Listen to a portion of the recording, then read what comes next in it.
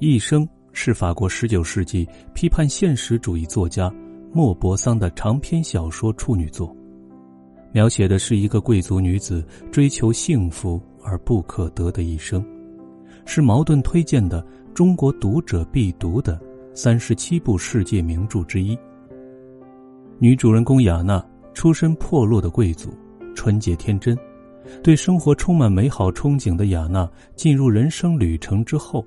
遭遇丈夫背叛、父母去世、独自离家出走等一系列的变故，在失望中逐渐衰老的过程，概括出了人们生活的一种基本状态。人生既不像我们想象的那么好，也不像我们想象的那么坏。雅娜打好行装，走到窗口张望，雨还是没有停。大雨下了一整夜，敲打着玻璃窗和房顶。天空低沉，装满了雨水，仿佛胀破了。雨水倾泻到大地上，大地像糖一般融化了，变成一片泥浆。不时刮过阵风，送来一阵闷热。阴沟的水漫出来，哗哗流淌，灌满了行人绝迹的街道。临街的房舍海绵似的吸足了水分。从地窖到楼顶的墙壁都湿透了。雅娜昨天出了修道院，这一生总算自由了，要及时享受她梦想已久的各种幸福。从清晨起，她就不厌其烦的观望天色，唯恐天气不放晴，父亲就不肯动身。雅娜突然发现忘了把日历放进旅行包里，于是她从墙上摘下小小的月份牌。月份牌的图案正中烫金印着一八一九这个年份。他拿起铅笔，划掉头四栏和每个圣徒日，一直划到五月二日，这正是他出修道院的日子。小雅娜，门外有人叫他。进来，爸爸。雅娜答应一声，只见他父亲走进房间。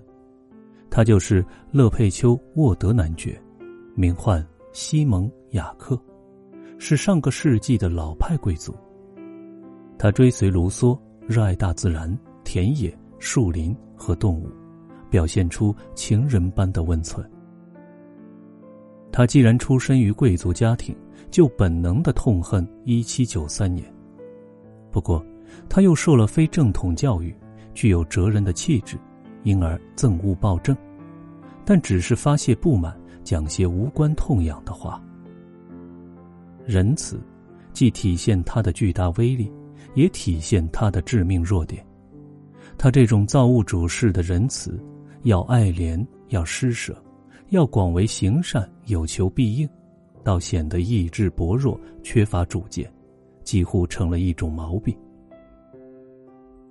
男爵崇尚理论，为女儿的教育。拟定了一整套的计划，要把女儿培养成快活、善良、正直而温柔的女性。雅娜在家长到十二岁的时候，就被送进了圣心修道院，母亲的眼泪也未能阻挡。父亲严令，让她在修道院幽居，与外界隔绝，不谙人事。他希望女儿到十七岁回家的时候仍然天真无邪，以便亲自调理。让他沐浴在理性的诗中，让他驰骋在丰饶的田野里，观察动物天生的爱恋和单纯的温情，观察生命的客观法则，从而开启性灵，走出蒙昧无知的状态。现在他出了修道院，一团喜气洋洋，显得充满活力又渴望幸福，急于要尝一尝各种欢乐和各种艳遇的滋味。况且这一切，他在修道院穷极无聊的白日里，在漫漫的黑夜和孤独的期待中，早就从精神上尝遍了。他的相貌宛若韦罗内塞的一幅肖像画，那黄灿灿的金发仿佛给他的肌肤着了色。华贵的肌肤白里透红，覆盖着纤细的汗毛，仿佛罩了一层淡淡的丝绒。只有在阳光的爱抚下，才能依稀分辨。一对明眸呈深蓝色，就像荷兰制造的小瓷人的眼睛那样。他的左鼻翼上长了一颗小小的美人痣，右腮上也长了一颗，并带着几根不易分辨的与肌肤同色的汗毛。他身材修长，线条优美，胸乳也已经丰满。他嗓音清脆，有时听起来过于尖细，但是笑起来却那么的开心，给他周围制造出一种喜悦的气氛。他有一种习惯动作，双手常常举到鬓角，仿佛要抿头发似的。他冲上去，紧紧的拥抱父亲，说道：“嘿。”到底走不走呀？父亲微微一笑，摇了摇苍白的长发，又指了指窗外。怎么，这种天气你还想上路啊？雅娜撒起娇来，恳求父亲：“哎，爸爸，求求你了，走吧，下午天就会晴的。”你母亲也绝不会答应的。会答应的，我保证。我去跟他说。你若是能说服你母亲，那我也同意。雅娜立即冲向男爵夫人的房间，因为她已经急不可耐，早就盼望动身这一天了。他到鲁昂城进入圣心修道院之后就没有离开。父亲规定，他到一定年龄之前不准分心，只有两次例外。父母接他回巴黎各住半个月，但毕竟是待在城里，而他一心向往的。是去乡村。现在，他要到白杨田庄去消夏。那座古老的庄园是祖传的产业，建在伊波附近的悬崖峭壁上。他期望到了海边能自由的生活，得到无穷的乐趣。再说，那份产业早已确定留给他，他结婚之后就要在那里定居。这场大雨。从昨天晚上下起，一直未停，这是他有生以来头一个大烦恼。可是刚过三分钟，他就跑出母亲的房间，满楼的叫嚷：“爸爸，爸爸，妈妈答应了，快倒车吧！”滂沱大雨根本不见小，当四轮马车驶到门口的时候，反而下得更大了。雅娜要上车了，男爵夫人才由丈夫和使女搀着下楼。那名使女个头高大，身体健壮，像个小伙子。他是诺曼底省科地区人，年龄还不满十八岁，看上去却像是二十出头了。他名叫罗莎莉，是雅娜的奶姐妹，因此在府上被当作第二个女儿。罗莎莉的主要差事就是搀扶老夫人。原来几年前呢，男爵夫人患了心脏肥大症，身体逐年发胖，现在肥胖的变了形，弄得她叫苦连天。老夫人刚走到古老公馆的台阶前，就已经气喘吁吁了。她望着流水成河的院子，咕哝道：“嗯，这可真有点胡闹。”男爵一直笑呵呵的，应声说。呵呵，这可是您拿的主意啊，阿黛莱德夫人。他妻子起了个华贵的名字，男爵叫他的时候总是加上“夫人”这种称谓，而恭敬中却含有几分讥笑的意味。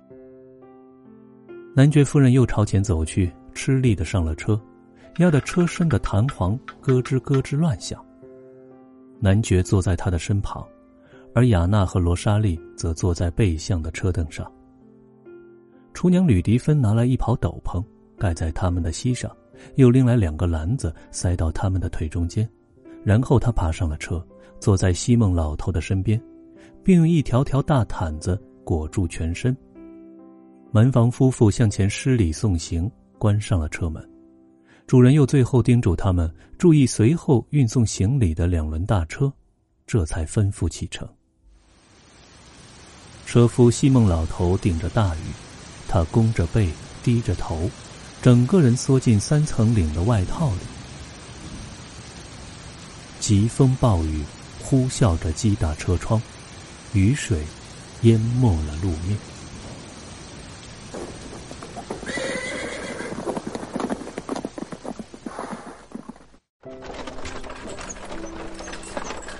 两套马车沿河岸大道飞驰，一旁闪过靠岸排列停泊的大船。只见桅杆横横和绳索像拖曳的树木，光秃秃的，挺立在凄风苦雨的天空里。继而，马车拐入长街，行驶在礼部台山林荫大道上。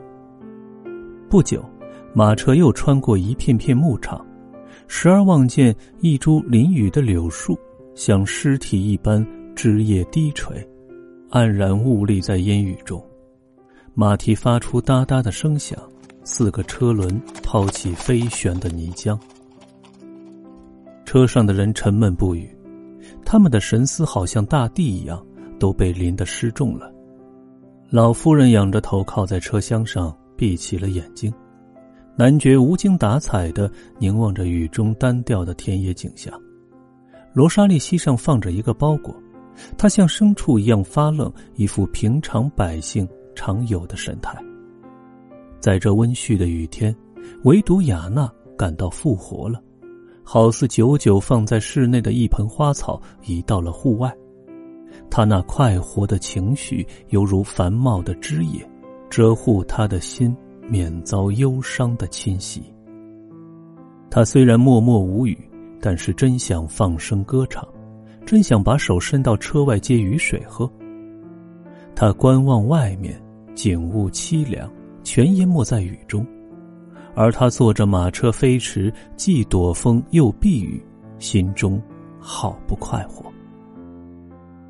在滂沱大雨中，两匹马皮毛光亮的臀部冒出腾腾热气。男爵夫人渐渐入睡。他那有六束整齐的卷发相衬的脸庞，慢慢的垂下来，软绵绵的拖在额下三道后褶上，而下端的褶皱，则没入汪洋大海般的胸脯里。他的脑袋随着呼吸一起一落，两边的腮帮子鼓起来，从微张的嘴唇里发出响亮的鼾声。丈夫朝她俯过身去，将一个皮夹子轻轻的放到她交叉搭在肥硕阔胸的双手里。这一触碰把她惊醒，她睡眼惺忪，直愣愣的看着这件东西。皮夹子滑下去，展开了，里面的金币和钞票洒满了车。这一来，她才完全清醒了。而女儿看到开心，咯咯大笑。男爵拾起钱币。又放到夫人的双膝上，说道：“喏，亲爱的朋友，阿尔托田庄只剩下这些钱喽。我卖了那座田庄，好好修缮白杨田庄。从今往后，我们就要常去住了。”男爵夫人数了数，总共六千四百法郎。数完，便把钱从容的放进自己的兜里。男爵祖传三十一座庄子。这是卖掉的第九座，余下的田产每年约有两万法郎的进项，如果经营得当，每年收入三万也很容易。男爵一家生活相当简朴，这笔收入本来够用，可惜家里始终有一个敞着口的无底洞，即乐善好施。乐善好施吸光他们手上的钱，就像太阳晒干沼泽地的水分一样，钱。哗哗的流淌，很快就流光了。怎么花出去的呢？谁也说不清楚。家里总有人说：“真是怪事儿，今天我花出去一百法郎，还见不到买了什么东西。”不过，这种慷慨好施的行为，倒是他们生活中的一大乐趣。在这一点上，他们都心照不宣，达到了可歌可泣的默契程度。亚娜问道。现在我那庄园修得很美了，男爵兴冲冲的回答：“孩子，你去看看就知道了。”雨势渐渐的小了，不久就飘着雨雾，化作霏霏细雨。天空密布的乌云仿佛飞升，颜色由黑变白。突然间，斜阳的一长束光芒从看不见的云隙中射到牧场上，云层裂开了，露出蓝色的天穹，继而云系越裂越大，就像面纱撕开一样。只见澄净幽邃的碧空扩展开来，笼罩大地。一阵清爽的和风吹过，宛若大地欣慰的长出了一口气。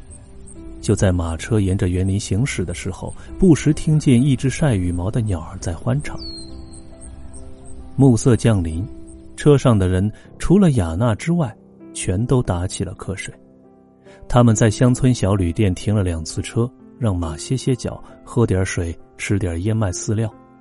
远处响起了钟声，到了一座小村庄，他们点上了车灯，天空也点亮了繁星。上了灯的庄户稀稀落落，时而一点光亮穿透了黑暗。猛然间，从一道秋缸的后面，穿过山树林的枝叶，升起一轮圆月，又大又红，仿佛还没有睡醒。夜晚十分温煦，车窗玻璃放下半截，雅娜在梦幻中游累了，饱览了美好的憧憬，现在也该休息了。不过，一种姿势坐久了就会肢体麻木。她时而睁开眼睛动一动，望一望车外，在明亮的月夜中看见路边闪过一家庄户的树木，或是散卧在牧场上并抬头观望的奶牛。他换了个姿势，想重温一场恍惚的梦境。然而，马车持续不断的隆隆声响充斥着他的耳朵。令他神思倦怠，于是他重新又合上眼睛，只觉得精神和躯体都疲惫不堪。马车总算停下来了，男男女女手握灯笼站在车门口迎候。终于到了，雅娜猛然醒来，一纵身跳下车。男爵和罗莎莉由一名庄户照亮，几乎是把男爵夫人抬下车的。老夫人的确精疲力竭了。她难受的哼哼呀呀，声息微弱的重复道：“哎呀，老天爷呀，我可怜的孩子们！”他不吃不喝，只想睡觉，刚上床就睡着了。只有雅娜和父亲共进晚餐，父女俩相视而笑，隔着餐桌手拉着手，两个人都像孩子一样高兴。接着一道观赏修葺一新的。庄园宅邸。这座诺曼底式的宅邸位于城堡和农舍之间，又高又大，十分宽敞，能住下一个家族的人。一律白石结构，只是年深日久而变成灰色了。中厅特别宽敞，从前到后将楼体分成两个部分，前后对开着两扇大门，一进门的左右都有楼梯，到二楼合起来。形同一座桥梁，横跨于门厅上面，为厅堂腾出很大的空间。楼下右手有一个异常宽大的客厅，墙上挂着花鸟图案的壁毯，全部家具都罩着精美的锦绣，清一色拉风丹预言的插图。雅娜惊喜交加，发现她小时候爱坐的一把椅子，那锦罩上绣的正是。狐狸和仙鹤的故事。大客厅的隔壁是书房，珍藏满满一屋子古书。接下来两个房间尚未派上用场。左手有新镶了壁板的餐厅，床上用品存放室、餐具室、厨房以及带浴室的一小套房间。一条走廊贯穿了整个二楼，两侧排列着十扇房门。右手最里端是雅娜的一套卧房，父女俩走进去。这套卧房，男爵刚刚叫人修理一新，但所有的帷幔和家具都是闲置在顶楼上的存货。卧室壁毯是弗朗德勒的产品，相当古老，图案上尽是古怪的人物。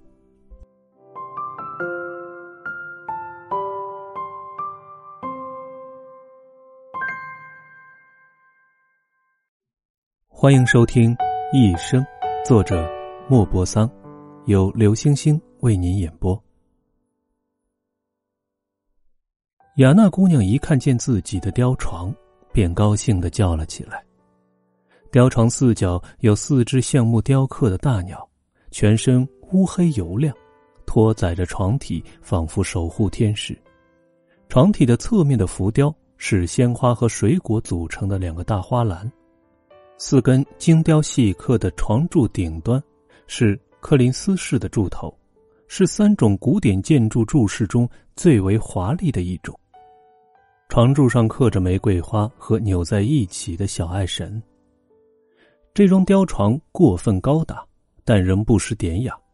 尽管年代已久，木料失去光泽，显得暗淡了一点儿床罩和天幕闪闪发光，犹如星辰交相辉映的天穹。那全是用深蓝色的古绸做成的，上面绣着硕大的金黄色的百合花。雅娜姑娘仔细观赏了雕床之后，又举烛照亮壁毯，看一看织的是什么图案。一名贵族少年和一名贵族小姐，身着红、黄、绿三色奇异服装，正在一棵白果累累的蓝色树下交谈。旁边的一只大白兔正在吃灰色的小草。在这两个人物的正上方是远景画面。有五所尖顶的小圆房子，再往上瞧，几乎连着天空的地方，却竖着一架红色风车。这幅地毯四周围绕着大型的花卉图案。另外两幅的图案跟这一幅相似，所不同的是，房子里走出的四个小人儿，他们全身弗朗德勒人的装束，都朝天举起双臂，表示万分惊愕和愤慨。最后一幅地毯上织的是一幕惨景，兔子仍在吃草，那青年横倒在旁边，好像死去了。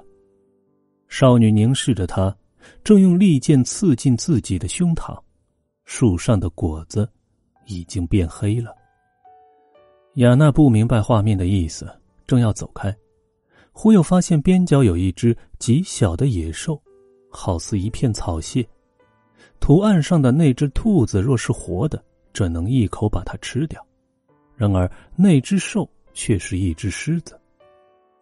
雅娜这才明白，这是皮拉姆斯和西贝斯的悲惨故事——罗马诗人奥维德在《变形记》中所讲述的一个爱情悲剧。巴比伦这对恋人因家庭反对而私奔，相约在一棵桑树下会合。西斯贝先到，被母狮的吼声吓跑。慌忙中丢掉面纱，皮拉姆斯发现被母狮撕破的面纱，以为西斯贝被母狮吃掉了，便举刀自刎。西斯贝回来看到此景，也自杀身亡。从此，白色的桑葚变成了黑色。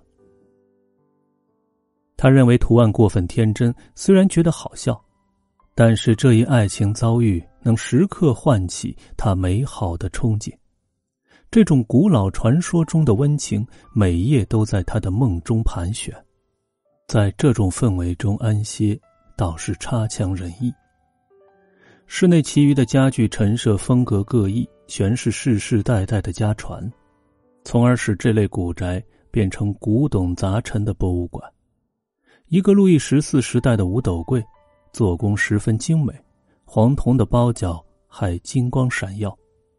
五斗柜两边各摆着一把扶手圆椅，却是路易十五时代的，还照着当时的花绸椅套。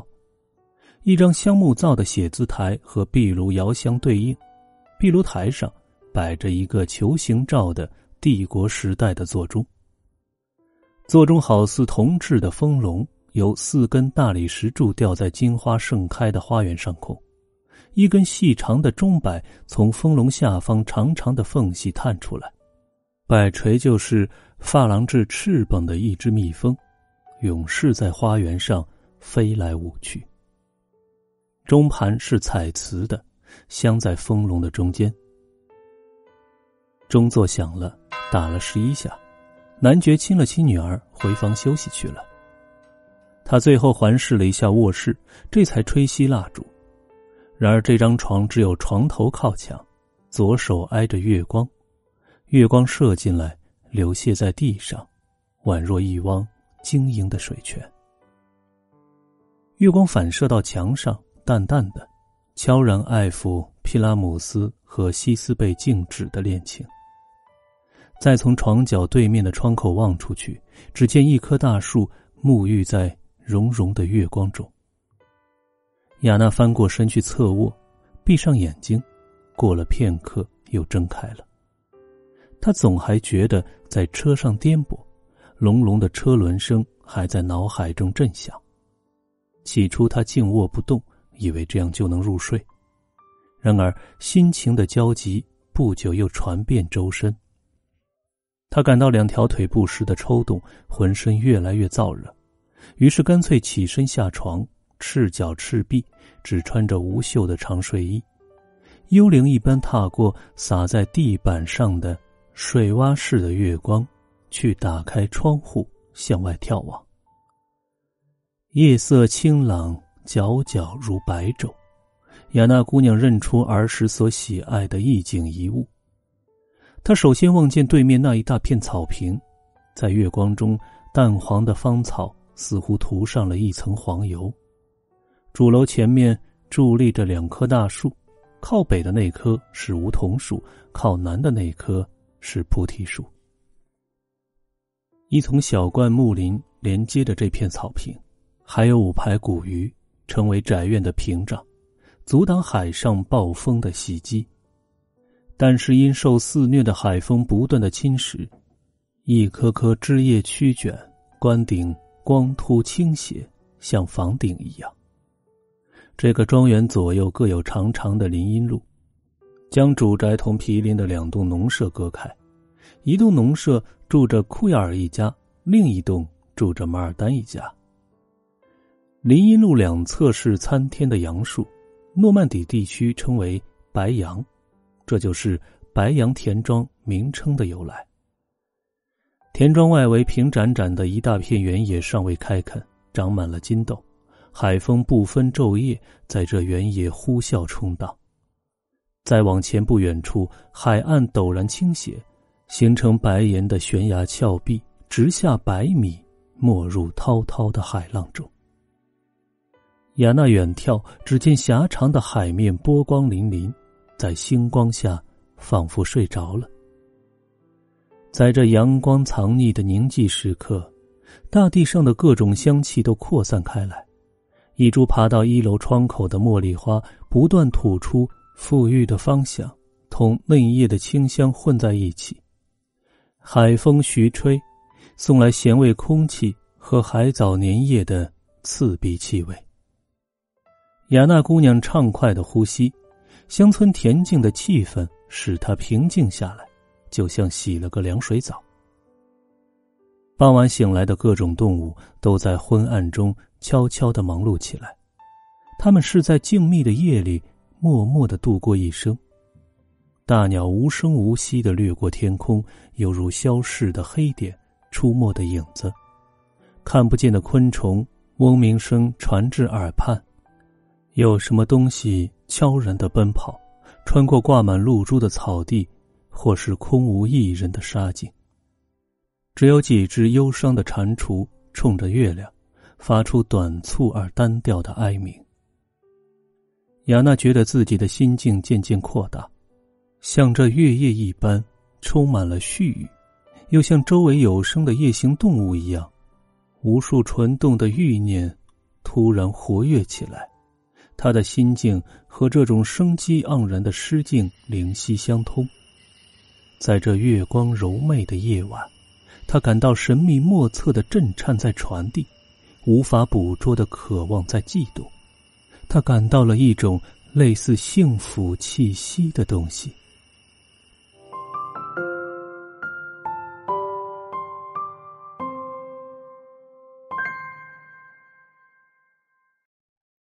欢迎收听《莫泊桑一生》，刘星星播讲。爱情，两年来他春心萌动，越来越焦灼难耐了。现在他可以自由的去爱了，只需同那人同他邂逅。他会是怎样的一个人呢？雅娜心中并不了然，甚至连想都没有想，反正他就是他。他只知道自己会一心一意的爱他，而他也会百般体贴的爱自己。他们俩要在同样的月夜中，在朦胧的星光下一道散步，要手拉着手，身子偎依着身子，听见两颗心的跳动，感觉到对方肩膀的温煦，他们的爱情同夏夜的自然甜美融汇在一起，两个人到了心心相印的程度，仅凭相互间深情的力量。就能彼此窥透内心最隐秘的念头。这种相亲相爱的情景，将在难以描绘的柔情蜜意中持续永生。他猛地感到他就在面前，同他紧紧相偎，一阵肉欲销魂的震颤，突然从脚下隐隐的传至头顶。他双臂下意识的。紧紧的搂入胸口，仿佛抱住他的梦幻。他伸向那个陌生人的嘴唇，感到什么东西掠过，宛若春风给了他一个爱吻。他不禁心醉神迷，几乎倾倒了。他蓦地听见宅邸后面的路上，有人趁夜色行走，心中不禁一阵狂喜。他竟然确信不可能的事情，确信天缘的巧合，神域的预感和命运的浪漫结合，竟不禁暗暗想到：莫，莫不是他吧？他惴惴不安的倾听那行人有节奏的脚步声，确信他会到大门口停下，前来投诉。然而那人走过去了。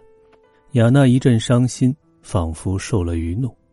不过，他很快意识到自己渴望过甚，甚至痴心妄想，不觉哑然失笑了。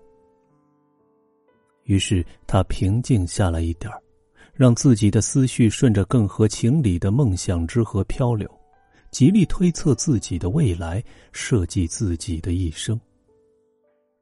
他要和他在这里生活，住在这。抚临大海的静谧的庄园里，自不待言，他要有两个孩子，给他生个男孩，给自己生个女孩。他恍若看见两个孩子在梧桐树和菩提树中间的草坪上奔跑，而父母注视着他们，相互交换深情的目光。他这样幻想了很久很久，直到月亮行空，走完了路程。就要沉入大海中去了。空气更加清凉了，东方的天色开始泛白。右边农舍里一只公鸡打鸣，左边农舍的公鸡遥相呼应，嘶哑的鸣声隔着鸡舍壁板，仿佛从遥远的地方传来。无垠的天穹不知不觉泛白，繁星也纷纷隐没了。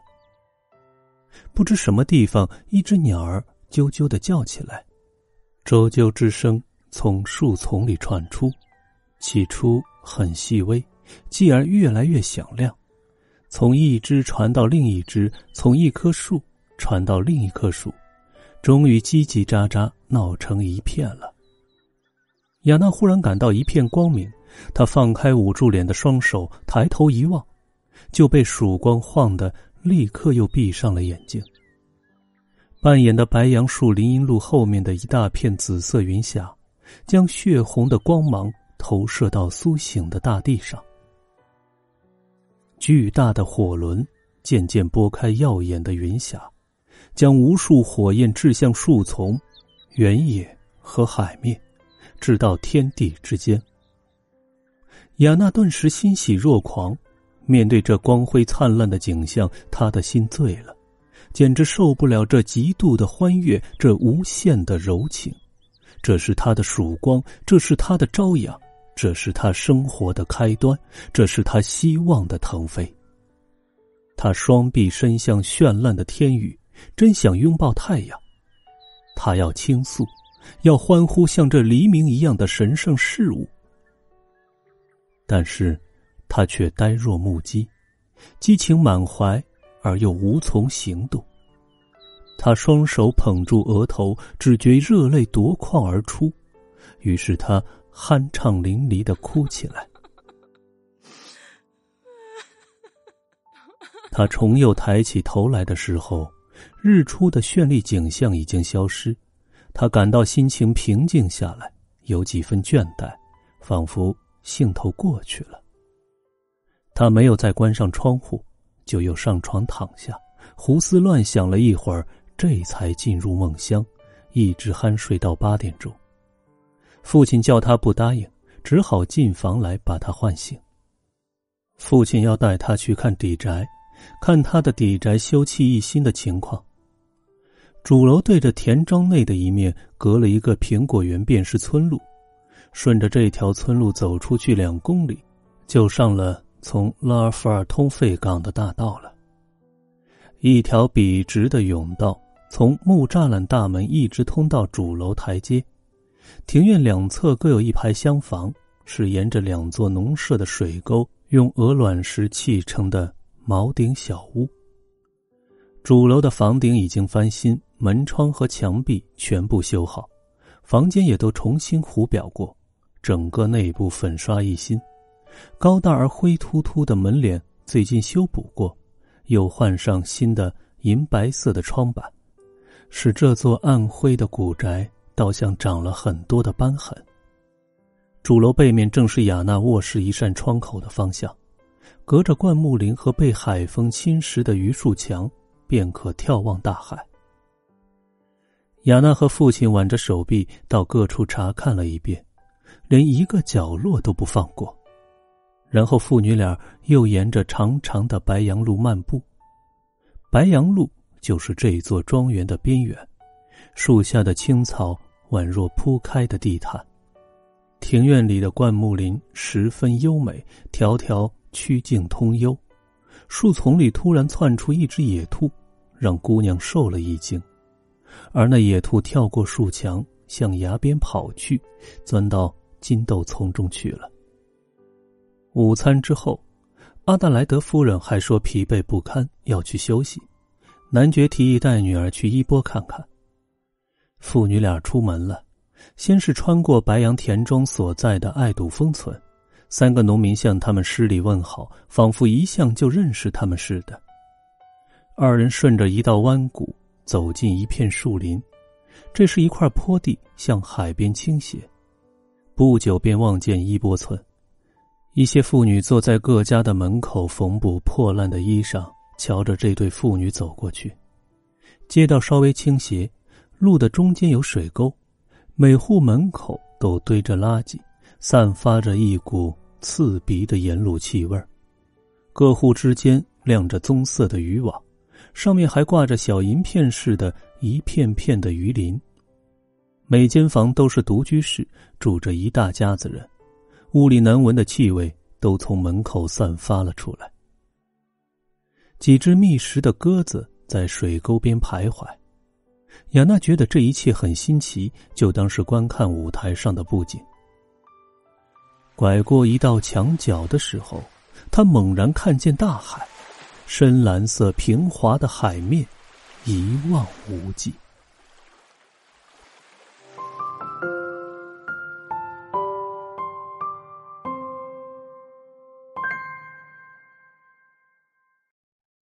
欢迎收听《莫泊桑一生》，刘星星播讲。父女二人在海滩前面停下来，观赏海景。远处海面行驶的白帆，好似飞鸟展翅；左右两侧都伫立着悬崖峭壁，有一侧夹角挡住了视线，另一侧海岸线无限延伸，最后变成一道虚线了。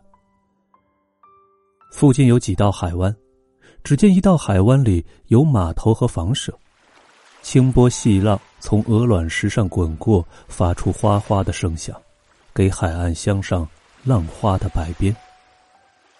当地的渔船被拉上岸，侧身卧在石滩坡上，涂了沥青的椭圆形船舷冲着太阳，几名渔夫正收拾渔船，好赶晚潮。一名水手上前兜售鲜鱼，雅娜买了一尾灵平鱼，要亲手拎回白羊田庄去。那人一高兴，还请他们上船游海，并一再重复他的名字：拉斯蒂卡，约瑟夫·拉斯蒂卡，好让他们牢牢记住。男爵答应，绝不会忘记。雅娜拎着那条大鱼太累，便把父亲的手杖穿在鱼鳃上，两人各抬一头。他们迎着风，神采奕奕，一路上高高兴兴，重又登上崖坡，像两个孩子一样不停的唠叨。而他们的胳膊渐渐的累了，只好让肥大的鱼尾拖在草地上。雅娜过着悠闲自在的生活，她看看书，遐想遐想。独自到周围转一转，他顺着大路漫步游荡，思想却踏入梦乡。有时他连蹦带跳走下蜿蜒的小山谷，只见两个小圆丘上盛开着金豆花，就像戴着金灿灿的头巾，花香浓烈，再有热气熏发，好似醇酒一般，令雅娜心醉了。远处传来波浪在滩头滚动的声响，他的神思。就在波涛间颠荡，有时他感到拥戴，便躺在斜坡茂密的青草上；有时他转过一道谷口，在草洼间猛然发现一角蓝色的海，望着海面在阳光下粼粼闪光，天边还漂浮一角白帆，他不禁喜出望外，好像在他头顶盘旋的幸福神秘莫测的临近了。在这清新优美的乡间。在这天际浑圆的静谧中，他开始喜欢独来独往，常常坐在秋岗上久久不动，甚至小野兔都会蹦到他的脚边。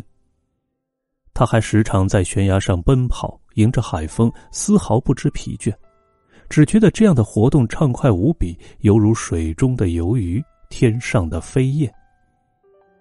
雅娜到处播下记忆，犹如农夫在田地撒下种子。这些记忆在此扎根生长，直到萧远的一天，在这山谷的一沟一壑，他都投下一份心意。他对游泳产生了浓厚的兴趣。他仗着身体健壮，胆子又大，意识不到危险，每次都游出去很远，在这清凉而蔚蓝的水中游浮摇荡，他感到十分惬意。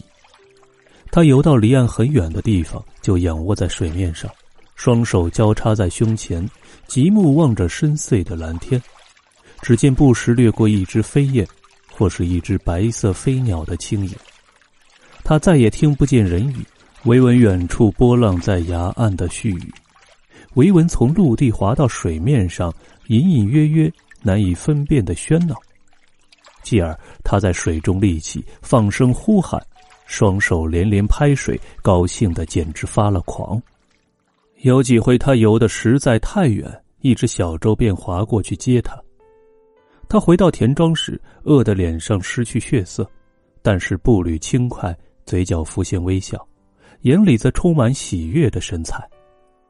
至于男爵，他正在筹划重大的农事，要进行实验，采用新技术，试用新农具，引进外国良种，因此一天大部分时间都在同农民交谈。而农民们听了他的打算，连连摇头，不相信能成功。他也时常跟伊波村的船夫下海，他游遍了周围的岩洞、水泉和峰顶，又想去捕鱼，充当一名普通的水手。在风快翻轻的日子里，椭圆的渔船在波浪上疾驰，船夫从两边船舷放下长线，一直放到海底，让成群的青鱼追逐。男爵拉着鱼线，激动的手指发抖，不久便感到一条鱼在钩上挣扎，而扯动细细的长线。有时他还趁着月色去起头天下的网，他爱听桅杆咯吱咯吱的声响，爱听清凉晚风的呼啸。他凭借一处岩顶、一座钟楼和废港的灯塔辨识方向，在海上长时间的巡逻。以便寻找渔网的游标，直到旭阳的朝晖射在甲板上，照得扇形宽摇鱼的年背和大鳞平鱼的肥肚皮闪闪发亮，他这才坐下来一动不动，觉得这一切真是一种享受。一上餐桌，他就兴致勃勃的讲述他下海的情况。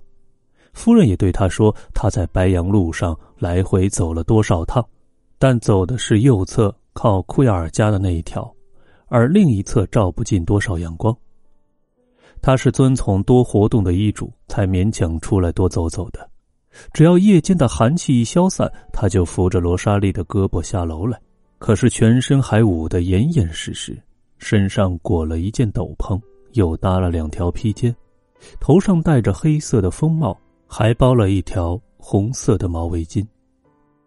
他拖着有点笨重的左脚，从主楼的墙角到灌木丛的第一排树。沿着笔直的路一来一往，无休无止的重复。左脚下竟然踏出两条土印，草都不长了。他还吩咐在这条路的两端各安一张长椅，每走五分钟他就停下脚步，对搀着他的可怜的好心儿使女说：“咱们坐一坐吧，孩子，我有点乏了。”每次停歇的时候，他就往长椅上落点东西，先是包头的围巾，接着是一条披肩，继而是另一条披肩，然后是风帽，最后就是斗篷了。这些东西在路两端的长椅上堆成两堆。到开午餐的时候，罗莎莉就用那条闲着的胳膊抱着回去。下午，男爵夫人又出去散步，但是走得更缓慢，歇息的时间拖长。有的时候躺在椅子上打盹，一睡就是一个小时。这是专门为他推到外面的一把躺椅，他把这个称为“我的锻炼”，就像说“我的心脏肥大症”一样。他十年前感到胸闷，看过病，听医生说“心脏肥大症”这个名称，从那以后，这个字眼就深深的刻在了他的脑海里。尽管他不大明白是什么意思，他总让男爵雅娜和罗莎莉摸他的心脏，可是这颗心脏深深的埋在肥厚的胸脯里，谁也摸不出什么。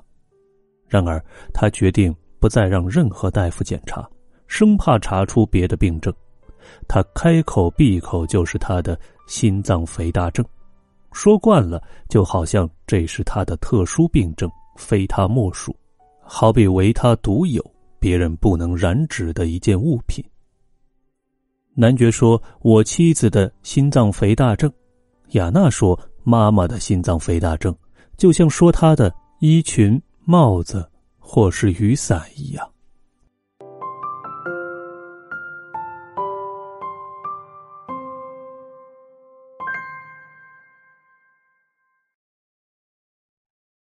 欢迎收听。莫泊桑一生，刘星星播讲。男爵夫人年轻的时候非常漂亮，苗条的身材赛过一根芦苇。在帝国时期，她同所有军官跳过舞，还看过小说《科丽娜》。科丽娜是法国浪漫主义先驱之一斯达尔夫人的小说。主人公科丽娜是一个具有浪漫气质的天才诗人。因为社会偏见，在爱情上遭受挫折，成为悲剧人物。男爵夫人读了这本书，并感动的流下眼泪。打那以后，他的身心就像打上了这部小说的烙印。随着身体一天天的发福，他的心灵却越来越充满诗的激情。等到胖的离不开座椅的时候，他就神游物外，想象自己经历种种艳情的际遇。这些艳遇他特别喜爱，就总出现在他的幻想中，宛如八音盒上了发条，没完没了的奏同一支曲子。凡是哀婉的浪漫曲，里面叙述飞燕、叙述女子落难的故事，都能毫无例外的引出他的眼泪。他甚至爱听贝朗瑞的诗。贝朗瑞是法国十九世纪具有鲜明的民主倾向的诗人，诗作富予揭露性和战斗性，但也有一些吟咏酒色的香艳歌谣。他很喜欢这些歌谣，因为歌中表现了缺憾感伤的情调。他常常几个钟头静坐不动，神思在梦幻中远游。他无限喜爱白杨田庄，只因近几个月来迷上了瓦尔特斯·戈特。瓦尔特斯·戈特是苏格兰诗人和历史小说家。夫人读这些书，觉得周围的景物和树林、荒原和大海，恰恰向他提供了这些心爱小说的背景。每逢下雨天，他就关在卧室里。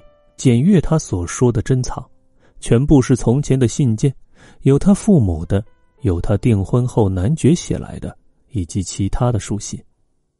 这些信件全部收在写字台的抽屉里。这个写字台是桃花心木的，四面包角的铜片上有狮身人面像。要检阅的时候，他总是以特别的声调说：“罗莎莉，我的孩子。”把装着念心儿的抽屉给我拿来。小使女去打开柜门，取出那个抽屉，放在夫人身边的椅子上。男爵夫人便一封一封细读旧信，时而一滴眼泪掉在信页上。有时雅娜代替罗莎莉搀扶母亲出去散步，母亲就向她讲述童年的记忆。雅娜姑娘在从前的故事中看到了自己的影子。尤为诧异的是，她和母亲当年的念头和渴望是何其的相似。的确，每一个人都认为，唯独自己的心灵有种种的感受和悸动，而其实最初的人早已经历过，最后一代男人和女人也会有同样的感受。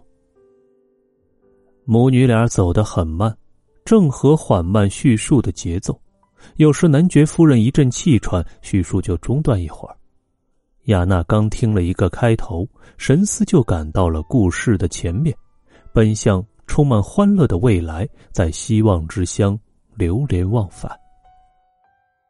一天下午，母女俩正在白杨路里端的长椅上歇息，只见一位胖神父从路口朝他们走来。神父老远就施礼，笑呵呵的走近前又施礼，朗声说道：“哎呦，男爵夫人这一向可好啊？”他就是本堂神父。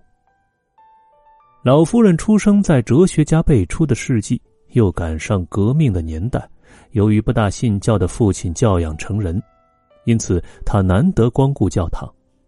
他倒是挺喜欢神父，但那是女性本能的一种。宗教情感。男爵夫人早把比克神父忘得一干二净，一看见是他，不禁有些面有愧色。他表示歉意，说这次回田中没有通知神父。比克神父倒是位好好先生，对此毫不介意。他端详着雅娜，称赞她气色很好。说罢，坐了下来，将三角帽放在膝头，连连擦额头上的汗水。他身体肥胖，满面红光，大汗淋漓，不时从衣兜里掏出一条已经浸透汗水的方格大手帕，擦擦脸，又擦擦脖颈。刚把湿手帕放进轿袍兜里，肌肤上又出现了一层汗珠，落在大腹鼓起的轿袍襟上，和走路所挂的飞尘参合起来，形成了一个个圆圆的小斑点。他是地道的乡村教师。性格开朗，非常健谈，为人非常宽厚。他讲述了好些事情，谈到当地的人，仿佛根本没有发觉他这两名教民还没有去做过弥撒。男爵夫人懒得去教堂，自然同他的信仰不明确有关。而雅娜早已经厌腻了礼拜的仪式，乐得从修道院里脱身。男爵来了，他是泛神论者。对基督教教义不感兴趣，不过他认识这位神父已有多年，对他很热情，还留他共进晚餐。这位神父善于讨人喜欢，见什么人能说什么话，哪怕是最平庸的人。一旦因偶然的机会有了管别人的权利，由于掌握别人的灵魂，就会无形中养成这种狡黠的态度。男爵夫人对他优礼相加，大概是因为物以类聚，感到特别的投缘。这个大胖子充血的面孔、短促的呼吸，自然讨他这气喘吁吁的胖妇的喜欢。晚上快上甜食的时候，这位本堂神父越发来了兴致，洒脱不拘。在愉快的一餐接近尾声的时候，他的言谈举止就显得十分随便了。他仿佛有了一个得意的念头，忽然嚷道：“嘿，本教区新来了一个人，得拉马尔子爵，我应当把他引荐给你们。”本省的贵族世家、男爵夫人都了如指掌，他不禁问道。他是鄂尔省的德拉马尔府上的人吗？神父点头应道：“正是，夫人，他就是去年病故的若望德拉马尔子爵的公子。”阿达莱德夫人最崇尚贵族，于是他提出一连串的问题，了解到这位青年为了偿还负债，将子爵府老宅卖掉。他在爱杜峰村有三个庄子。就先在一个庄子落脚，三个农场每年有五六千法郎的进项。幸而子爵生来尚俭，量入为出。他打算住这普通的农舍，过两三年简朴的生活，待有些积蓄，再到上流社会去，也好有些颜面，以便攀上一门条件优渥的婚姻，既无需借贷，也不必将庄田抵押出去。本堂神父还补充说。他呀是个很讨人喜欢的青年，安分守己又非常的稳重。不过，他在这里无以消遣呐。于是男爵说：“神父先生，把他带来吧，让他不时在这儿来散散心。”他们又转到别的话题上了。他们进入客厅喝罢咖啡，神父告别，要到庭院走一走，因为他饭后有散步的习惯。男爵陪他出去，两人在主楼刷白的门脸前面来回的散步，他们的身影时而在前，时而在后，因他们面向或是背向月亮而已。有趣的是，这对背影，一个精细瘦长，一个肥胖圆滚，还戴着圆魔帽。本堂神父从兜里掏出一支卷烟，放在嘴里嚼着烟屑。他以乡下人的直率口气解释说：“嘿，这个可以解嗝，我有点消化不良。”继而，他望着皓月行空的景象，突然感叹道：“哎呀，这景象永远也看不厌呐！”说罢，他回楼向两位女士告辞。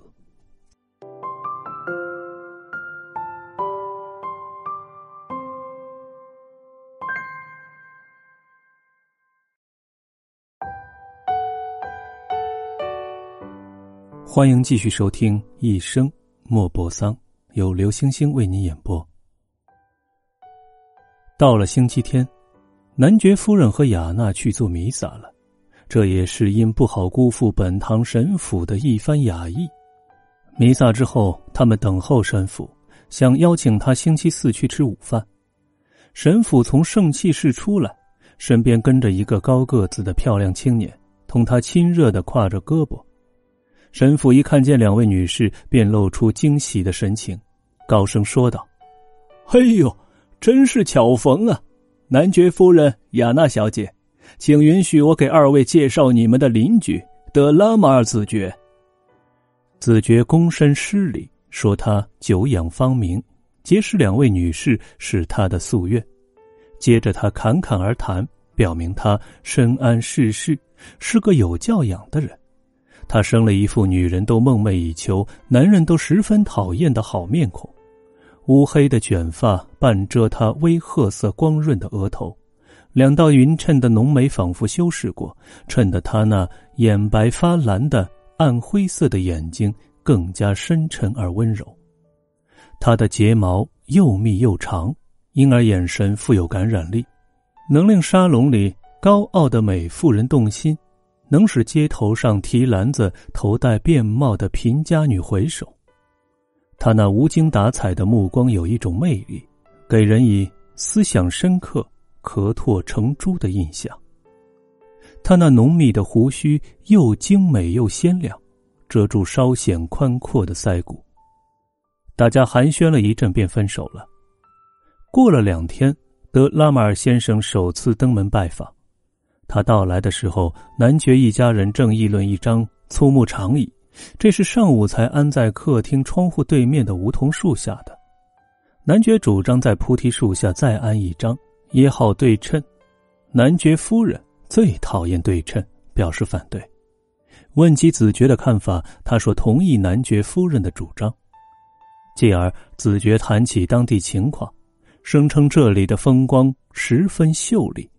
说他独自散步的时候，发现很多赏心悦目的景点，他的目光时而同雅娜的目光相遇，仿佛纯属偶然。然而雅娜却有一种特殊的感觉，他突然扫来又迅即移开的一瞥，透露出一种温情的赞赏和一种初醒的倾慕。去年故去的德拉马尔老先生。生前恰巧认识男爵夫人的父亲德居尔托先生的一位好友，这一层关系的发现又引出话头，什么联姻关系、交往的日期、亲戚套亲戚的网络，谈起来无休无止。男爵夫人显示其惊人的记忆力，列举一些世家的先祖和后裔，在错综复杂的谱系的迷宫里游荡，绝不会迷失方向。自觉。请告诉我，索努瓦德·瓦夫勒那个家族，你听说过吗？长子贡特朗娶了库尔西府上的一位小姐，即库尔西库尔维尔的一个千金；四子娶了我的表姐德拉罗什奥贝尔小姐。我这位表姐后来又同克里藏日府联姻，而德克里藏日先生又是家父的至交。他一定认识令尊大人。不错，夫人，不就是流亡国外、妻子倾家荡产的那位德克里藏日先生吗？哦，对，正是他。他还向我的姑母求过婚。当时我姑父德埃特里伯爵已经谢世，但是我姑母嫌他有吸鼻烟的习惯，没有答应。对了，维瓦洛兹那家人近况如何？您知道吗？他们家道中落之后，约在一八一三年都离开都兰，迁到奥弗涅去，我就再也没有听人提起过。据我了解，夫人，老侯爵坠马身亡，留下两个女儿，一个嫁给了英国人，另一个嫁给一个叫巴索勒的人。据说那是个富商，把他勾引过去了。幼年听老辈人谈论而记住的这些名字，如今又翻腾出来，在他们的思想里，这些门当户对的婚姻就跟国家大事一样重要。他们谈论那些从未谋面的人，就跟议论熟人一样。同样，在其他地方，那些人也议论他们，尽管相隔遥远，彼此却还有亲近感，几乎算得上故友亲朋。只因为大家同属于一个阶级，都有同样的血统。男爵生性孤僻，所受的教育又同本阶级的信仰和偏见相抵伍，因此他不大了解住在这个地区的士族大户，便向子爵打听。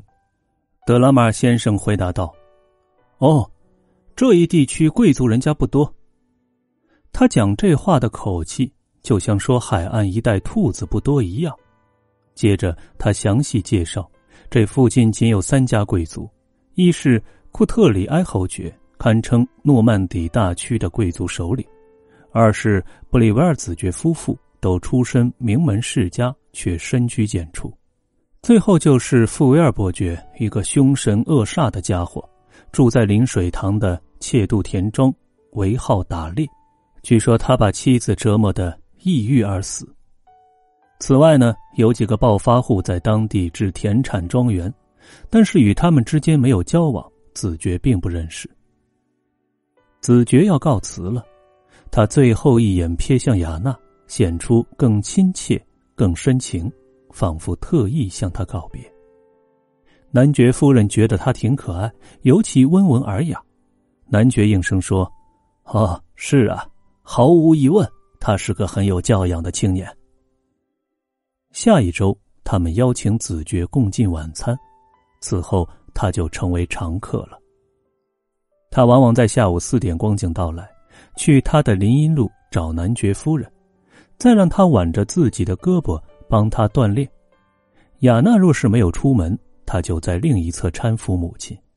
三个人沿着长长的笔直林荫路缓步而行，从一端走到另一端，不断的往返。子爵不大同雅娜姑娘说话，然而他那黑绒般的目光却经常同雅娜蓝玛瑙似的目光相遇。有好几回，这对年轻人和男爵一起去一波。一天傍晚，他们在海滩上，拉斯蒂克老头过来搭讪。他嘴上总是叼着烟斗，他少了烟斗，总是怕比缺了鼻子还令人诧异。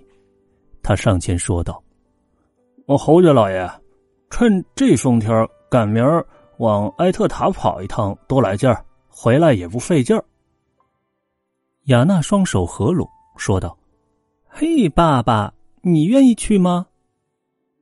男爵转头问德拉马尔先生：“子爵，你去吗？”我们一起去那里用午餐吧。事情随即定了下来。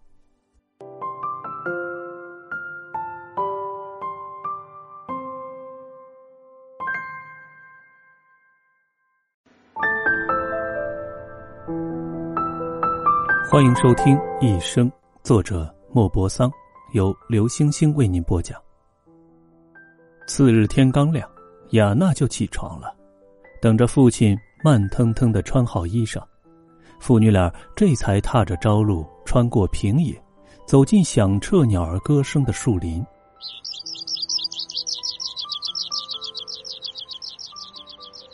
到了海边，只见子爵和拉斯蒂克老头已经坐在绞盘上等候了。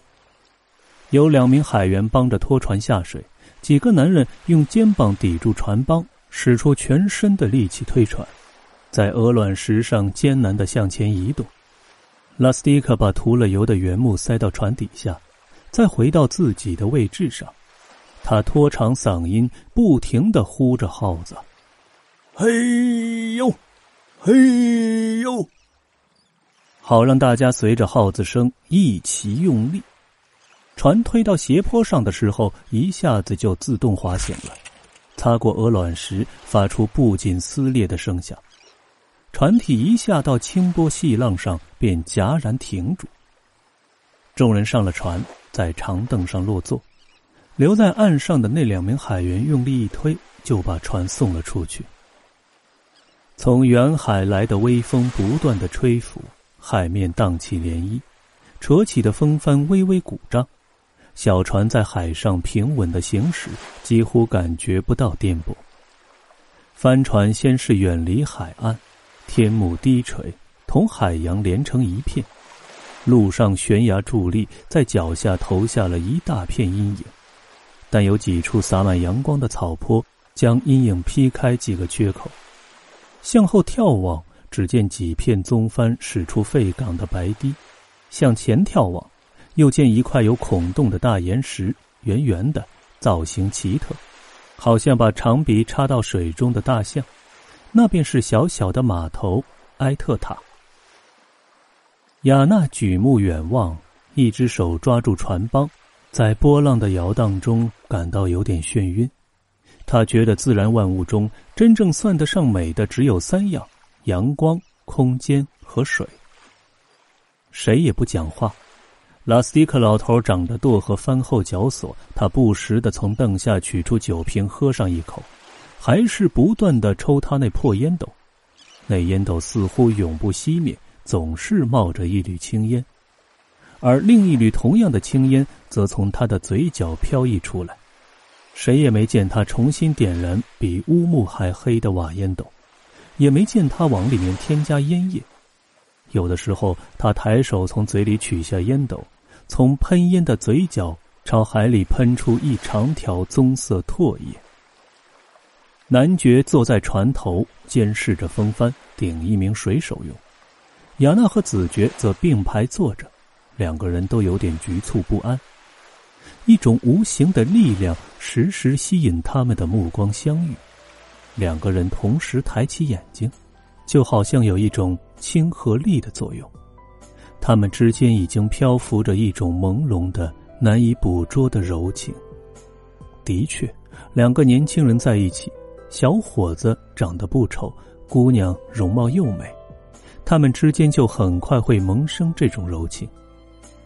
雅娜和子爵相互挨着感到愉悦，也许由于彼此在相互思慕吧。太阳升起来了，仿佛要居高纵观下面浩瀚的大海。而大海似乎要卖弄风骚，裹上了一层雾气的轻纱，遮住阳光的青睐。这层雾气贴近水面，呈淡黄色，又是透明的，什么也遮不住，却使远景更为柔和。金轮投射火焰，融化了明亮的雾霭。当它展示全部威力的时候，雾气就消散，化为乌有了。于是。大海平滑的赛过镜子，在朗照下开始夜夜发光。雅娜非常激动，喃喃说道：“多美呀！”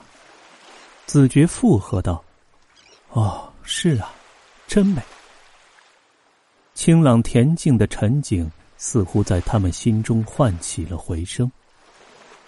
埃特塔的高大拱门赫然出现在前面。好似悬崖的两条腿跨入大海，拱高可以行船，一根尖尖的白色石柱伫立在第一道拱门前面。帆船靠岸了，男爵头一个跳下船，拉住缆绳，把绳系在岸边。子爵把雅娜抱上船，免得她湿了脚。然后他们并肩走在南行的鹅卵石滩，心情还为刚才短暂的拥抱而激动。忽然，他们听见拉斯蒂克老头对男爵说：“呃，照我看，他俩在一起还挺般配的。”他们来到海滩附近的一家小客栈，在欢快的气氛中共进午餐。在无限恬静的大海上，他们的声音和思想似乎变得迟钝，都默默无言。到了餐桌，他们的话多了起来。像度假的学童一样喋喋不休，一点点的小事都能给他们增添无穷的乐趣。拉斯蒂克老头落了座，将还在冒烟的烟斗小心翼翼的收到贝雷帽里，逗得大家哄堂大笑。他那酒糟鼻子大概有吸引力，一只苍蝇屡次落在上面。他用手驱赶的时候，想抓住，动作又慢，苍蝇飞开，落到影史斑斑的。薄纱窗帘上，似乎还贪婪的窥视着船夫红红的大鼻子，一会儿又飞回来，要落在上面。苍蝇每飞一回，都引起一阵大笑。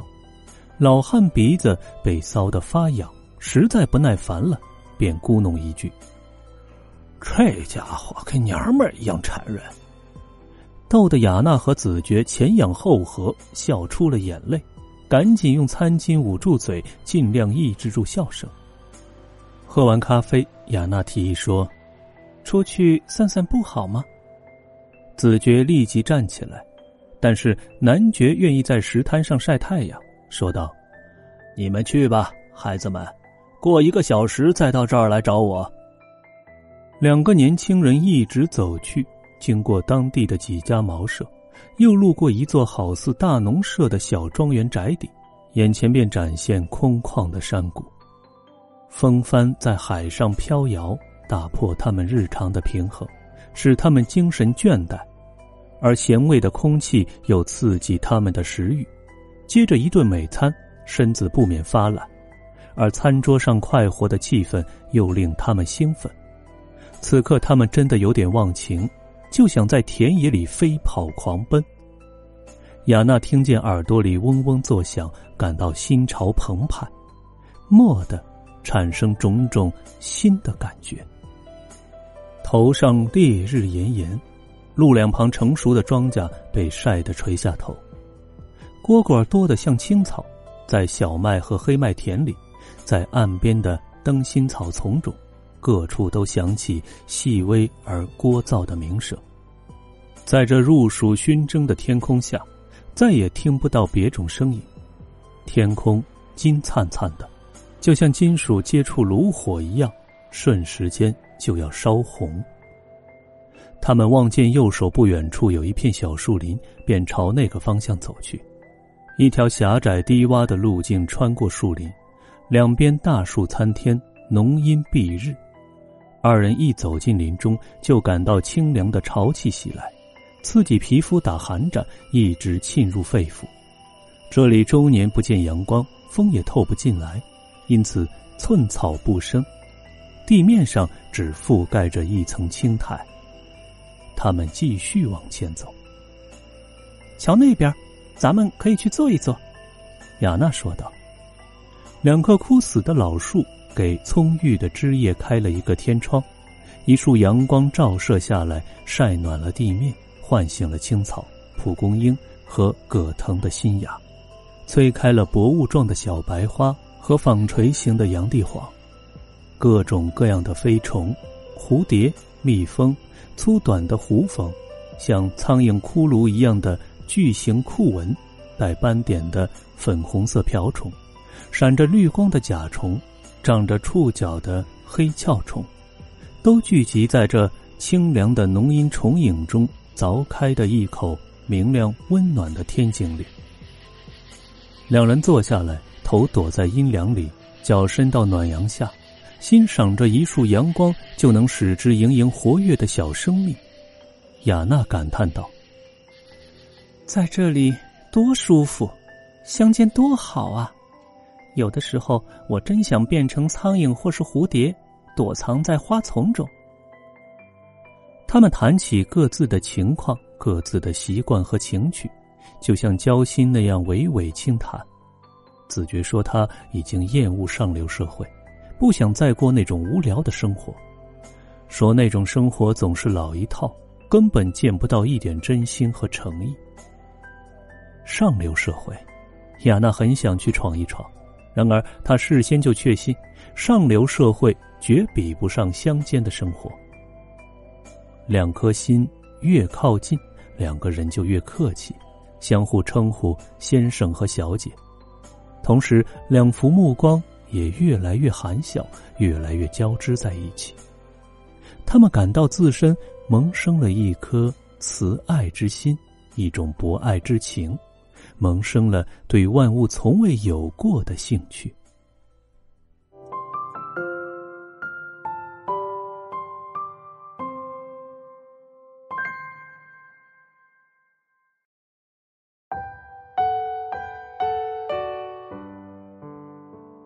两个人返回时，男爵已经步行去关上闺房了。那是悬在崖顶的一个石洞，他们只好在小客栈等候。男爵在崖顶走了很久，直到傍晚五点才回来。几个人重又上船，风顺帆轻，船稳稳的行驶，一点也不颠倒，毫无行进的感觉。微风徐徐，时断时续，船帆。也时而胀起，时而瘫软在桅杆上。浑厚的大海仿佛变成一片死水，太阳也散尽了热力，沿着圆形的旅程逐渐靠近海面。大海这么凝重，船上人又不觉缄默了。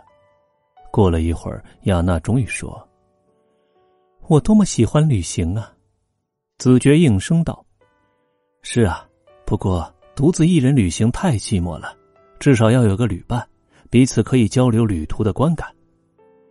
亚娜沉吟片刻，又说道：“这话也对，然而我还是愿意一个人散步，独自一个人遐想该有多好呀。”子爵凝视他许久，说道：“两个人也可以遐想啊。”亚娜垂下眼睛，心中暗道：“这是有意试探吗？”也许吧，他抬头凝望天边，似乎要看得更远些。继而，他慢声慢语的说：“我想去意大利，还要去希腊。嗯，对，去希腊，还要去科西嘉，那里一定非常美，富有蛮荒的野趣。”子爵却喜欢瑞士，喜欢那里的木房和湖泊。亚娜则说。不我喜欢的地方，要么是像科西嘉那样新开发的，要么是像希腊那样古老而充满史记的国家。我们从小就知道那些民族的历史，现在再去寻找遗迹，观赏发生历史大事件的地方，发古人之忧思，该多么有趣味啊！子爵没有这种情怀，他说：“英国对我倒是很有吸引力，到那儿能学到很多东西。”就这样，二人神游全世界，从南北两极直到赤道，议论每个国家的美景名胜，赞赏他们臆想中的风光，以及一些像中国和纳维亚半岛北部地区的奇异风俗。然而，谈论到最后，还是认为世界上最美的国家当属法兰西，因为这里气候温和，冬暖夏凉，既有肥沃的田野、茂密的森林。平静的大江大河，又有辉煌的雅典时代之后再未出现过的艺术的繁荣。谈到这里，两个人都住口了。夕阳坠得更低，仿佛在流血。一条宽宽的光波，一条光彩炫目的大陆，从海洋的边际一直延伸到帆船荡起的波浪。风完全停了，风波平复。染红的风帆也静止不动了，无边的静寂仿佛麻痹了整个空间，在自然物愈合的景观周围布下一片幽静。这时，在天空下，大海袒露出他那流体光灿的胸腹，等待着一团烈火的情郎投入怀抱。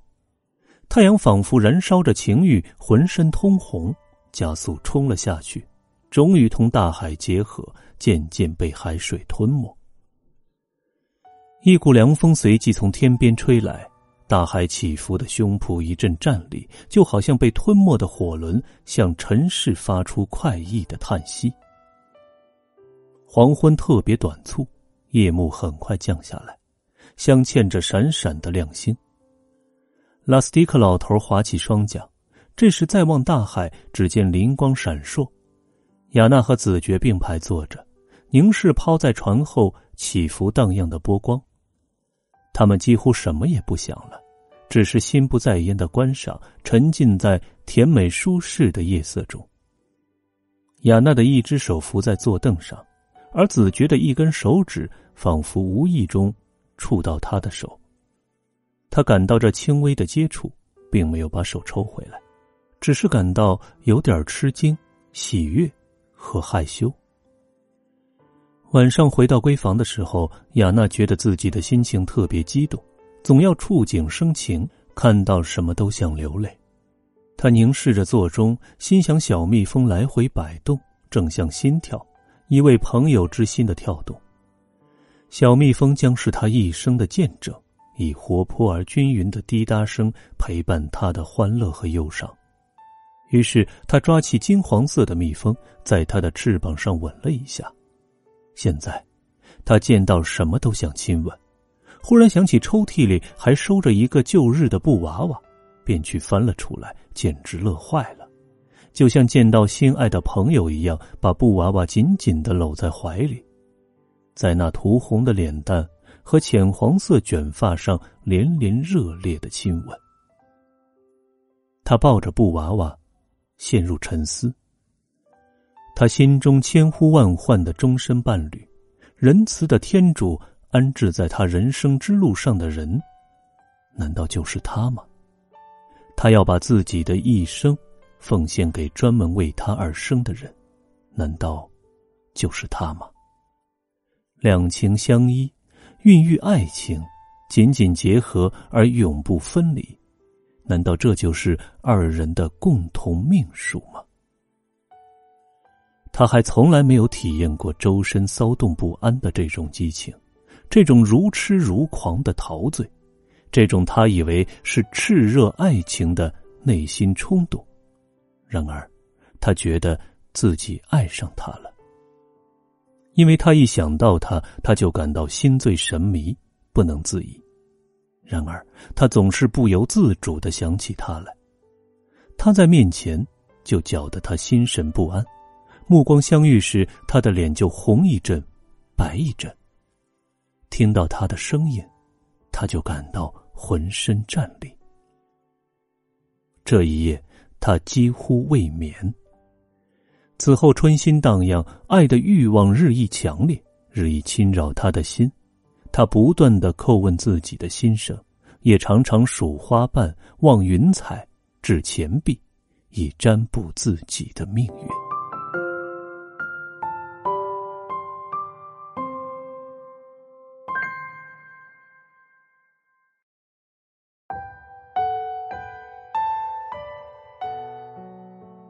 第十集，忽然，一天傍晚，父亲对他说：“明天早晨，你好好打扮打扮。”他不禁问道：“有什么事儿吗，爸爸？”父亲答道：“呵呵，这是个秘密。”次日，雅娜换了一身浅色的衣裙，更加焕发青春的光彩。她下楼走到客厅，看到桌子上摆满了糖果盒子。椅子上还放着一大束鲜花。一辆马车驶进庭院，只见车厢上写着“费冈勒拉糕点铺承办婚宴”。厨娘吕迪芬和一个帮厨打开车后门，取出好多香气四溢的扁形提篮。德拉马尔子觉到了，他的裤腿绷得笔直，用带子系在脚下，一双。亮光光的小号皮靴，显出他的脚特别的纤小。掐腰的长礼服十分得体，胸前露出衬衣的花边，一条精致的领巾缠了几道，迫使他高高挺起脑袋。那鹤发俊美的头颅显得严肃高贵，派头十足。他的神态也异乎的寻常。最熟悉的人一经打扮，就会突然间判若两人。雅娜十分的惊诧，仔细的打量着他，就好像从未见过面似的，觉得他气宇轩昂，从头到脚都表明是个大贵族。子爵躬身一礼，笑呵呵的说道：“嗨，这位小姐，准备好了吗？”雅娜懦弱的问道：“。”准备什么呀？究竟是怎么回事？男爵答道：“ 一会儿你就明白了。”套好的马车驶了过来，阿德莱德夫人盛装打扮，由罗莎莉扶着下楼。罗莎莉一见德拉马尔先生这副堂堂仪表，不由得万分激动和艳羡。男爵看在眼里，便小声的对子爵说：“瞧瞧，子爵。”我觉得我们的小使女看上您了，子爵的脸刷的红了，一直红到耳根。他佯装没有听见，急忙捧起那一束花献给雅娜。雅娜接过花束，更加诧异了。四个人登上马车，厨娘吕迪芬端来一碗冷肉汁汤给男爵夫人垫垫肚子，他也感叹一声：“真的，夫人。”这真像办喜事儿。到了一波，大家下了车，徒步走进村子。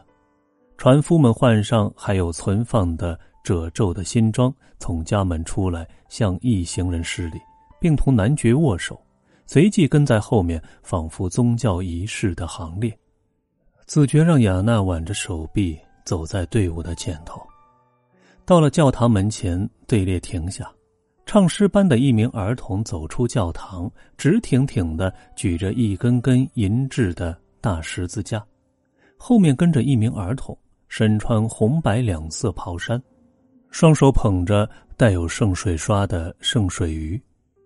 随后又出来三名唱圣诗的老者，其中一位是跛脚，接着又是吹蛇形风管的乐师，最后，本堂神父走了出来。只见他那突出的肚腹上交叉配着金黄色的金带，他以微笑和点头道了早安，随即眯起眼睛，口中念念有词，将那顶三角帽压在鼻子上，跟在他这身穿白法袍的班子的后面，一直朝海边走去。一大群人等候在海滩上，围着一只披彩的新游船，桅杆、风帆和绳索上。都挂了彩带，随风飘舞。船尾赫然漆了金黄色的船号“雅纳”。拉斯蒂克老头就是这只由男爵出资建造的游船的船长，他迎着队列走了过来。这个时候，所有男人都一齐脱帽，而一排身穿大褶垂肩的黑色宽道袍的修女，一望见十字架便围成一圈，跪在地上。本堂神父由唱诗班两名儿童陪伴走到游船的一端，而那三位唱圣诗的老者。则走到另一端，他们身穿白色法衣，但是蓬头垢面，胡子拉碴，好在态度十分严肃。他们的眼睛紧盯着圣诗唱本，放开喉咙，在清朗的早晨高声歌唱。每当他们止气换声的时候，蛇形风管便独自继续呜咽，乐手吹得十分起劲。鼓起两腮，把灰色的小眼睛都挤没了，前额和脖子的皮肤好像要挣脱骨肉似的。平静而透明的大海，脸容静默，仿佛也在参加这只游船的命名典礼。它只有一指高的清波细浪，擦着鹅卵石岸，发出细微的声响。白色的大海鸥展翅在蓝色的天幕上。画着弧线，飞远了，盘旋一圈又回来，仿佛也要看看下面跪着的人究竟在干什么。随着拖了五分钟的一声阿门长枪，唱诗便停了。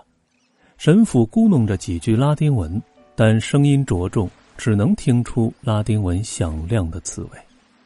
然后，神父围着游船走了一圈，同时洒着圣水。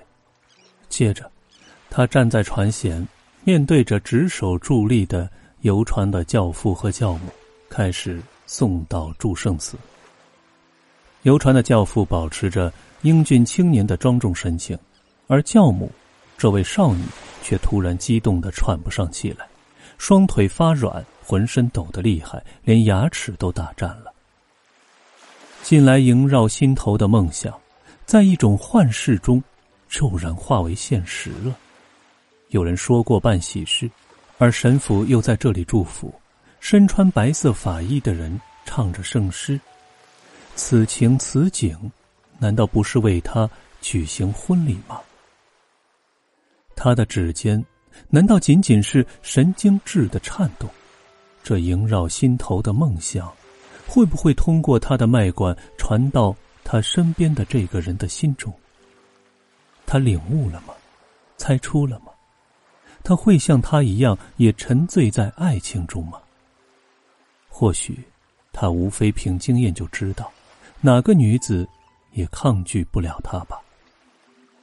雅娜突然感到他的手握紧了，先是轻轻的，继而越来越用力，简直要把他的手捏碎了。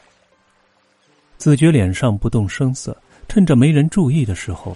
他悄声说：“一点不错。”他十分清楚的说：“哎，亚娜，你若是愿意的话，这就算是我们的订婚礼吧。”亚娜缓缓的垂下头去，也许就是表示首肯。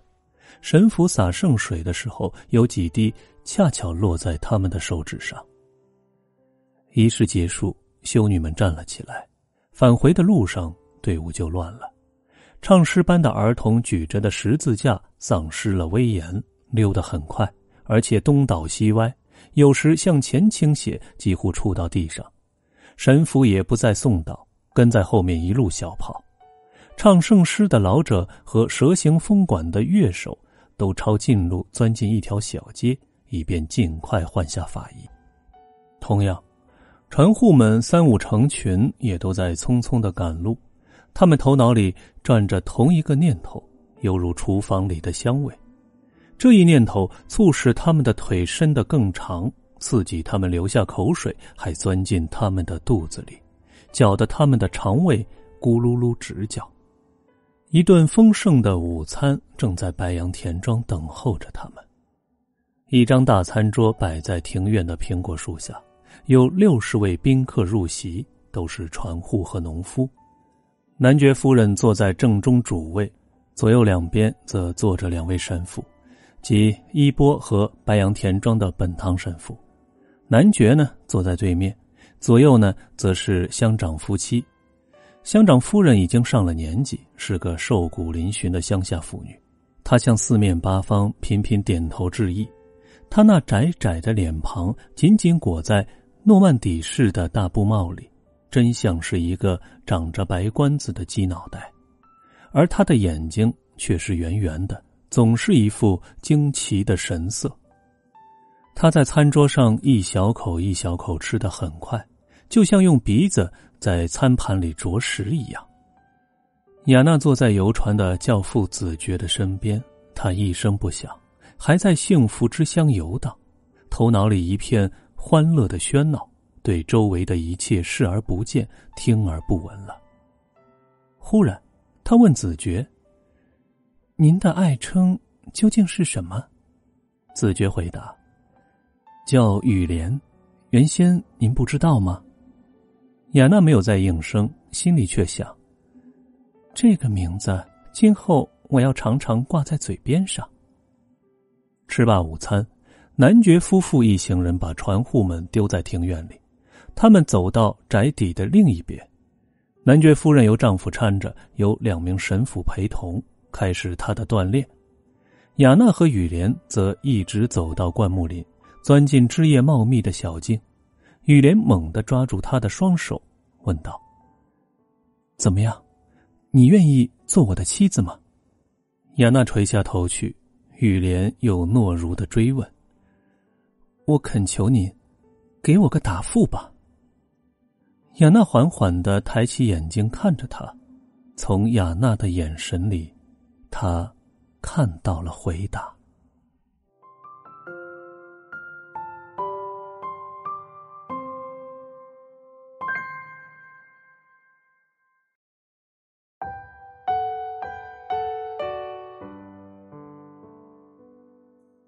一天早晨，没等雅娜起床，男爵就走进她的闺房，坐在床脚边上，对她说：“德拉马尔子爵先生来向我们求婚了。”雅娜一听，真想用被单把脸捂住。父亲又说道：“我们没有立刻答应。”雅娜呼吸急促，激动的说不出话来。过了半晌，男爵微笑着补充说。哈哈，我们不跟你商量，就不愿意做出任何决定。你母亲和我都不反对这门亲事，不过我们也不想替你做主。你可比他富有多了。然而，生活想要幸福，就不能只考虑钱财。他父母双亡，你若是肯嫁给他，那么咱们家就等于招了一个进门女婿。你若是嫁给另外一个人，那么你呀，我们的女儿，就要进入陌生人家去生活了。这个年轻人挺讨我们喜欢，你呢？他也讨你喜欢吗？亚娜的脸红到头发根，结结巴巴的说：“爸爸，我，我愿意。”父亲始终微笑着，盯着女儿的眼睛，低声说道。我看出点苗头了，我的小姐。这一天直到晚上，雅娜仿佛喝醉了酒，不知道自己在做些什么，常常随手拿错东西，都没有走两步路，两条腿却软绵绵的，疲惫不堪。傍晚六时许，雅娜正陪着母亲坐在梧桐树下，只见子爵来了，姑娘的心砰砰狂跳起来。年轻人从容的走到母女二人跟前，伸手托起男爵夫人的手指，吻了吻，接着又托起少女颤抖的手，把嘴唇紧紧的贴在上面，给了一个深情而感激的长吻。于是，他们进入了订婚后的美好季节。二人往往单独交谈，不是躲在客厅的角落里，就是坐在灌木林中的斜坡上，有时候。他们在男爵夫人的白杨路上散步，雨莲讨论着将来的生活，而雅娜则眼睛低垂，注视着被母亲踏得露出泥土的足迹。婚事一定下来，就要及早成亲，商定六周以后，即八月十五日举行婚礼。然后，年轻的新婚夫妇立刻动身旅行，去度蜜月。让雅娜挑选她要游览的地方时，她决定去科西嘉，说是那里要比意大利的城市清静得多。他们等待着确定下来的婚期，但是心情并不特别着急，只是情意绵绵。哪怕轻轻的爱抚，手指微微的触摸，炽热的眼神，他们都体味到妙不可言的甜美，而深情的目光久久对视，仿佛两颗心灵交汇起来。不过，心情有时也隐隐动摇，朦朦胧胧的渴望着那交欢之夜。办喜事的时候，决定只请丽松姨妈，不邀外客。这位姨妈是男爵夫人的胞妹。作为俗人，寄宿在凡尔赛的一座修道院里。父亲谢世之后，男爵夫人想接妹妹来一处生活，可是这位老小姐认定自己是个无用又碍事的人，会给全家人带来不便，就决定隐居。修道院有房子租给一生孤苦伶仃的人居住，她有时候也到姐姐家里住上一两个月。丽松姨妈个子矮小，平时不言不语。不惹人注意，到用餐的时候才露面，餐后又上楼去，终日关起门来待在卧室里。他样子和善，虽然才四十二岁，却显出老态，目光和蔼而忧伤。他在家中一向毫无地位，小时候既不调皮，模样又不俊美，没有什么人拥抱亲吻，他总是安安静静的躲在角落里。此后。他就一直被视为无足轻重的人，以至于长大成为姑娘也没有任何人理睬。他就像一个影子，或是一件熟悉的物品，就像是一个活家具，司空见惯而从来无人关切。他姐姐未出阁的时候，受家里习惯看法的影响，把他视为没有出息的、无足挂齿的人。大家对待他十分随便。和蔼的态度里隐藏着蔑视。她本名叫丽丝，但好像总觉得并不配这个年轻娇艳的名字。后来大家见她没有嫁出去，而且绝不可能嫁出去了，就把丽丝改为丽松了。雅娜出生之后，她就成为丽松姨妈。这个卑微的亲戚有洁癖，胆子小的要命，连见到姐姐和姐夫都害羞。姐姐和姐夫待她挺不错，但也是出于泛泛的情谊，其中掺杂着无关痛痒的温存、不自觉的怜悯和天生的仁慈。有的时候，男爵夫人提出自己年轻时遥远的往事，为了表明一个时期，便说：“就是李松干出荒唐事的时候。”但是，男爵夫人从来没有进一步的说明。因此，这件荒唐事始终笼罩着迷雾。原来，丽丝二十岁那年一天傍晚，她突然投水自杀，不晓得是什么缘故。看他平日的行为举止，绝料不到他会干出这种傻事。他被救起来的时候已经是气息奄奄，父亲母亲暴跳如雷，朝苍天举起手臂，但并不追究这种行为的隐衷。只说荒唐，荒唐，就算了事，就像谈起不久前马出了事情一样。那匹叫科科的马崴在车辙里时折断了一条腿，后来只好被宰掉了。丽丝，即不久之后的丽松，自此之后被看成是一个神经脆弱的人，全家人对他轻微的蔑视，慢慢的渗入周围所有人的心里。就连小雅娜，凭着儿童天生的敏感，也不把他放在眼里，从来不上楼到床前去亲他，从来不走进他的卧室。只有使女罗莎莉在收拾房间的时候，似乎才知道她住在哪儿。丽松姨妈走进餐厅用餐的时候，小家伙才按照习惯走过去，把脑门伸给她亲一下，仅此而已。平时谁要是同他说话，就派个仆人去叫他。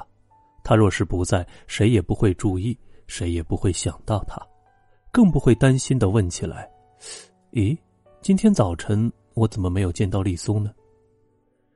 他在家中毫无地位，这种人，就是连亲人也一直感到很陌生，仿佛尚未经勘探，死了也不会给家里留下空虚和缺憾。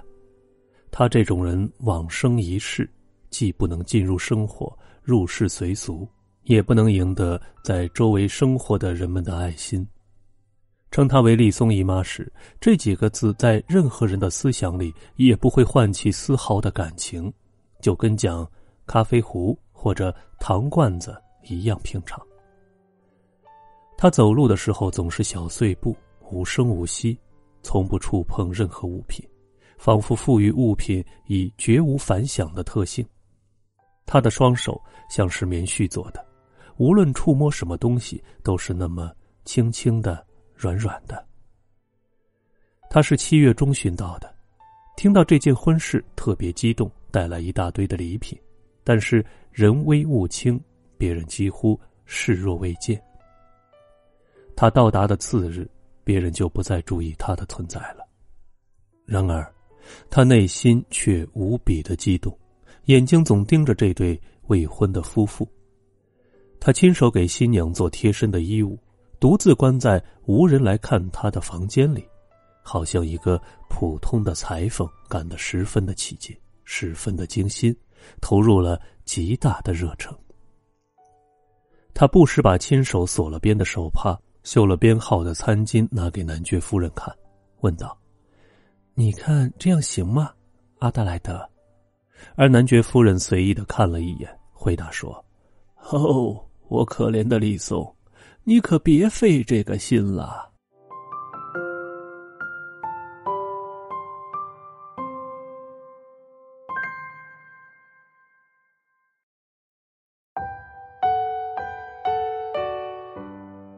第十二集，七月底的一天。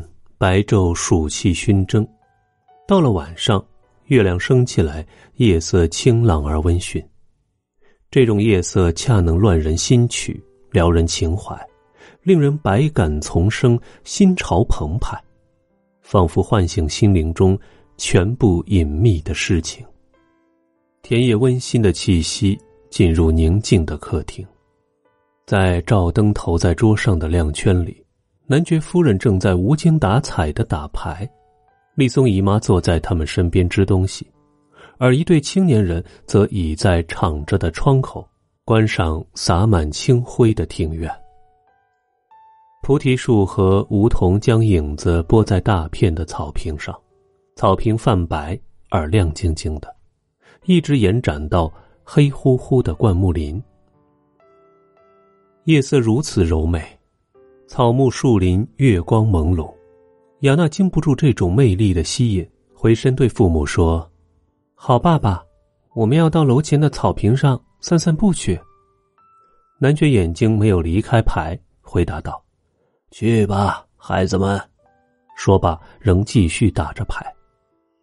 两个年轻人出了楼，开始漫步，在大片明亮的草坪上，一直走到后面的灌木林。时间渐晚，他们还不想回来。男爵夫人疲倦了，想上楼回房歇息。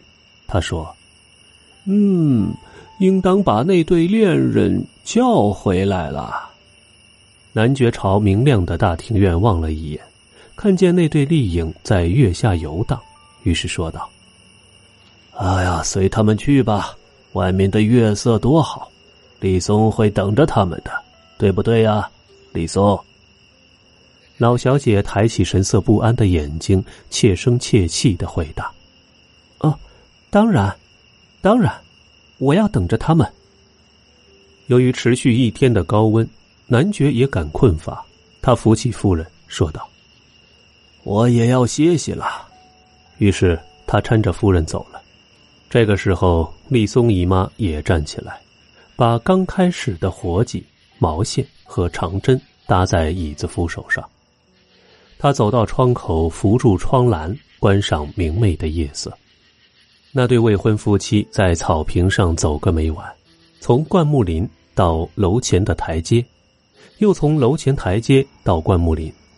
他们紧紧的握着手，谁也不说话，仿佛脱离了形海，同大地散发的有形的诗意交合融汇了。雅娜猛然望见窗口由灯光映现的老小姐的身影，她说道：“咦，丽松姨妈望着咱们呢。”子爵抬起头，不加思索的随口应道：“是啊，丽松姨妈望着咱们呢。”说吧，他们继续幻想，继续漫步，继续沉浸在热恋中。不过夜露打湿了草坪，凉气袭人。他们微微打了个寒战。咱们回去吧，亚娜说道。于是二人回到楼内，走进客厅，又见丽松姨妈重又打起毛线，低头做活，纤细的手指略微发抖，仿佛太累了。雅娜走到跟前，说了一句：“姨妈，该去睡觉了。”老小姐扭过头去，眼圈发红，好像流过泪。不过，这对恋人丝毫没有留意。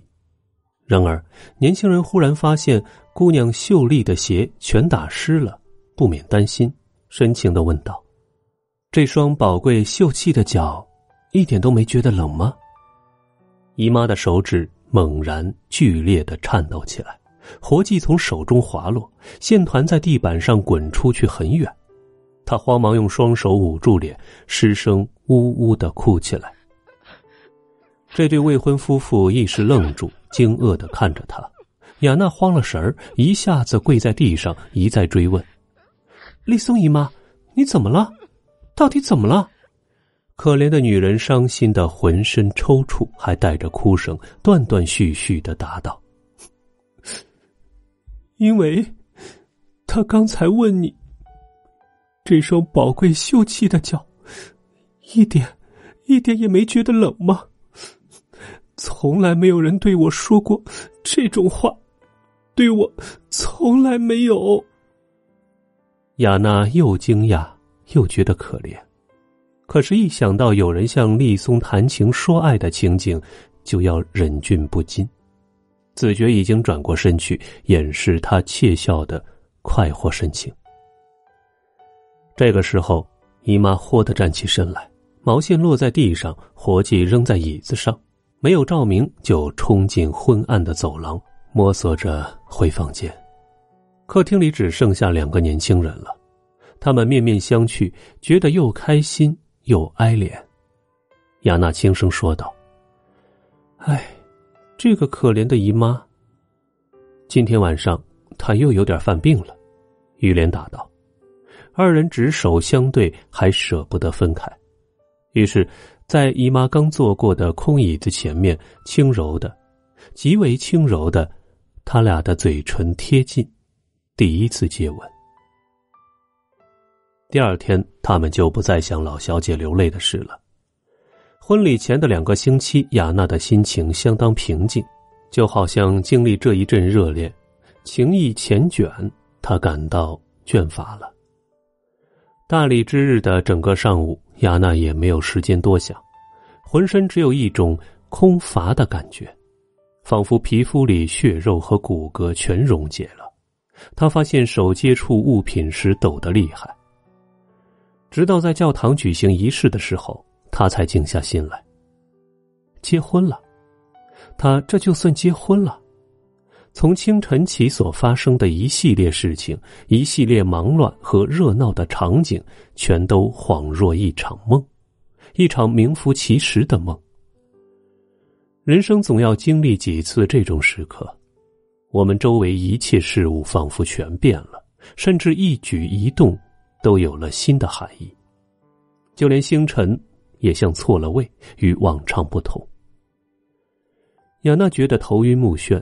尤其有点儿惊异之感，她的生活直到昨天还毫无变化，只不过她时刻不忘的一生的希望更迫近了，几乎伸手可及。昨晚睡下时还是姑娘，而现在却做了妻子。看来他越过了这道似乎遮住未来的屏障，望见了全部欢乐和梦想的幸福。他觉得面前的大门洞开，就要举步进入期待的佳境。仪式完毕时，他们走进圣器室，因为没有邀请外客，里面显得空荡荡的。继而，他们又退了出来。当他们出现在教堂门口的时候，猛然一阵巨响，吓得新娘往后一跳，吓得男爵夫人惊叫起来。原来。这是农夫们鸣枪庆贺，而且枪声不断，一直伴送他们回到白杨田庄。一桌茶点摆好，男爵一家人、庄园主教区的神父、伊波村神父、新郎以及从当地大庄户挑选出来的证婚人，这些宾主先行使用。然后他们在庭院里逛了一圈，以便等待喜宴。男爵夫妇。丽松姨妈、乡长和比克神父都在男爵夫人的白杨路上散步，而在对面的林荫路上，另一位神父一边大步走着，一边诵读日课经文。从主楼的另一边传来农夫们的欢声笑语，他们在苹果树下畅饮苹果酒。当地的居民全换了新装，挤满了一院子，小伙子和姑娘们。相互追逐打闹着。雅娜和雨莲穿过灌木林，登上土坡，二人都默不作声，举目远眺大海。虽然时值八月中旬，天气却有点凉了。阵阵北风吹来，在一碧如洗的天空，太阳仍在发射着万道光芒。这对年轻人要找个隐蔽的地方，他们朝右拐，穿过荒野。走向通往伊波的草木丛生的起伏山谷。他们一走进灌木丛，就感到一丝风也没有了。随即又离开乡路，拐进一条枝叶茂密的小径。二人几乎不能并肩行走。这个时候，雅娜觉得一只手臂悄悄的伸了过来，搂住了她的腰。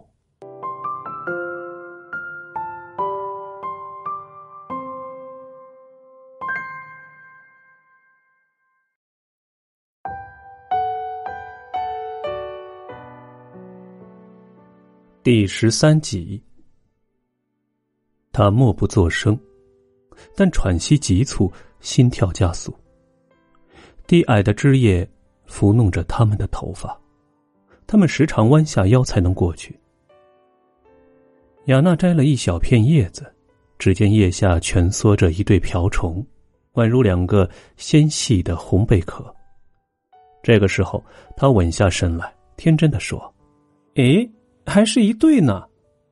雨莲用嘴唇扶着他的耳廓，说道：“今天夜晚，你就要做我的妻子了。”雅娜不免吃惊。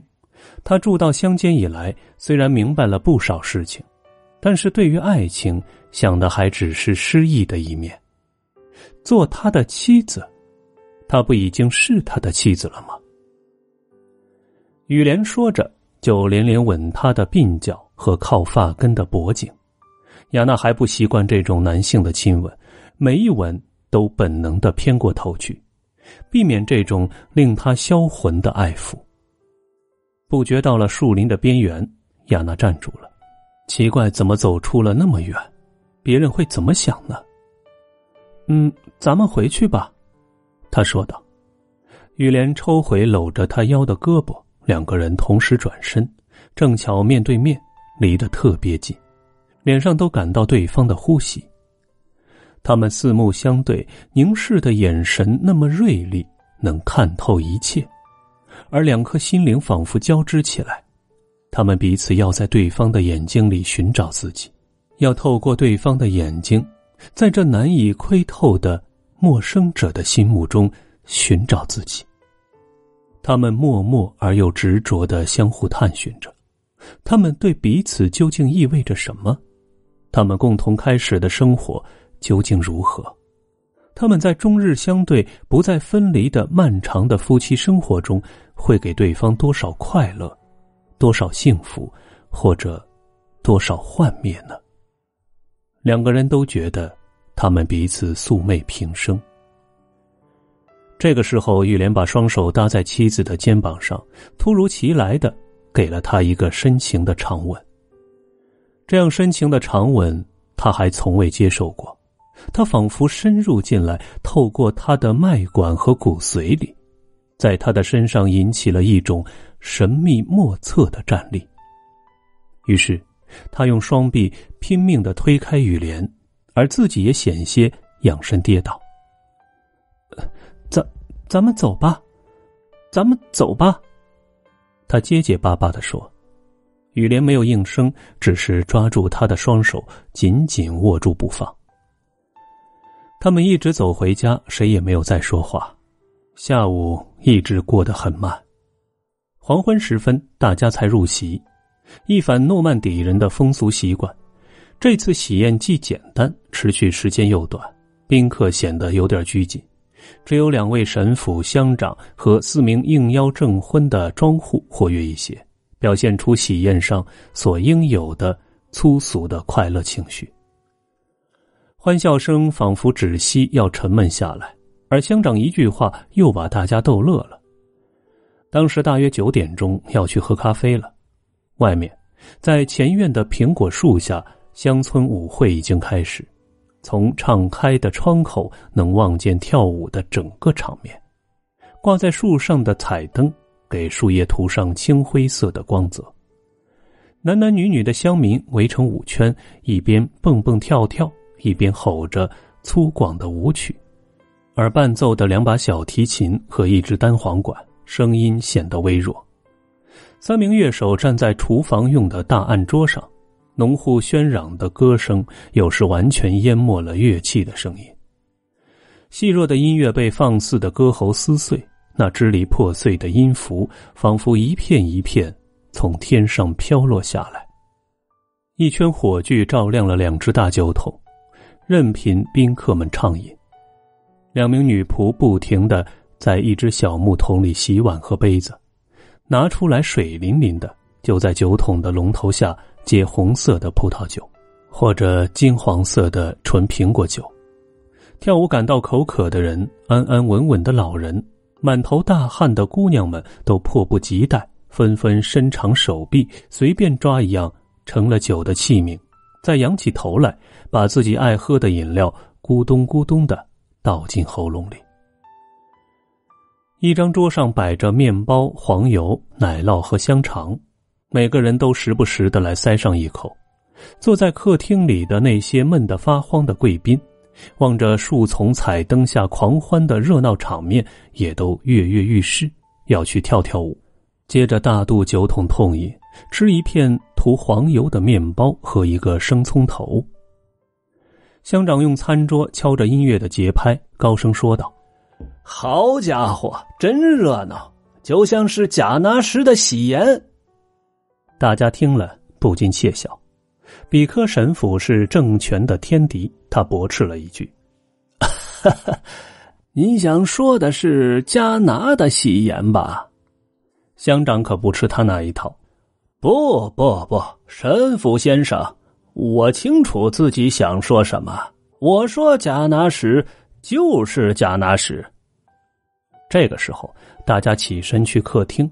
不久，他们又到欢乐的庶民堆里待了一阵。这才向主人告辞。男爵夫妇仿佛在小声争吵什么事情。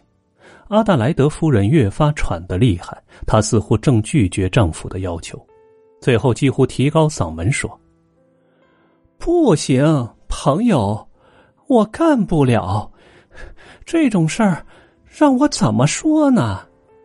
男爵无奈，忽然丢下妻子，走到雅娜跟前：“呃，孩子。”跟我出去走走好吗？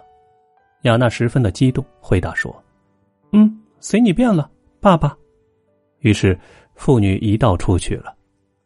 他们一起走到朝海一侧的门前，就感到嗖嗖的凉风袭来。这种夏季的凉风已有秋意了。乌云在天空中奔驰，星光时隐时现。男爵把女儿的胳膊紧紧的压在胸口。同时深情的爱抚着她的手，妇女走了片刻，男爵似乎心绪不宁，还犹豫不决，最后狠了狠心，说道：“呃，我的宝贝儿啊，这个角色本来应当由你的母亲担当，我来充当就勉为其难了。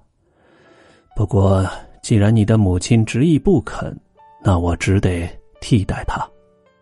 我不了解你究竟懂得多少人生的事情，人生有些秘密。”父母总是千方百计的向子女隐瞒，尤其是不让女儿知道，因为女孩子应当保持心灵的纯洁，保持白璧无瑕，直到把她送入男人的怀抱为止。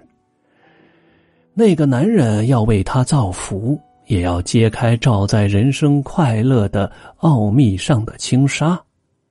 然而，女孩子若一直未通人道，猛一看见隐藏在梦想后面显得粗暴的现实，就不免产生厌恶的情绪。女孩子的心灵上，甚至在肉体上受到伤害，呃，就会拒绝顺从人类的法律和自然法则赋予丈夫的绝对权利。啊，我的心肝儿，呃，我不能再对你多讲了。不过。千万记住这一点，你是完全属于你丈夫的。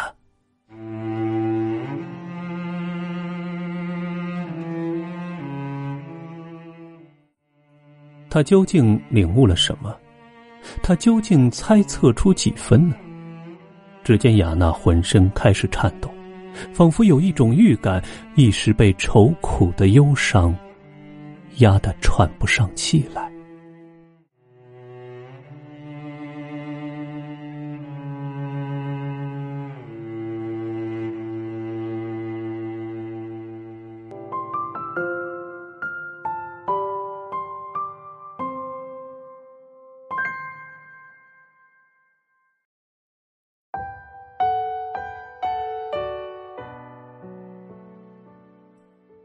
第十四集，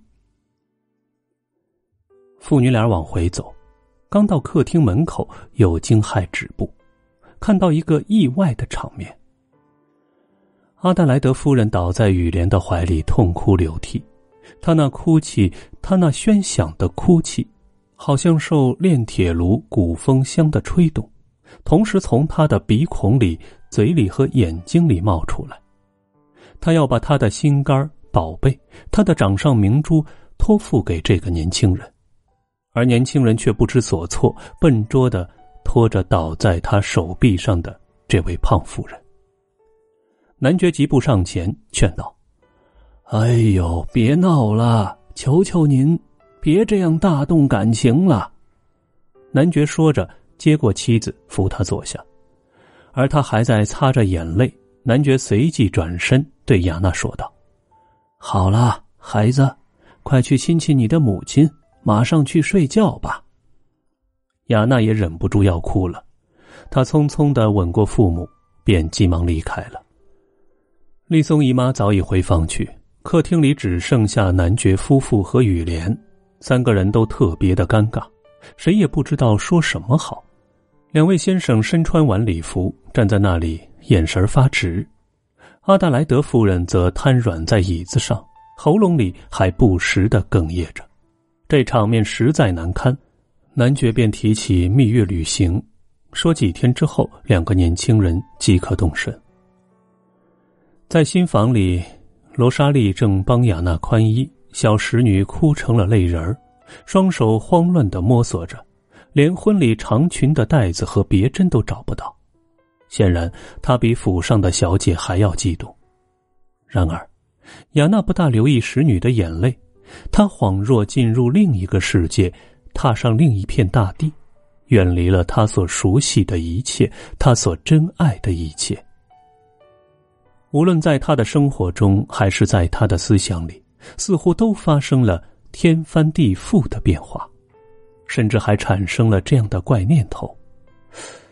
我爱我的丈夫吗？猛然间，她觉得雨莲变成了陌生人，对她几乎不了解。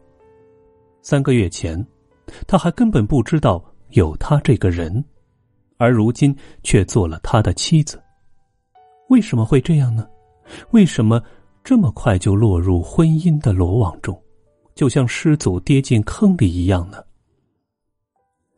雅娜换上了睡衣，赶紧钻到被窝里，被子有点凉，肌肤不觉微微的颤抖，这更加重了两个小时以来压在他心头的这种凄冷、孤寂和忧伤之感。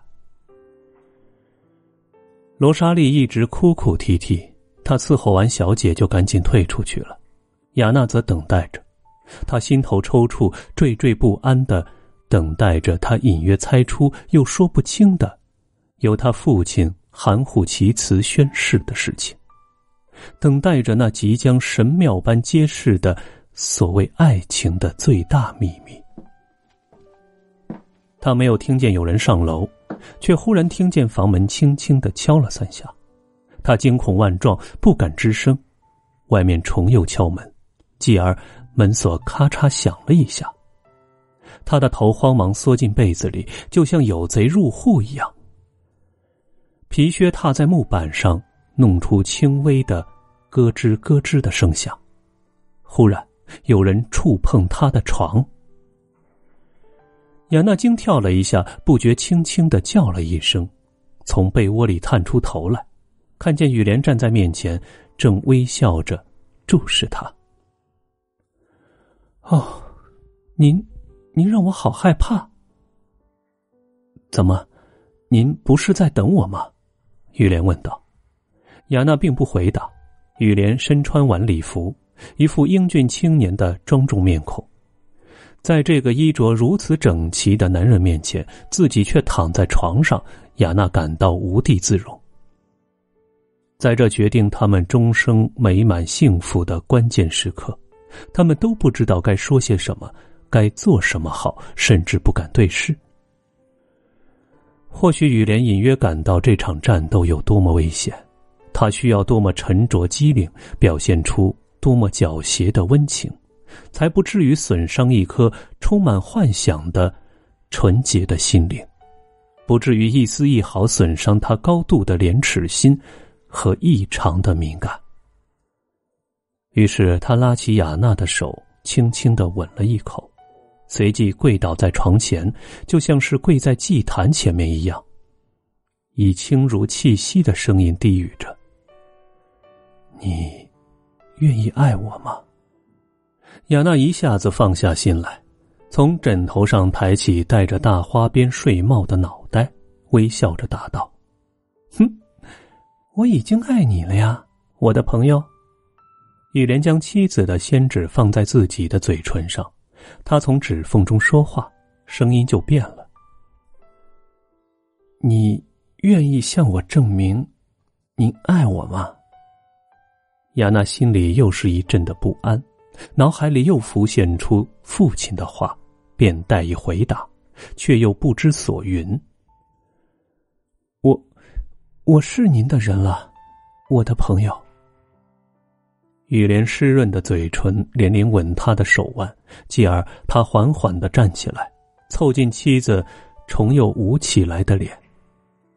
忽然，他从床上面伸出一只手臂，隔着被子搂住妻子。另一只手臂则探到枕头下面，将他的头托起来，声音极轻极轻的问道：“这就是说，你愿意在身边，给我让出一点点位置了？”亚娜害怕了，这是一种本能的恐惧。她结结巴巴的说：“呃，先不要这样，求求您了。”玉莲颇感失望，面有愠色。虽然仍在央求，但是有点粗声粗气。他又说道：“迟早总要这样，何必往后退呢？”雅娜心里怪他这么讲，但还是温婉顺从，再次重复说：“我是您的人了，我的朋友。”雨莲立刻钻进了换洗室，雅娜清清楚楚的听见他弄出的声响，脱衣裳的声音。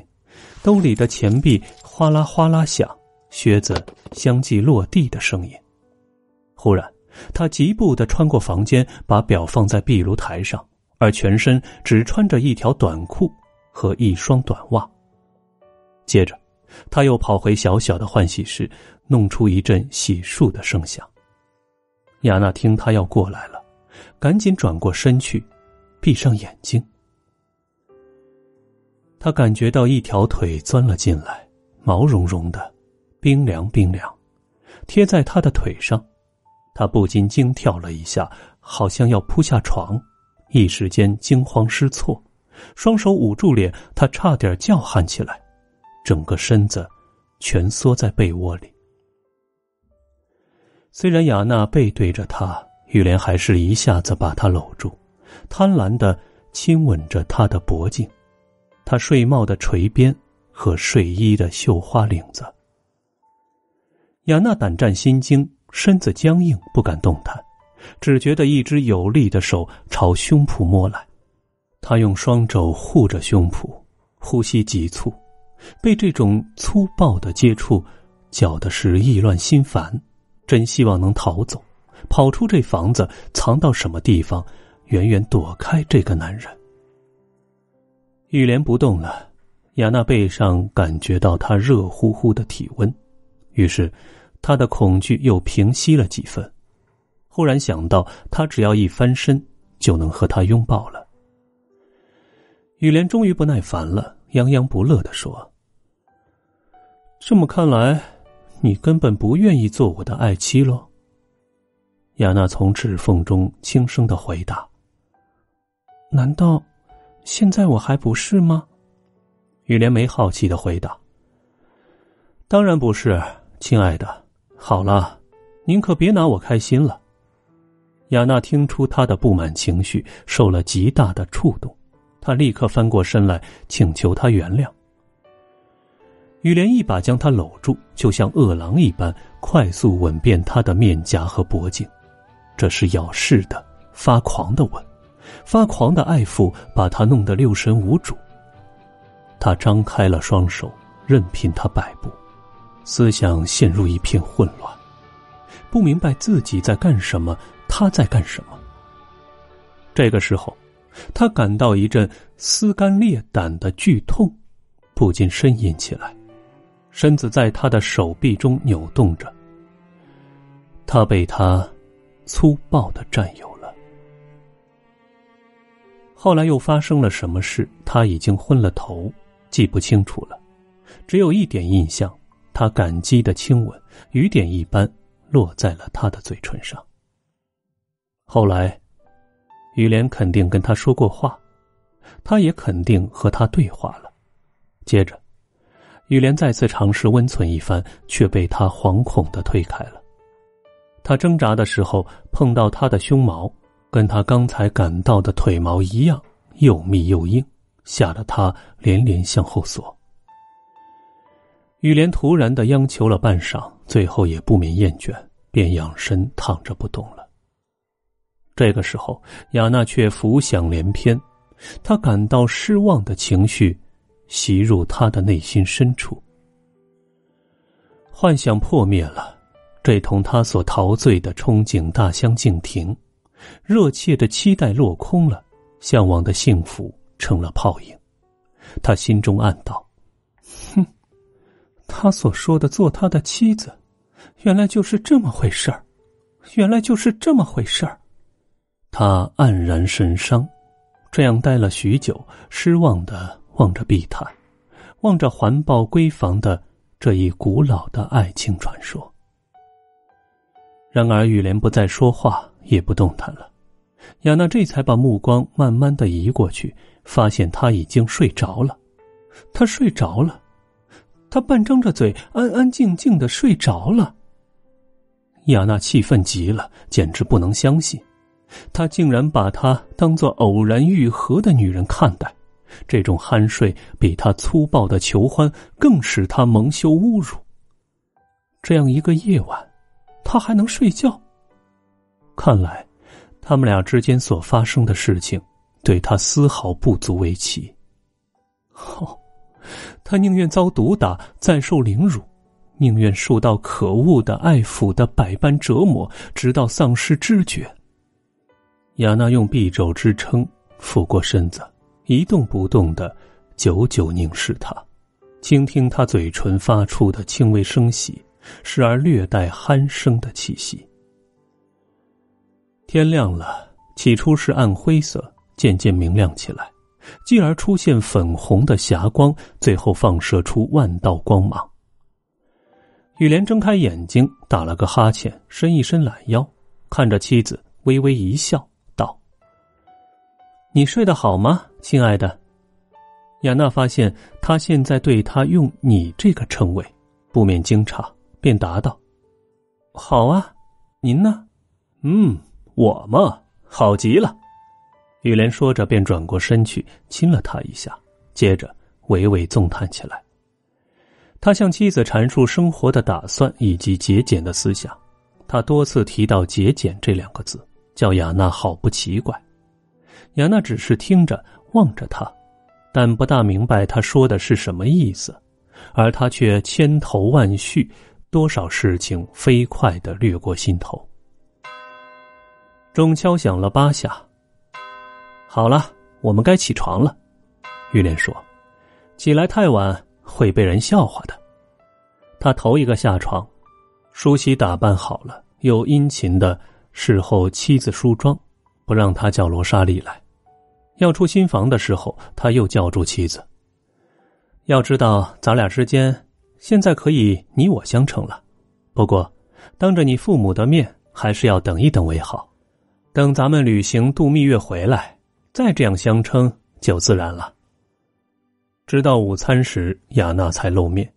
这一天过得跟平常一样，仿佛毫无变化。家里只是添了一个男人。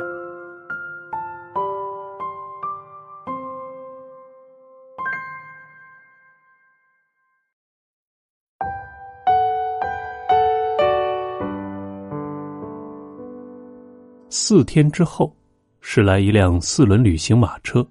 要送新婚夫妇去马赛。在新婚之夜的惶恐之后，亚娜已经习惯了雨莲的接触、亲吻和爱抚。不过，他对枕席之欢仍然厌恶。他觉得雨莲很漂亮，也很爱他，于是又感到幸福而快活了。这次道别的场面持续的时间很短，也不是很悲伤。唯有男爵夫人动了感情。在马车要启动的时候，他将一个沉甸甸的大钱包塞到女儿手中，说：“你当了新娘，这是给你路上用的零花钱。”亚娜随手将钱包放进兜里。这个时候，马车也启动了，飞驰而去。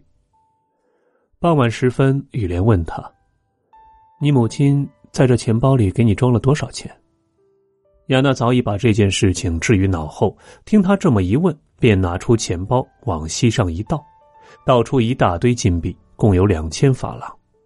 他拍着手说：“这可够我挥霍了。”说着，又把钱收了起来。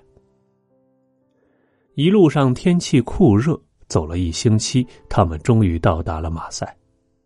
次日，他们上船去科西嘉，开往布勒斯的小游船。正巧要在阿雅克肖港停泊，科西嘉，丛林，强盗，深山，拿破仑的故乡。雅娜恍若脱离现实，在完全清醒的状态下进入了梦境。他和雨莲并肩站在甲板上，眺望渐渐远逝的普罗旺斯海岸的悬崖，大海静止不动，碧蓝碧蓝的。在炎炎烈日的照耀下，仿佛凝固而变硬了。天空一望无尽，湛蓝的彩色似乎多涂了一层，显得有些扎眼。你还记得吗？咱们那次乘拉斯蒂克老头的小帆船，在海上游玩。亚娜说道。雨莲没有回答，只是迅速的吻了吻他的耳朵。游船的蒸汽机轮拍击水面，惊扰了大海的沉睡，船后留下长长的一条航迹。只见白浪滚滚，泡沫翻飞，好像起瓶的香槟酒。这条泛白的、宽展的航迹，笔直的延伸到迷茫的天际。忽见一条大鱼、一条海豚赫然跃出水面，随即又扎入水中，离船头不过几寻远。雅娜吓得惊叫一声，急忙喂到雨莲的胸口，继而，他意识到自己吓成这个样子，又咯咯的笑起来。接着，他急切的注视海面，看看那动物是否还会出现。过了几秒钟，他果然又从水中窜了出来。犹如一个机械的大木偶，随即钻进水中，再次跃出水面。随即有两条、三条、六条，几条海豚围着航船上下跳跃，仿佛护送他们的兄弟——这条木身铁鳍的巨大的鱼怪。他们忽而游到船的左舷，忽而回到船的右舷，忽而成群结队，忽而鱼贯相随。好像在做游戏，欢快的追逐，飞跃出水，在空中画个弧形，再依次扎进水里。那些体大而灵活的游泳好手每次出现，亚娜都惊抖一下，又高兴的直拍手。他的心同海豚一样，在同志的欢乐中发狂的跳跃着。海豚倏地消失了，只是在远远的海面上。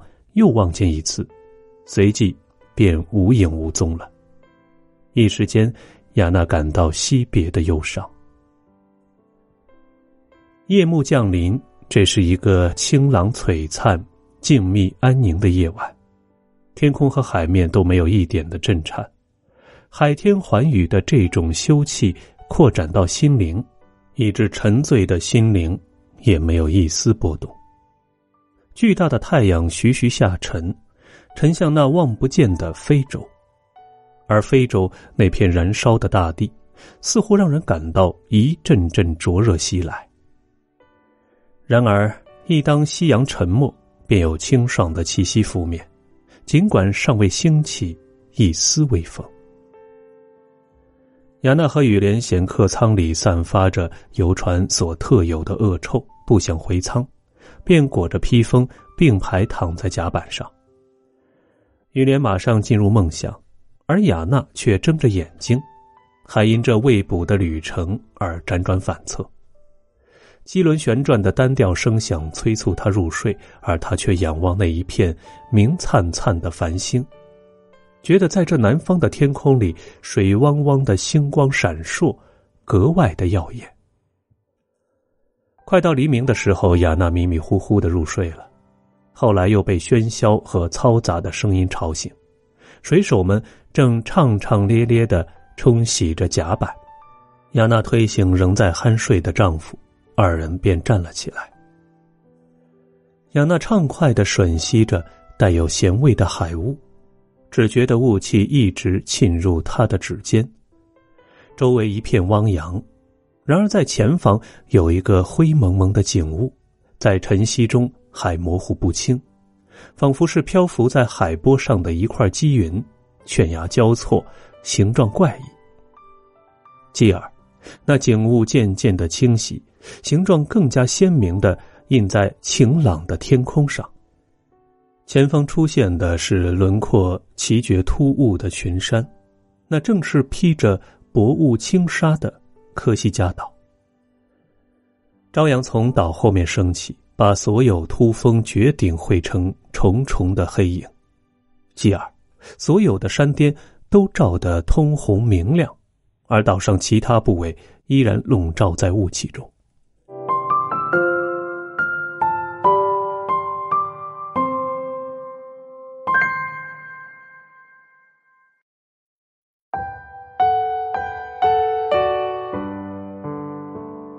船长走上甲板，他是个身材矮小的老人。由于常年在海上风吹日晒，皮肤黝黑枯干，整个人收缩硬化，抽干变小了。又由于三十年来发号施令，并在暴风雨中喊叫，他的嗓音也沙哑了。他对雅娜说：“呵呵，那个婊子的气味，您闻到了吗？”雅娜的确闻到了。草木浓郁的奇香，一种野生花草的芬芳。船长又说：“夫人，可西家开花时节就是这个样子，这就是她这个漂亮女人所特有的香味。哪怕二十年不见，离五海里远，我都能闻出她的芳香。我是这岛上人，她呢，在远方，在圣赫勒拿岛上。据说，他总是谈论这种香味，谈论他这故土的芬芳。他和我是一个家族的人。这里的他呢，指的是囚禁在圣赫勒拿岛上的拿破仑。船长说罢，摘下帽子，向科西嘉致敬，并且隔着海洋向囚禁在远方、与他同族的伟大皇帝致敬。亚娜十分激动，几乎要流下泪来。接着，船长抬手指着天边，说道。那，那就是桑吉纳尔群岛。雨莲搂着妻子的腰，二人并肩而立，眺望远方，想找到船长所指的目标。他们终于望见金字塔形的几堆岩礁。过了一会儿，游船就要从那里绕过去，驶入水域十分宽广的平静海湾。海湾环抱高山，低矮的山坡似乎覆盖着一层苔藓。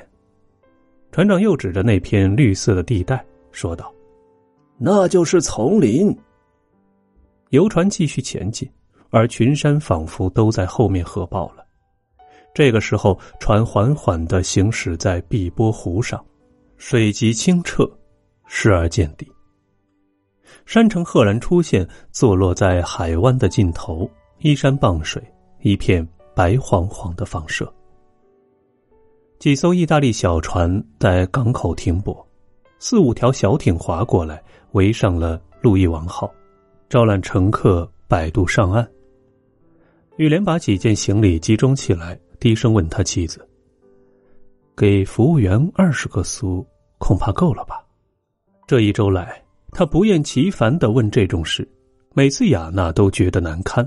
这回，他颇不耐烦的答道：“没把握够不够，那就多给点嘛。”玉莲总跟旅店老板、伙计、车夫、商贩讨价还价，每次费了一番口舌，少给一点钱之后，他总是搓着手掌对亚娜说：“我可不想让人骗我的钱。”亚娜一看见送来账单，就不寒而栗，事先就确信她丈夫要逐项质疑。这样斤斤计较，让她感到丢脸。尤其是当看到仆役手中掂着数目不足的小费，轻蔑的目光注视着她的丈夫，她更觉得无地自容，脸会一直红到耳根。与连同送他们上岸的船夫，自然又有一场争论了。雅娜上岸见到的头一棵树，正巧是棕榈。他们走到一大片广场的拐角。在一家空荡荡的大旅馆下榻，立时叫了午饭。他们吃完甜食，亚娜起身要上街逛逛，雨莲一把拉住他的胳膊，附耳对他悄声说：“咱俩去睡一会儿好吗，我的小猫咪？”亚娜不禁愕然：“嗯，睡一会儿？可是我不觉得累啊。”雨莲搂住他，又说。我想跟你亲热亲热，你明白我的意思吗？足足有两天了。亚娜羞的是满脸通红，结结巴巴的说：“呃，这个时候，可是别人会怎么说呢？大白天的，你怎么好意思要客房呢？哎，雨莲，求求你别这样。”然而，雨莲却打断他的话，说。旅馆的人爱怎么想就怎么想，爱怎么说就怎么说，我才不在乎呢。你瞧我的，我是不是难为情？说着，他就摇了摇铃。亚娜垂下眼睛，不再作声了。然而，无论在心灵上还是肉体上，始终怀着反感。面对丈夫这种无休止的性欲，她仅仅怀着厌恶的心情屈从，把这看作是兽性。堕落的表现，总之是一种龌龊的行为。她的性欲还在沉睡，而她丈夫现在却以为她已经分享了情欢。旅馆的伙计应声前来，雨莲吩咐带他们去客房。这个伙计是地道的科西嘉人，络腮胡子一直长到眼角。他起初没有明白顾客的意思，还说保证备好房间，不耽误晚上的休息。雨莲不耐烦了，向他解释说：“哎，马上就要，我们旅途上疲倦了，想休息一下。”伙计听了，大胡子里闪现出一丝微笑。亚娜真想逃开。一个小时过后，他们下楼来。亚娜简直不敢在人面前经过，深信别人会在背后窃笑议论他们。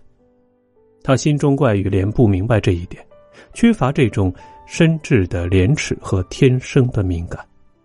他感到两个人之间存在着一道障碍，仿佛隔了一层幕布。他第一次发现，两个人绝不可能心心相印、意气相投，只是并排行走。有时候虽然勾肩搭背，但是并没有水乳交融。每个人的精神生命永远是茕茕孑立。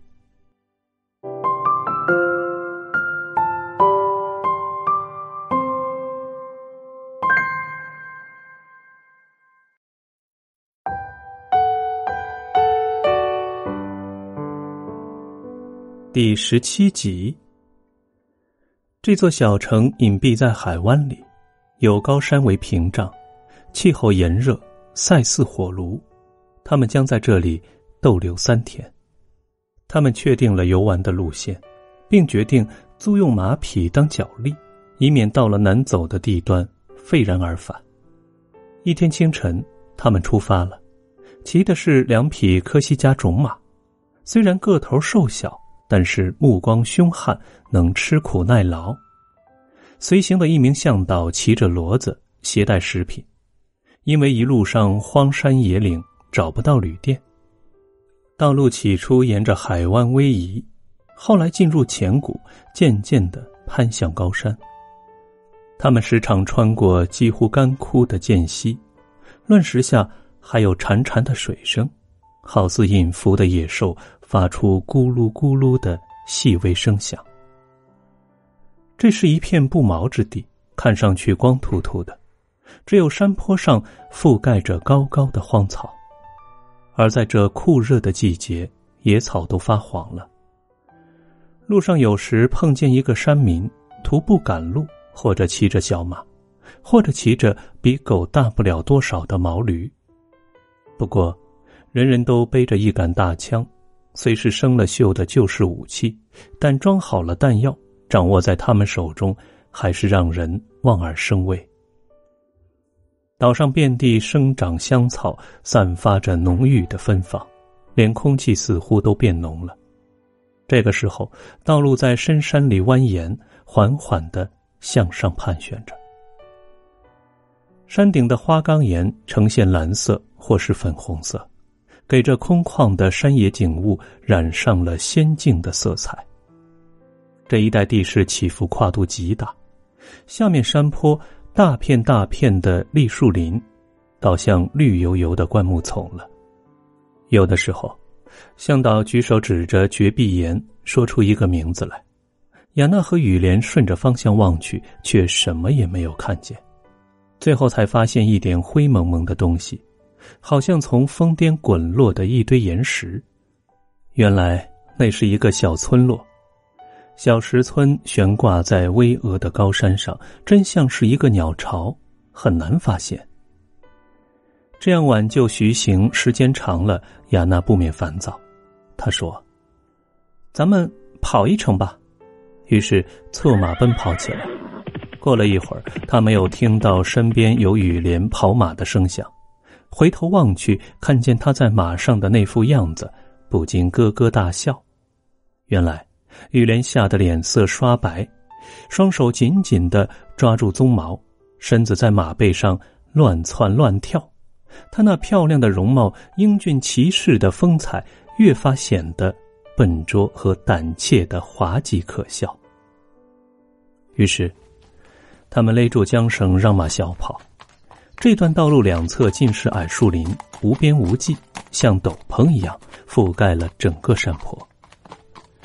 这便是丛林，渺无人迹的密林，生长着橡树、刺柏、野草莓树、乳香黄连木、蟹鼠李、石楠竹、黄杨、香桃木，而树干枝杈之间又纠葛缠绕着铁线莲、高大的羊齿草、金银花、金雀花、迷迭香、薰衣草、树莓，好像蓬乱的长发，披散在山丘上。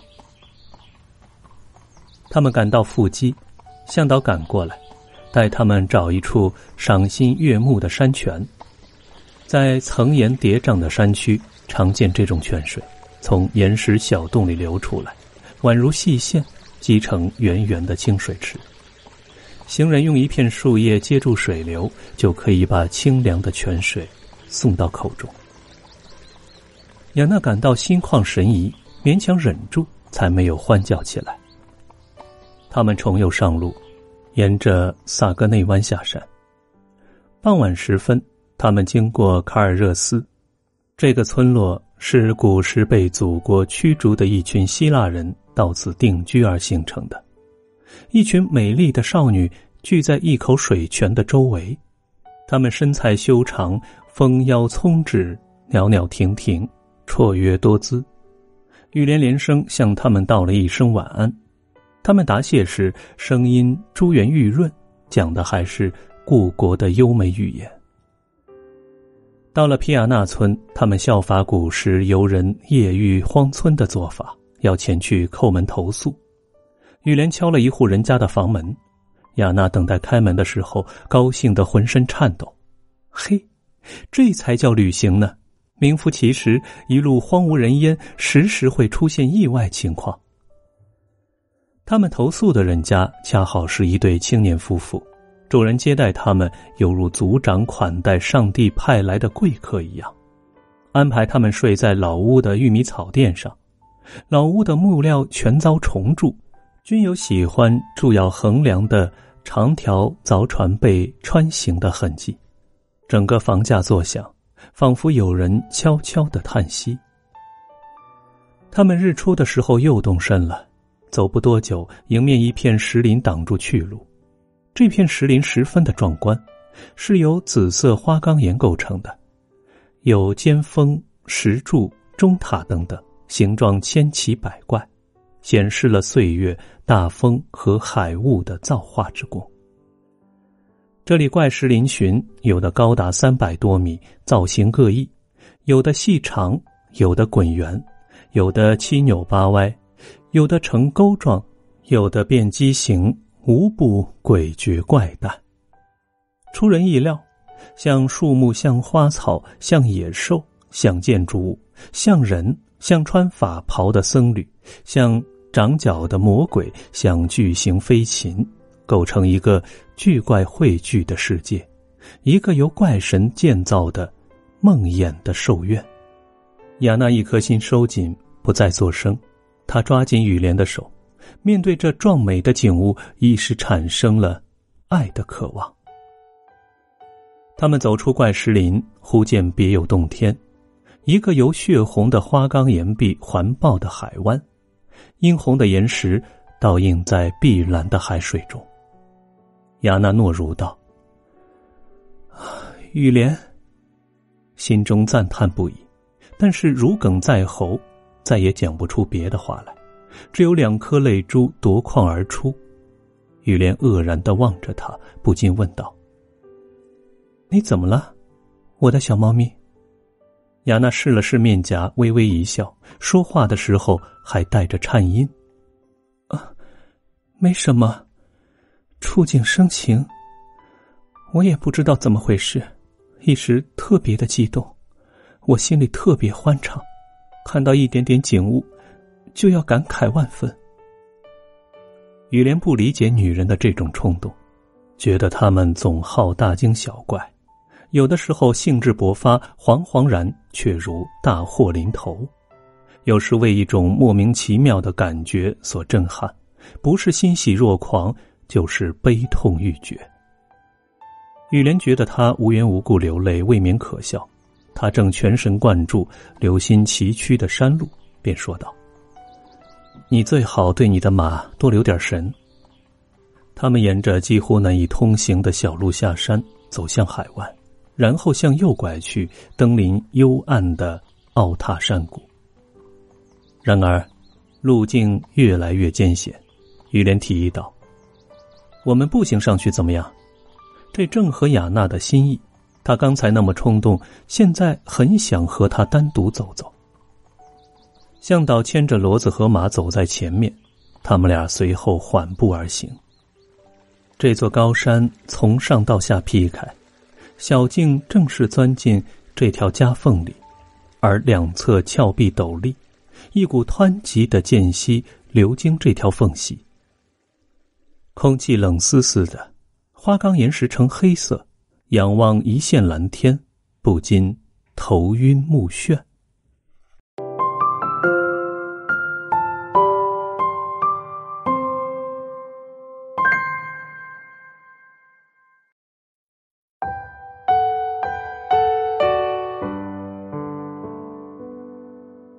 忽听“扑棱棱”一阵声响，亚娜悚然一惊。他抬眼望去，只见一只大鸟从岩穴里飞出来，那是一只苍鹰。它展开双翅，似乎在摸索这口天井的两壁，然后直冲云霄，一会儿便无影无踪了。向前走了一程，高山的裂缝分成两股了。这段路径十分的陡峭，崎岖难行，夹在两个山谷之间。亚娜乐不可支。步履轻盈，抢在前面行走，一路踢着石子，毫不畏惧的俯瞰深渊。雨莲紧跟在后面，不觉气喘吁吁，双眼盯着地面，生怕望深谷而产生眩晕。猛然间，他们全身沐浴阳光，真有走出地狱的感觉。他们口渴了，便顺着一条潮湿的印痕。穿过乱石堆，找到一眼山泉，泉水由一根空心的木棍接引出来，是供牧羊人饮用的。周围地面覆盖着青苔，亚娜跪下来喝水，雨莲也一样跪下。正当亚娜品味清凉的泉水时，雨莲却搂住她的腰，想争夺她的位置，好对着木管接水喝。亚娜毫不退让。两个人的嘴唇你争我夺，时而相遇，时而推搡，在争斗中，谁的嘴抢到木管的细头，便咬住不放。清凉的细流时断时续，时而流到口中，时而洒到外面，洒到他们的脸上、脖颈上、手上和衣服上。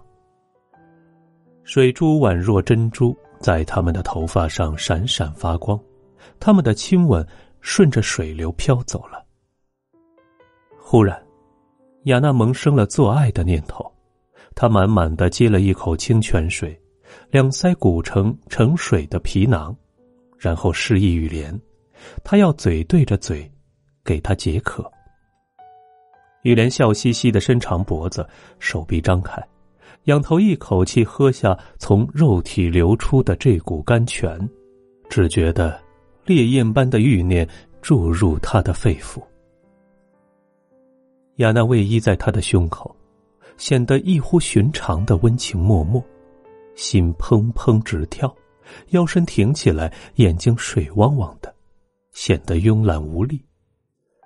他悄声说道：“雨莲，我爱你。”这次是他主动把雨莲拉过来，自己仰身躺下。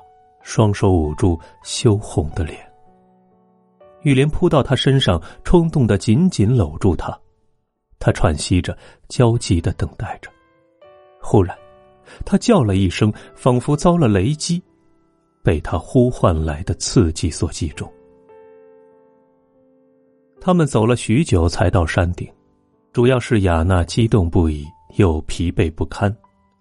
他们赶到艾维沙村的时候。已经黄昏了，住到了向导一个亲戚保利帕拉布雷蒂的家中。保利帕拉布雷蒂是一个身材高大的汉子，有点驼背，神情忧郁，恐怕是患有肺结核的缘故。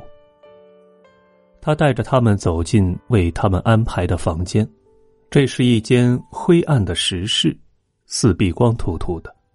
不过，当地人不懂得装饰陈设，这石屋算是漂亮的了。主人用科西嘉方言，即法语和意大利语的混合话，向客人表示欢迎。这个时候，一个清亮的声音打断了他的话。随着声音进来的是一个棕发的矮个子女人，她的眼睛又大又黑，皮肤晒得红红的，腰身纤细，笑口常开，牙齿露出来。她一阵风似的冲进屋，拥抱并亲了亲雅娜，又握住雨莲的手摇晃着，连声说道：“太太好，先生好，大家都好吧？”他接过帽子和披肩，全搭在一条胳膊上，只因另一个胳膊挎着绷带。然后他又让大家出去，对她丈夫说：“带他们出去走走吧，吃晚饭的时候再回来。”帕拉布雷蒂先生立刻听从，他插在两个青年人的中间，带他们上上村井。他走路慢腾腾的，说话慢吞吞的，时常咳嗽，而每次咳嗽就重复一句。哎呀，山谷里的空气太凉了，呃，伤了我的肺了。他带他们走上参天栗树下的一条荒径，戛然止步，始终以同样的声调说：“啊，对，就是这儿。我的表弟若望里纳迪让马蒂厄洛里给杀害了。哦，当时。”我就站在若望的身边，突然，马蒂厄出现，离我们只有十步远。他嚷着说：“若望，不要再去阿尔贝塔斯那里，不要再去了，若望，不然我就干掉你！我可把话说在前头。”我拉住若望的胳膊，劝他说：“别去了，若望，他会干得出来的。”那是因为一个女孩子，名叫布丽娜·西纳库比，他们俩都追那个姑娘。可是若望却嚷着回答：“我就是要去，马蒂亚，你挡不住我。”马蒂亚听了，把朝天的枪口往下一顺，未待瞄准就开枪了。若望双脚腾地跳起，就像个孩子跳绳一样。啊，是的，先生，他整个倒在我的身上，我的枪被撞掉，一直滚到那棵大栗树下边。若望的嘴张得大大的，但是一声也不吭，他已经断气了。两个年轻人惊愕的望着这桩凶杀案的神色不动的见证人，雅娜不禁问道：“那，那个凶手呢？”保利·帕拉布雷蒂咳嗽了一大阵，继续说：“ 他，他逃到山里去了。第二年，我兄弟把他干掉了。啊，要知道，我兄弟是个强盗，名叫菲利比·帕拉布雷迪。”雅娜打了一个寒战，惊问道：“您的兄弟是个强盗？”这个不动声色的科西嘉人眼睛里却闪现出一种自豪的神采。嗯，不错，太太，他呀可是大名鼎鼎的强盗，打死了六名宪兵。后来他和尼古拉·莫拉里一起丧命了。那次他们被围在了尼奥罗，拼了六天，不被打死。也要饿死了。接着，他一副无可奈何的神情，补充了一句：“本地就是这种风气。”跟他讲山谷的空气太凉是同样的口气。转了一圈之后，他们回去吃饭。矮小的科西嘉女人热情招待他们，就像是二十年的老相识。雅娜心里边一直惴惴不安。晚上在雨莲的怀抱里，能不能像泉水边青苔上那样，全部感官再受到奇特而强烈的震撼呢？等到卧室里只剩下他们俩，雨莲亲吻他时，他仍然没有什么感觉，不禁有点慌神儿。不过，他很快就放下心来，而这一宵竟成为他的爱情第一夜。次日要动身的时候，他有点恋恋不舍，觉得这间简陋的石屋正是他新的幸福的开端。他把矮小的女主人拉进石屋，一面说明他绝不想送什么礼物，一面又坚持说他一回到巴黎就给他寄来一件纪念品。不答应收下，他甚至要发火。他几乎怀着迷信的心理看中这一件纪念品。这个科西嘉少妇不肯接受，婉拒了许久，最后才答应。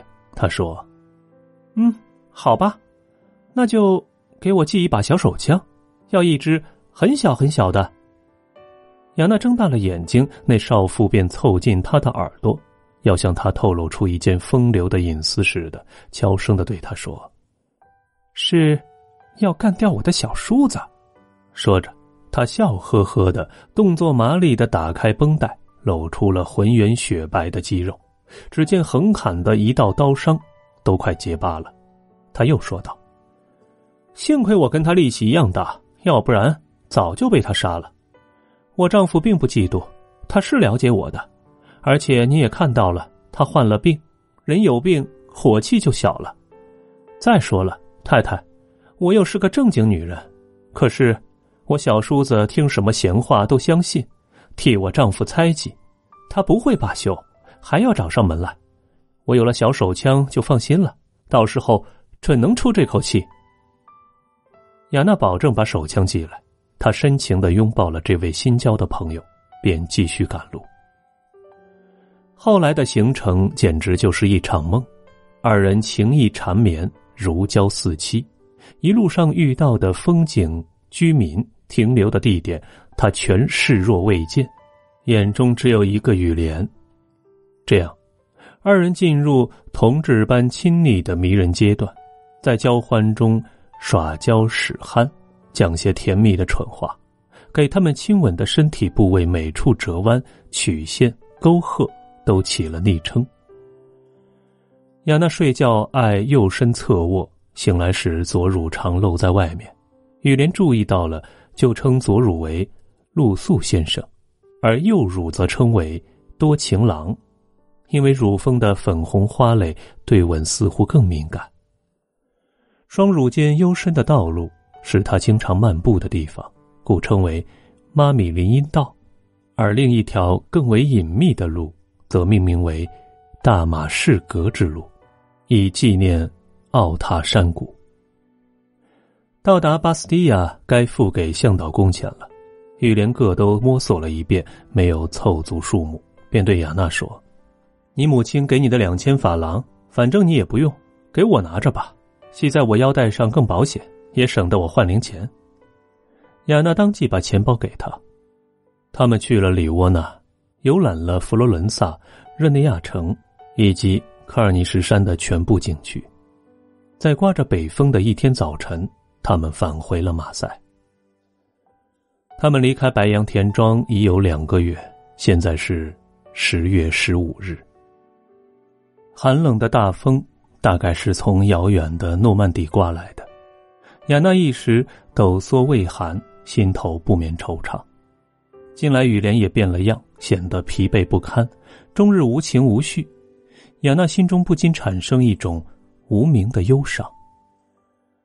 亚娜舍不得离开这充满阳光的好地方，推迟归期，多逗留了四天。她觉得自己刚刚走完幸福的旅程。他们终于离开了，到了巴黎，要购置用品，以备在白杨田庄安家之需。亚娜兴致勃勃，想用母亲给她的钱买一些精美的摆设，不过。他首先要买的东西，就是他答应寄给艾维沙村那位科西嘉少妇的小手枪。到达巴黎的次日，雅娜对雨莲说：“亲爱的，把妈妈给的钱还给我好吗？我要去买东西了。”雨莲转过身来，一脸不高兴的问：“你需要多少？”雅娜不禁愕然，结结巴巴的说：“啊，那，那就随你给多少了。”雨莲又说道：“那我给你一百法郎吧，千万不要乱花钱啊。”雅娜一时怔住，十分的尴尬，不知道说什么好。终于，她犹犹豫豫的说：“可，可是，可是，我把这笔钱交给你，是想……”雨莲没容他把话讲完。是啊，一点不错，放在你兜里还是我兜里，这无所谓，反正咱们共用一个钱袋，我又不是不给你钱，对不对？我这不是给你一百法郎吗？雅娜接过五枚金币，没有再讲话，她不敢再要一点，因此只买了小手枪。一周之后，他们启程返回白杨田庄。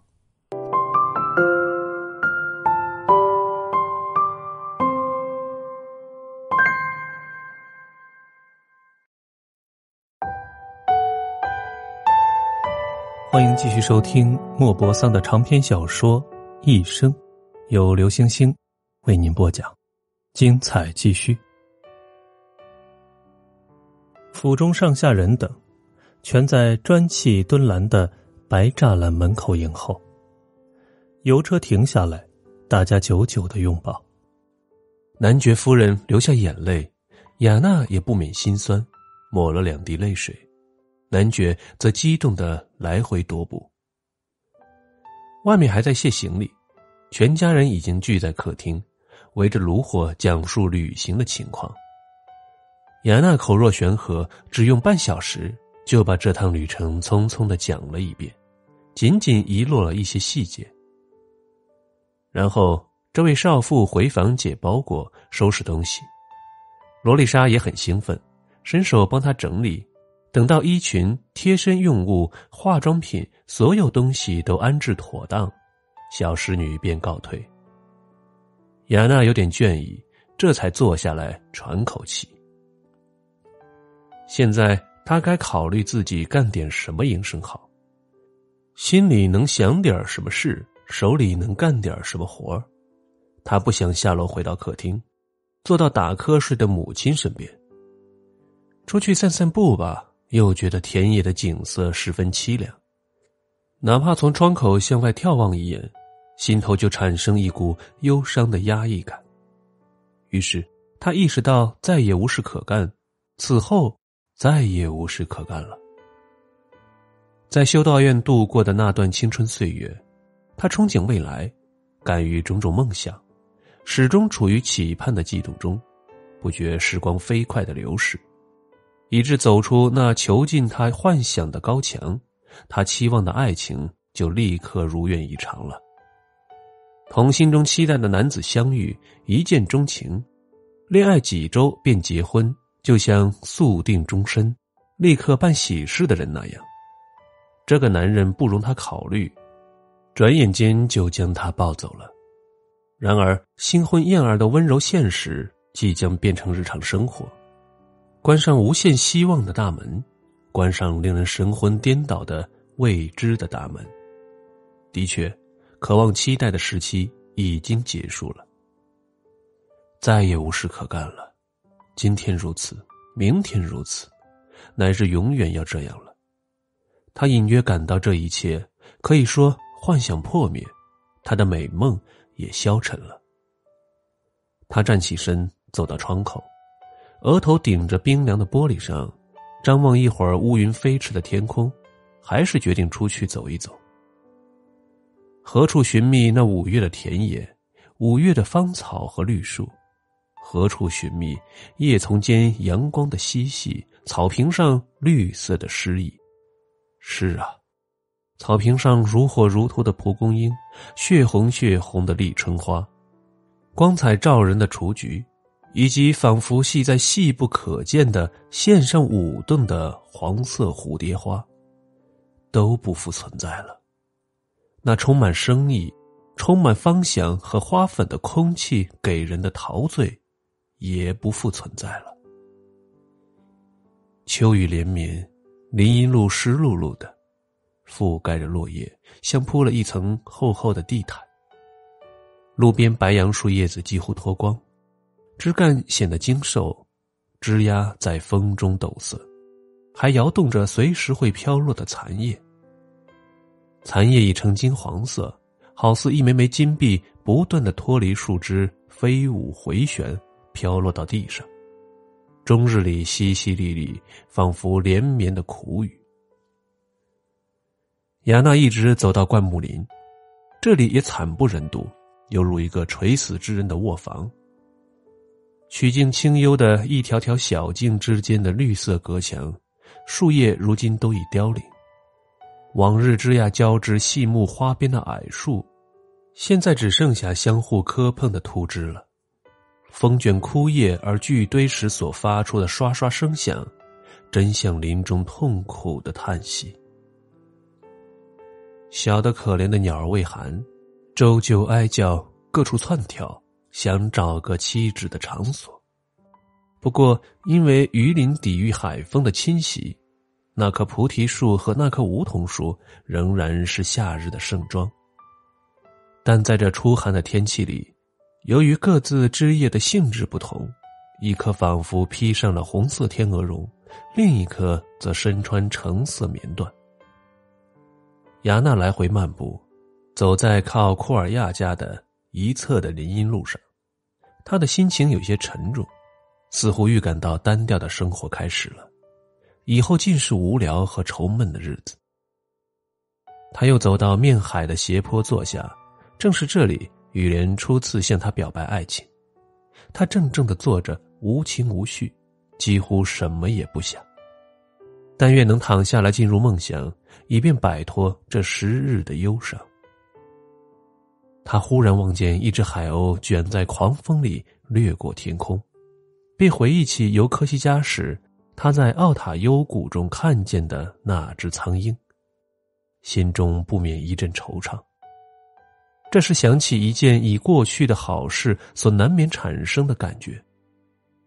他眼前忽又浮现那绚丽的海岛，以及那旷野的清香，那晒熟橙子和居云的太阳。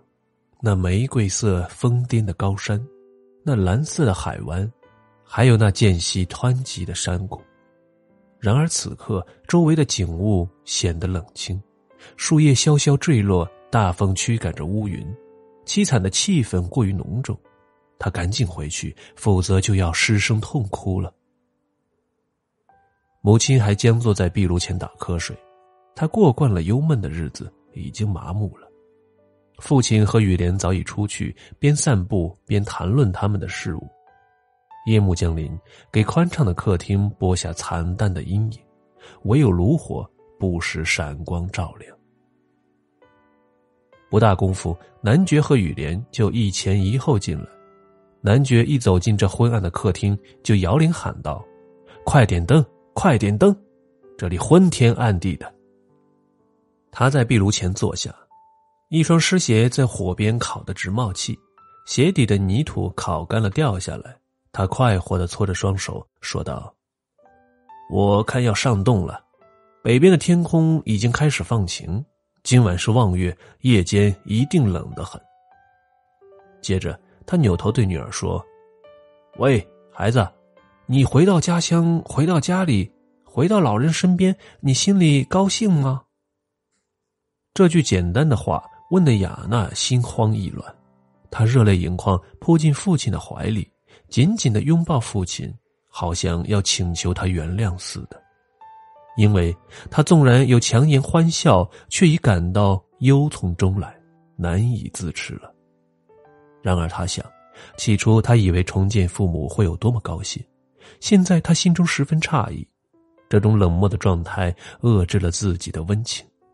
就像远离自己所爱的人，久久思念，及至重又见面，却已丧失朝夕相伴的习惯，情感仿佛中断，只待共同生活一段时间之后，才能恢复旧有的关系。晚餐拖了许久，大家在餐桌上话极少，雨莲似乎忘记了自己的妻子。餐后回到客厅，男爵夫人坐在那里睡着了。雅娜坐在母亲的对面，被炉火烤得昏昏沉沉，有时被两个男人谈话的声音吵醒，他想振作一下精神，心中不免思量：自己会不会像母亲那样，在持续不断的惯常生活中沉沦，进入这种麻木不仁的状态呢？白昼里暗红而无力的炉火，这时旺起来，火光明亮而噼啪作响，有时会射出强烈的光芒，照在椅子的棉罩上，照着狐狸和仙鹤，照见忧郁的白鹭。照见蝉和蚂蚁。男爵走近前，他满脸笑容，张开双手在炉火上烤一烤，说道：“嘿，嘿，今晚炉火真旺啊！要上洞了，孩子们要上洞了。”继而，他把一只手搭在雅娜的肩上，指着炉火说：“你瞧，我的小丫头，这是世上无与伦比的炉火，同家里人一起围着炉火。”这比什么都好，嗯，该去睡了吧，孩子们，你们一定很累了吧？雅娜上楼回房间，心中不禁纳闷：两次她回到以为喜爱的同一地方，为什么感觉如此不同呢？为什么这次回来就好像受了创伤呢？这座楼房，这可爱的故乡，曾经能拨动他心弦的一切，为什么今天看着？如此伤怀呢？这时，他的目光偶然落在座钟上，那只小蜜蜂依然快捷的、不停的在镀金花朵上左右飞舞。面对这个栩栩如生、为他报时并像心脏一样跳动的小肌腱，亚娜心里一阵冲动，眼睛漾出了泪水。他拥抱父母时还没有这样激动，人心的确有些奥秘。任何推理也难以洞悉。自从结婚以来，他还是头一回单独去睡觉。雨莲借口说太疲倦了，睡在另一间卧房里。况且二人已然商量好，个人有个人的卧房。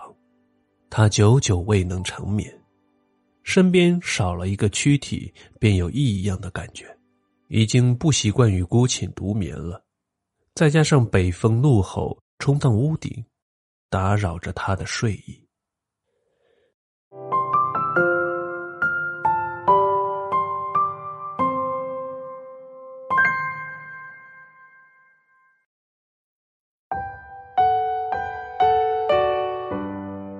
欢迎收听莫泊桑的长篇小说《一生》，刘星星播讲，精彩继续。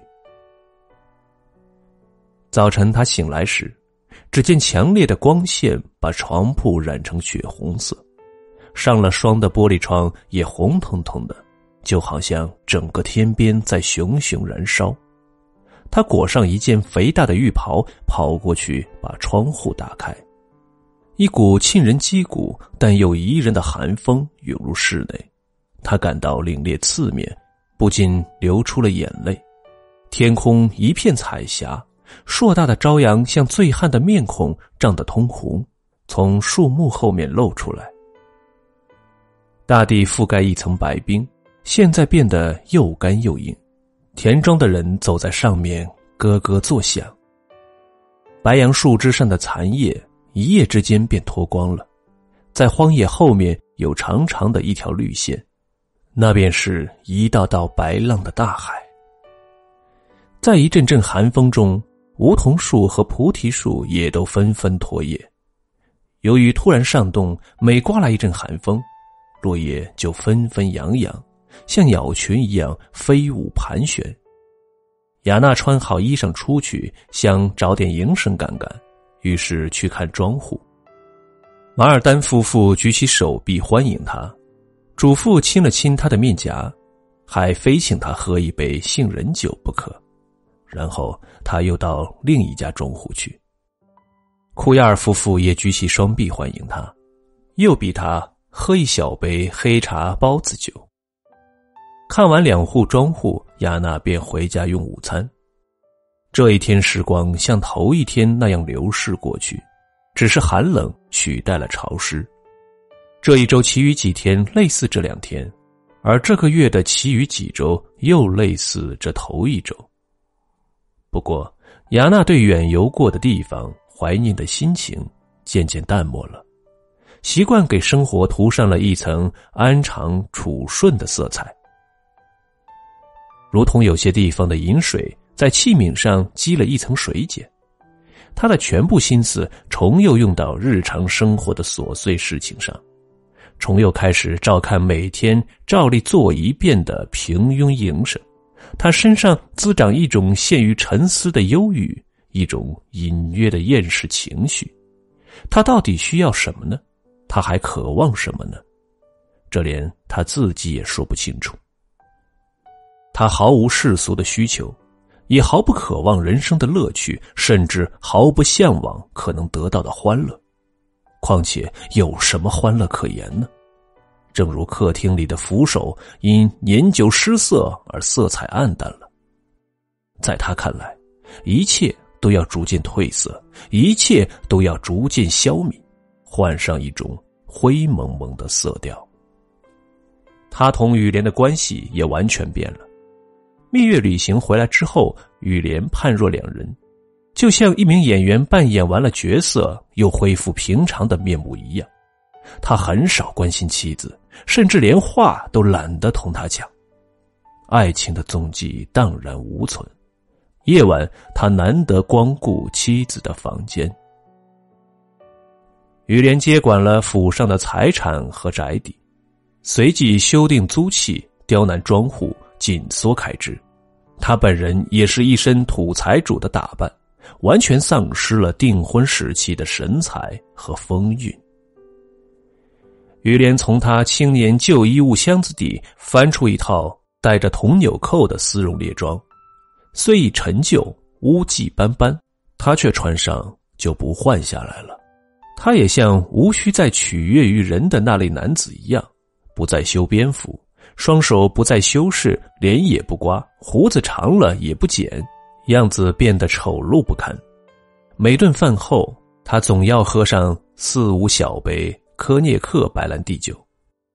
起初，亚娜还想劝规，委婉的说了他几句，他却极为粗暴的回答：“你让我消停着点好不好？”此后，他再也不敢劝说了。面对这种变化，他采取听之任之的态度，这连他自己都感到惊讶。在他看来，雨莲变成了陌生人。变成一个感情和心灵都对他封闭的陌生人。他时常考虑这种情况，心中纳闷：他们俩相遇一见钟情，在恋爱的激情中结了婚，现在何以突然彼此陌生起来？就好像他们从来没有同床共枕似的。她怎么没有因为丈夫感情淡薄而痛不欲生呢？人生难道就是这样吗？难道他们彼此看错了人？他这一辈子难道再也没有可期盼的事情了吗？假如雨莲注重仪表，始终保持俊美风雅的魅力，那么他也许会更加苦恼吧。家里人已经商量好，元旦一过，这对新婚夫妇就单独留下。男爵夫妇要回里昂的府邸住几个月。这年冬天，两个年轻人就不离开白杨田庄，以便安顿下来，能够习惯并喜欢他们要度过一生的地方。此外，雨莲还要将他的妻子介绍给几户邻居，他们是布里维尔、库特里埃和富维尔这几户贵族人家。不过，眼下这对年轻人还不能去拜访。因为至今还没有雇来油漆匠改换马车上的家族徽章。这辆旧马车男爵让给女婿用了。然而，这个地区只有一个人还掌握着绘制徽章的技艺，那就是宝贝克村的油漆匠，名叫巴塔伊。但他总是东奔西走，连续应聘去诺曼底的各个府邸。给马车车门上绘上这种珍贵的装饰。十二月的一天上午，快要用完早餐的时候，终于看见一个人推开栅门，沿着笔直的通道走进来。来客背着一个工具箱，他正是巴塔伊。主人把他让进餐室，招待他吃饭，就像款待一个有身份的人一样。这并不奇怪，他有专门技术，同本省所有贵族经常来往，又熟悉各个家族的徽章和其真言和标记，可以说是徽章专家。因此，贵绅们见了都要同他握手。主人立刻吩咐人取来笔纸，趁巴塔伊吃饭的时候，玉莲和男爵就画出了他们家族徽章的草图。一遇到这种事情，男爵夫人就异常兴奋。在一旁指指点点，雅娜也参与讨论，仿佛她的内心忽然萌生出一种神秘难测的兴趣。巴塔伊边吃饭边发表意见，有时他还拿过铅笔画一个草样，举出几个实例，还描述本地区每辆贵族马车的式样，似乎在他的思想里，乃至在他的声调中，都带来几分贵族的气息。巴塔伊身材矮小，头发已灰白，理成平头，双手沾有油漆的污痕，身上有一股煤油气味。据说他以前偷过女人，干了一件丑事。不过，由于他普遍得到贵族世家的高看，这一污点早已洗刷掉了。等他一喝完咖啡，主人就带他到车棚，并揭开盖在马车上的漆布。巴塔伊查看一番，随即郑重其事的提出，他认为图案多大尺寸合适。他同主顾再次交换一下看法，然后就动手干起来了。男爵夫人不顾天气寒冷，叫人拿来一把座椅，好在一旁观看这位工匠干活。过了一会儿，他感到脚冰冷，又叫人拿来绞炉，这样他就能从容不迫的同工匠攀谈。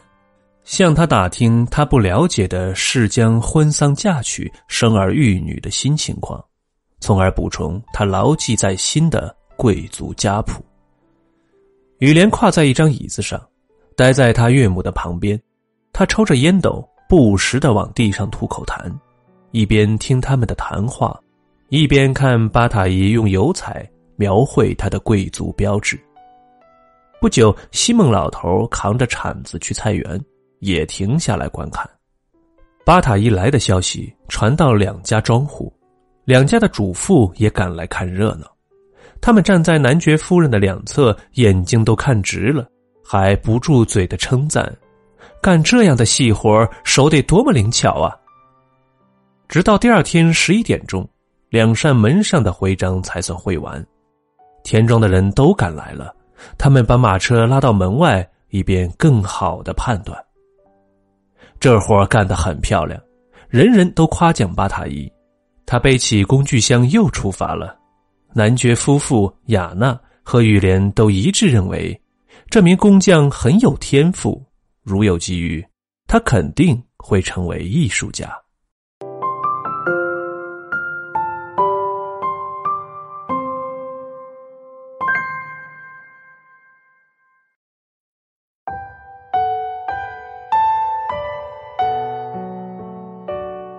欢迎收听莫泊桑的长篇小说《一生》，刘星星播讲，精彩继续。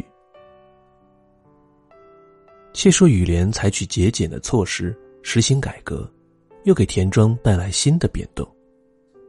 老车夫派去当园丁，子爵打算自己驾驶，专用拉车的几匹马也卖掉了，以便节省草料的费用。不过在主人下车的时候。总得有人看住牲口，于是玉莲又让放牛娃马里雨斯当了小仆人。最后驾车要弄到马匹，他就在库亚尔和马尔丹两个租店契约上特别附加一条，规定每月在他指定的一天，每户必须提供一匹马使用，但是作为补偿，他们可以免交羁押贡品。这样，库亚尔送来一匹黄色的大烈马，马尔丹送来一匹长毛小白马，两匹牲口并排套在一辆车上，马里宇斯则穿上西蒙老头肥大的旧号服，整个人儿都埋在里面。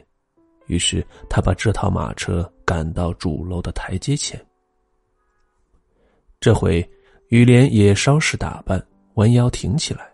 重现几分当年风俊的仪态。只是有那一脸的长胡须，仍然显得有点土气。他审视一番，对这套车马和小仆人还算满意。不过，他最看重的东西，仅仅是新绘制的徽章。男爵夫人由丈夫搀着，从他卧室下到楼下，吃力的登上马车落座，最后靠着几个垫子。这时，雅娜也来了。他一看见这两匹搭配的马，便咯咯大笑，说是小白马像大黄马的孙子。再一看马里与斯，整个人儿都消失在肥大的号服里，他更忍俊不禁，大笑不止。的确，小仆人的脸让那顶戴着徽章的帽子罩起来，一直扣到鼻子上，两只手缩进袖筒里，两只脚被套裙似的号服下摆围住。脚上的两只大鞋像船一样滑稽的从下面露出来，因此他看东西时要扬起脑袋，每走一步都要高抬腿，就好像跨越河沟。一听见主人吩咐，就像瞎子一样晕头转向。男爵转过头去，看见这小家伙手足无措的笨样儿，受到女儿的感染，也随之朗声大笑。还连声叫他妻子，笑的话都讲不出来。你，你瞧瞧，马马里与斯那样子多滑稽呀！天哪，太滑稽了。男爵夫人听了，从车窗探出头去，端详小仆人，也被逗得开怀大笑，压得整个车身直弹跳，就像行驶在崎岖的路上颠簸一样。然而，雨莲却脸色刷白，问道：“究竟有什么好笑的？你们简直都疯了！”雅娜笑得岔过气，直不起腰来，欲罢不能，只好坐到台阶上。男爵也随之坐下来，而马车里又发出一阵阵鼻息声，一阵阵恶逆响。显然，男爵夫人笑得上不了气了。这时。马里与斯的大礼服猛然抖动起来，原来他明白了别人为何发笑，自己在大帽子底下也不禁嘻嘻笑起来。雨莲终于怒不可遏，冲过去就给了小家伙一巴掌，打飞了那顶大帽子，一直滚落在草坪上，随即又转身面向他的岳父，气得声音直发颤，话不成句。我觉得。还轮不到您来发笑。如果您不坐吃山空，把家当挥霍精光，我们也不会落到这个地步。您这家道败落了，究竟怪谁呢？快活的情绪一下子冻结了，笑声戛然而止，谁也不再说话了。此时，雅娜哭的心都有点颤抖，他不声不响的上车，坐到母亲的身边。男爵深感意外，一时默然，面对母女俩坐下。雨莲把那孩子拉上来，二人并排坐在驾驶座上。小家伙脸被打肿了，还眼泪汪汪的。路途很远，景色也很凄凉，车里的人都默默无言。男爵夫妇和女儿心中压抑又极不自在，谁也不愿表露萦绕心头的思虑。而这个痛苦的念头又死死纠缠，他们明显感到没有心思谈论别的事情。与其触及这个难堪的话题，倒不如紧锁眉头，保持沉默。两匹马步调不一致，拉着车子经过一座座庄园，吓得黑母鸡纷纷逃开，钻进篱笆里躲起来，有时还会引来一条狂吠的狼狗。那狼狗追了一程，又返回家，但浑身的毛还竖立着，不时回头朝马车吼叫。一个穿着沾满泥的木底鞋的小伙子，双手插在兜里，而蓝布罩衫被风吹的后背鼓起来，他拖着两条长腿，无精打采的走着，看见马车驶过来，便闪在一边，同时笨拙的摘下鸭舌帽。露出他那贴在脑壳上的头发。马车终于驶入通入官道的一条宽阔的松树林荫路，道路泥泞，折沟很深，车身左倾右斜，吓得男爵夫人连声惊叫。林荫路尽头有一道关着的白色栅栏门，马里与斯跳下车，跑过去开门，马车便沿着环绕一大片草坪的便道，一直行驶到一座窗板紧闭、高大而凄凉的宅邸前停下。邸宅正门忽然打开，走出一位老仆人。他穿一件黑白条纹背心，下半部扎在围裙。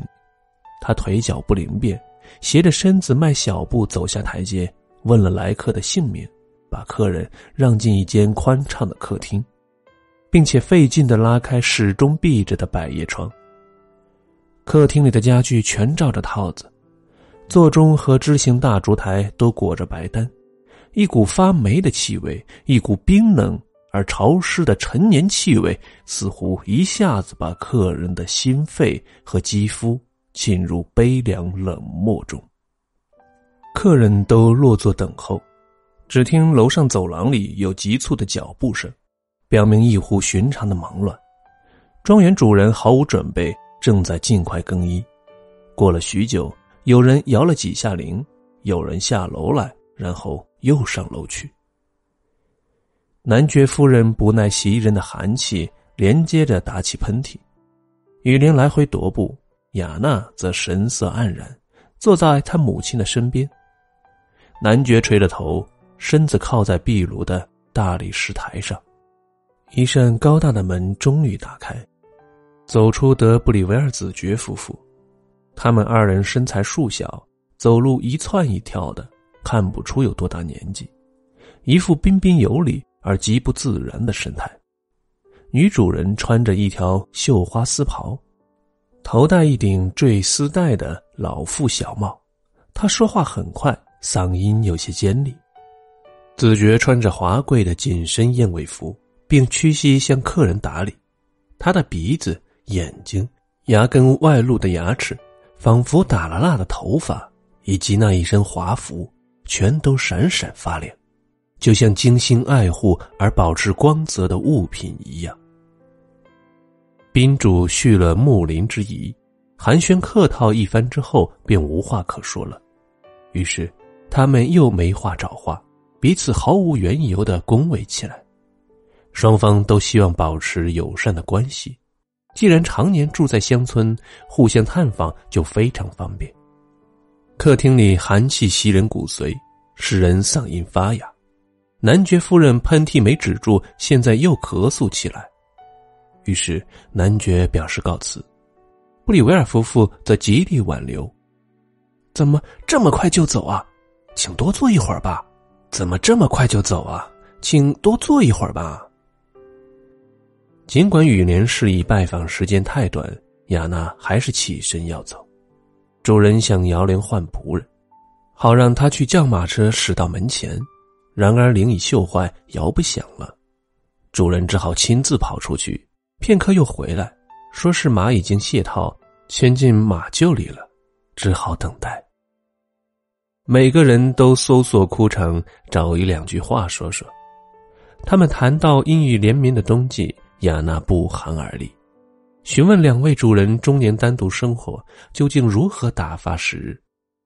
听这一问，布里维尔夫妇不禁奇怪。他们每天都忙忙碌碌，要写许许多多的信件，寄给遍布法国各地的贵族亲戚们。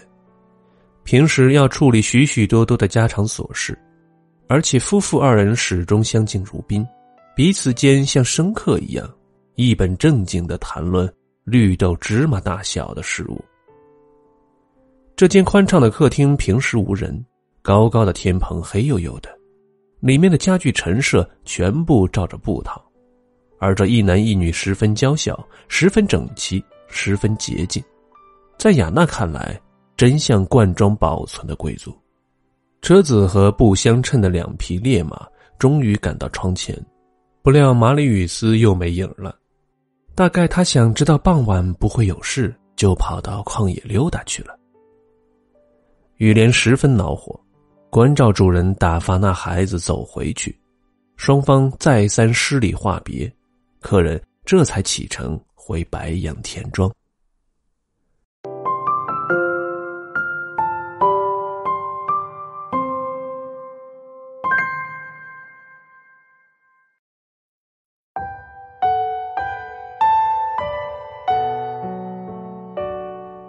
欢迎收听莫泊桑的长篇小说《一生》，刘星星播讲。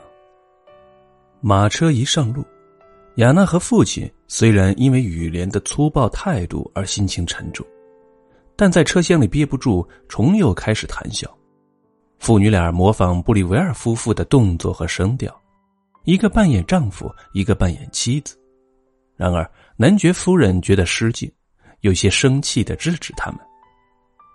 你们不该那样嘲笑人，他们都极有身份，属于名门士族的家庭。父女俩不作声了，免得惹妈咪生气。尽管如此，父女俩又不时的相互瞧一眼，重新又坐起来。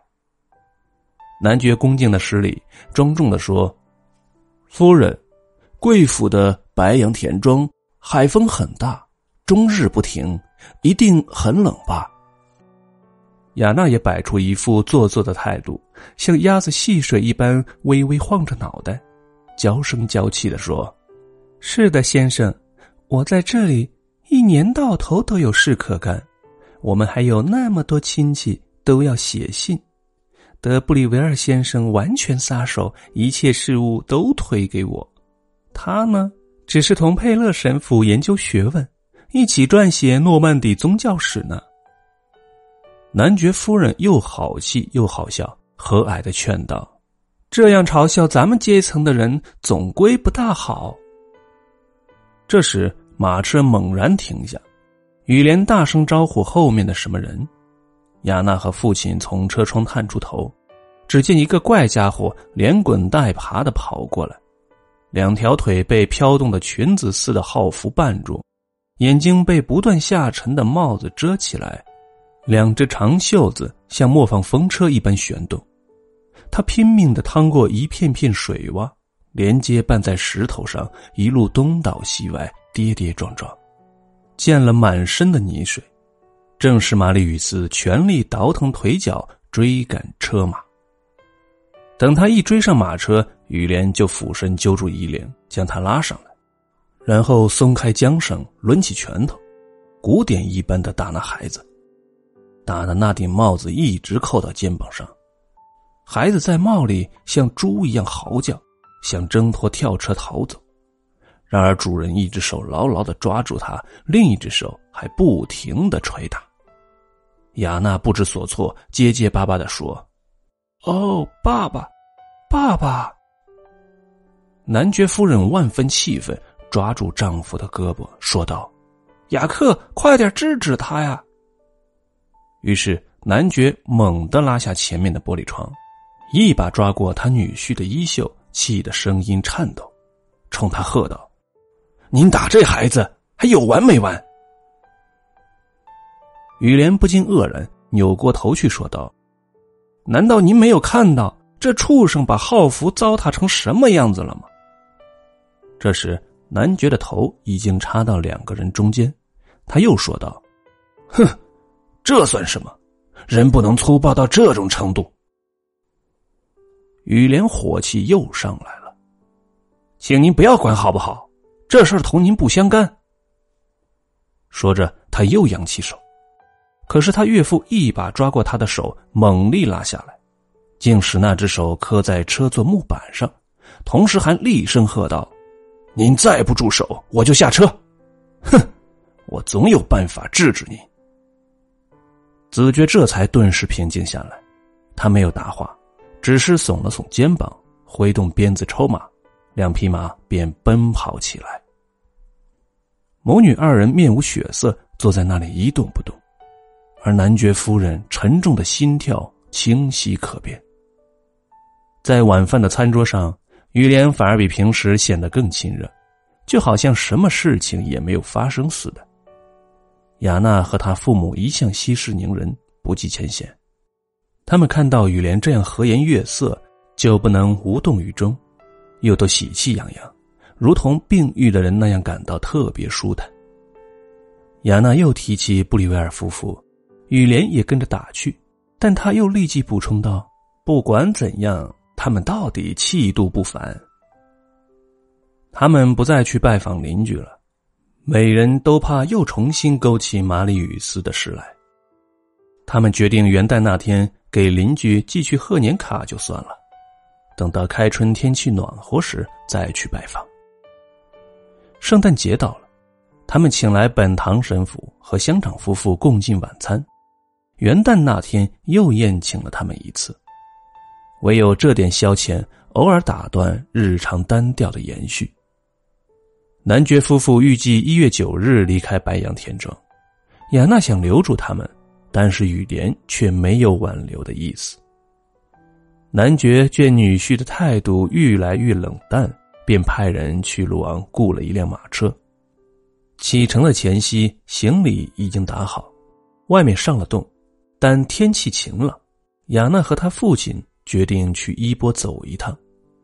从科西家回来后，他们就再没有去过那里。父女二人穿越一片树林。举行婚礼那天，雅娜和结为终身伴侣的人也曾在这片树林里散过步。正是在这里，他第一次接受了爱抚，第一次产生了冲动，预感到肉欲的爱。但是，直到奥塔野山谷二人嘴对嘴喝泉水时，他才真正尝到这种爱的滋味。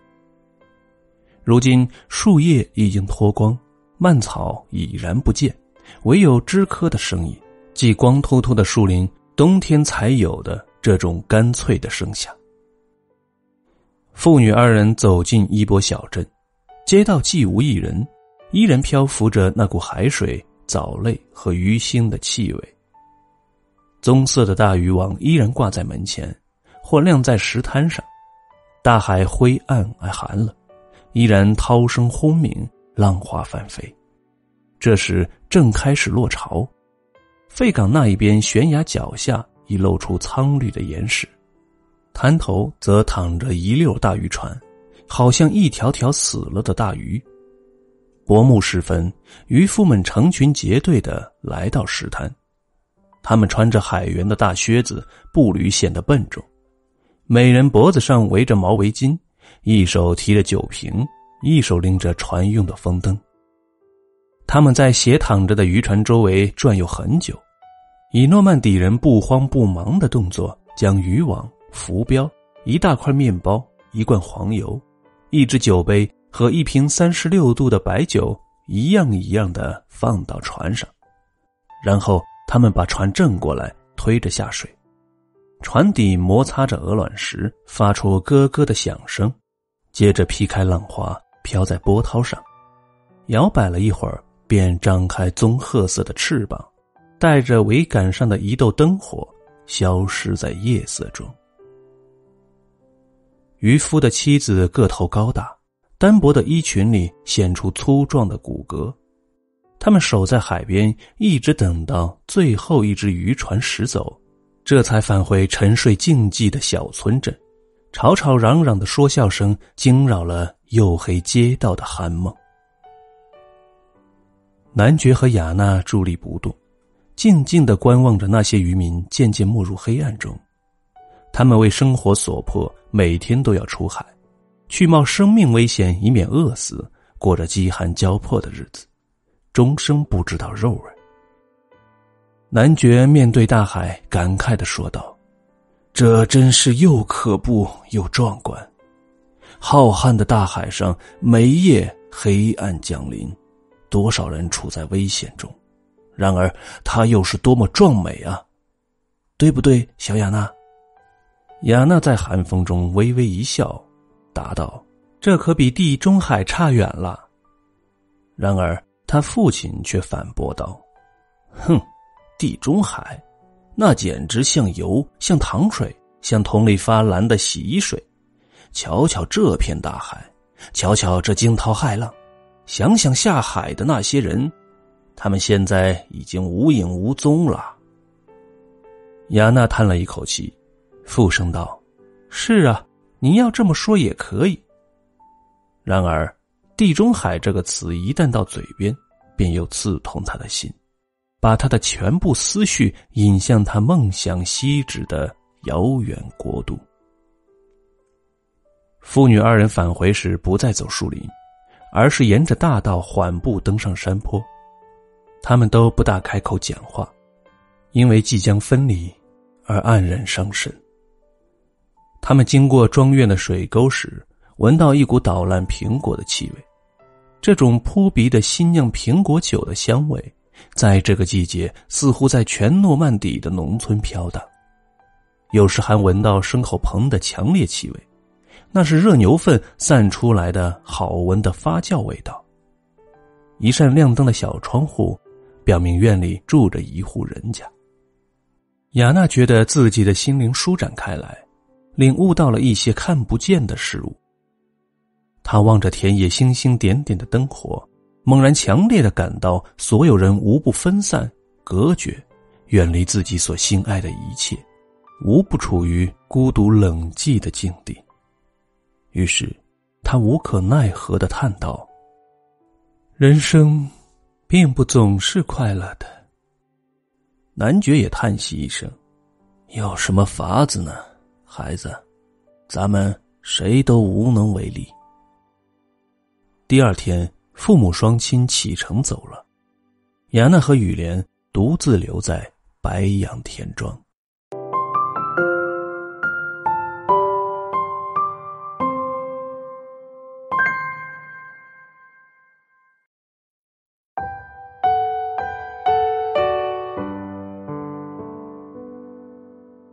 欢迎收听莫泊桑的长篇小说《一生》，刘星星播讲，精彩继续。纸牌进入这对年轻夫妇的生活领域。每天吃完晚饭，雨莲一边吸着烟斗，一边喝着科涅克白兰地。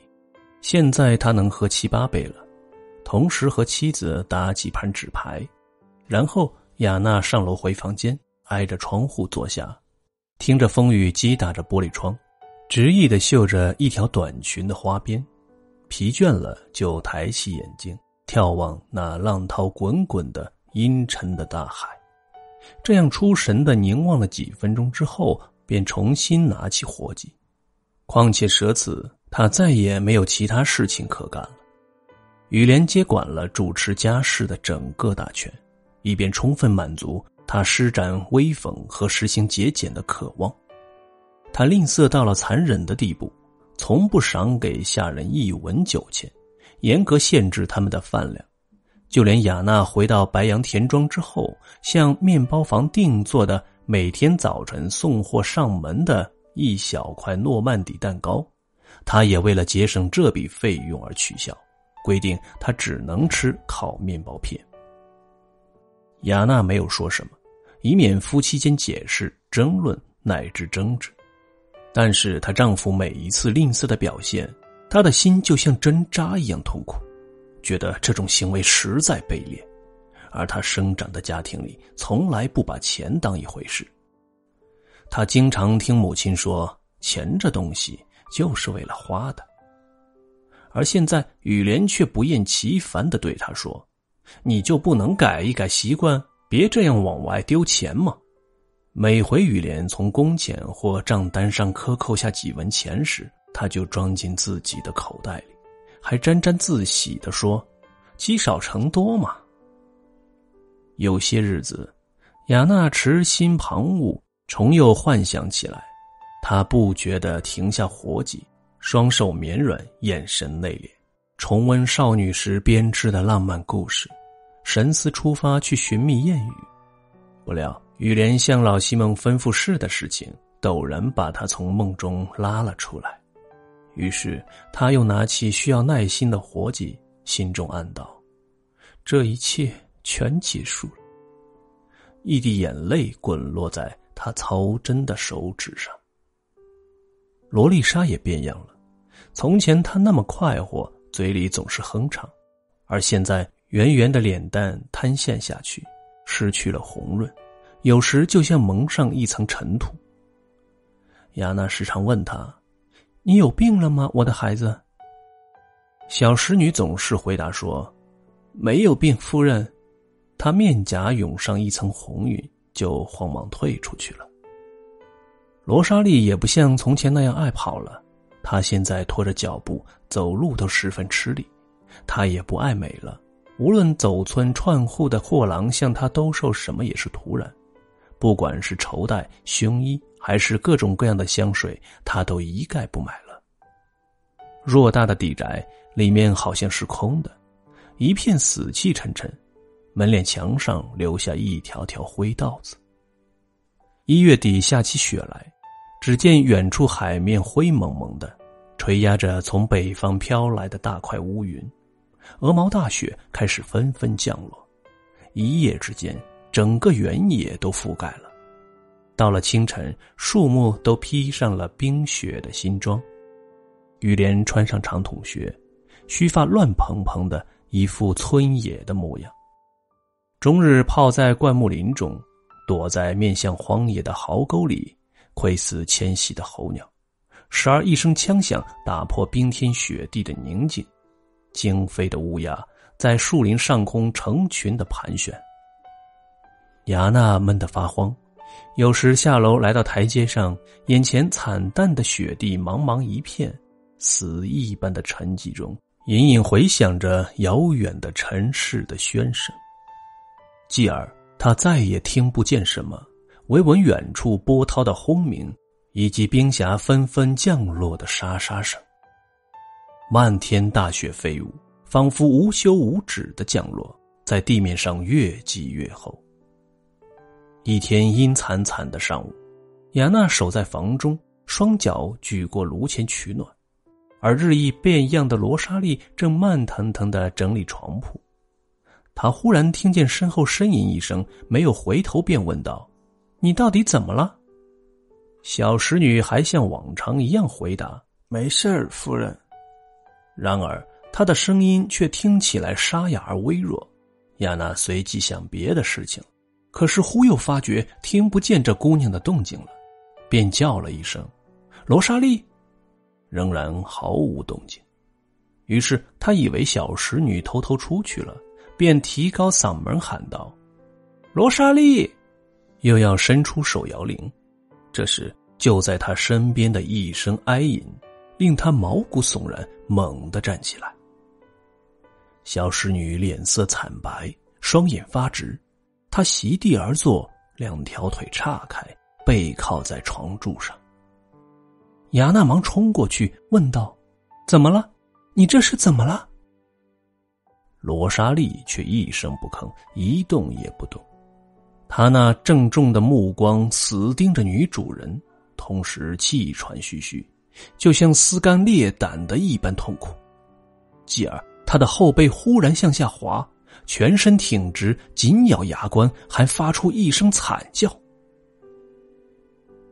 这时，他那贴在插着的腿的裙子里有什么东西开始蠕动，而且立刻从那里传出一种异样的声响。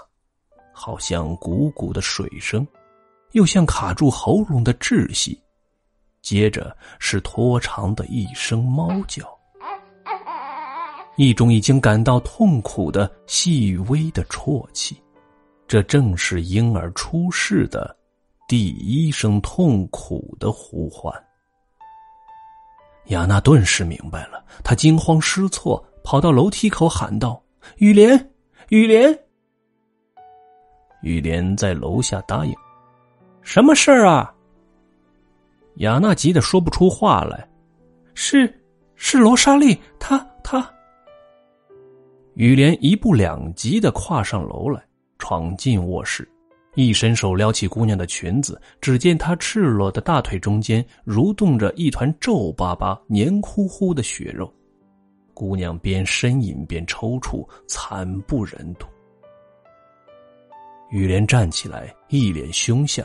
他把吓昏了头的妻子推出门外，说道：“这里没你的事儿，走吧，去把吕迪芬和西蒙老头给我叫来。”雅娜浑身止不住发抖，下楼到厨房叫人，但是不敢回到楼上，便走进客厅，惴惴不安的等候消息。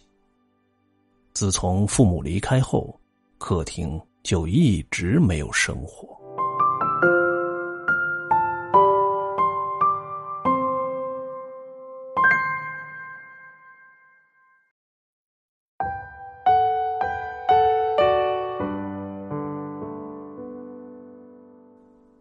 大功夫，他看见男仆跑出去。过了五分钟，他带来了当地接生婆唐图寡妇。然后楼梯上又是一阵忙乱的声响，好像抬一个受伤的人。雨莲过来告诉雅娜，说她可以回房间了。雅娜浑身颤抖，仿佛刚刚目睹了一个惨象。她重又坐到炉火前，问道：“他怎么了？”雨莲在房间里踱来踱去，显得心事重重，又焦躁不安，好像要大动肝火。他没有立刻回答，过了一会儿，他才停下脚步，说道：“你怎么打算处置这个丫头？”雅娜没有听懂，眼睛望着她丈夫，问道：“什么？你想说什么？问我？我可不知道。”雨莲好像心头火起，忽然嚷道：“咱们家里总不能收养一个私生子啊！”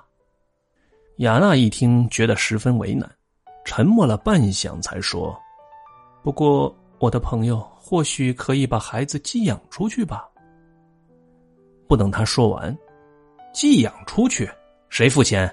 当然是你喽。”雅娜又思考了很久，想找出个办法来。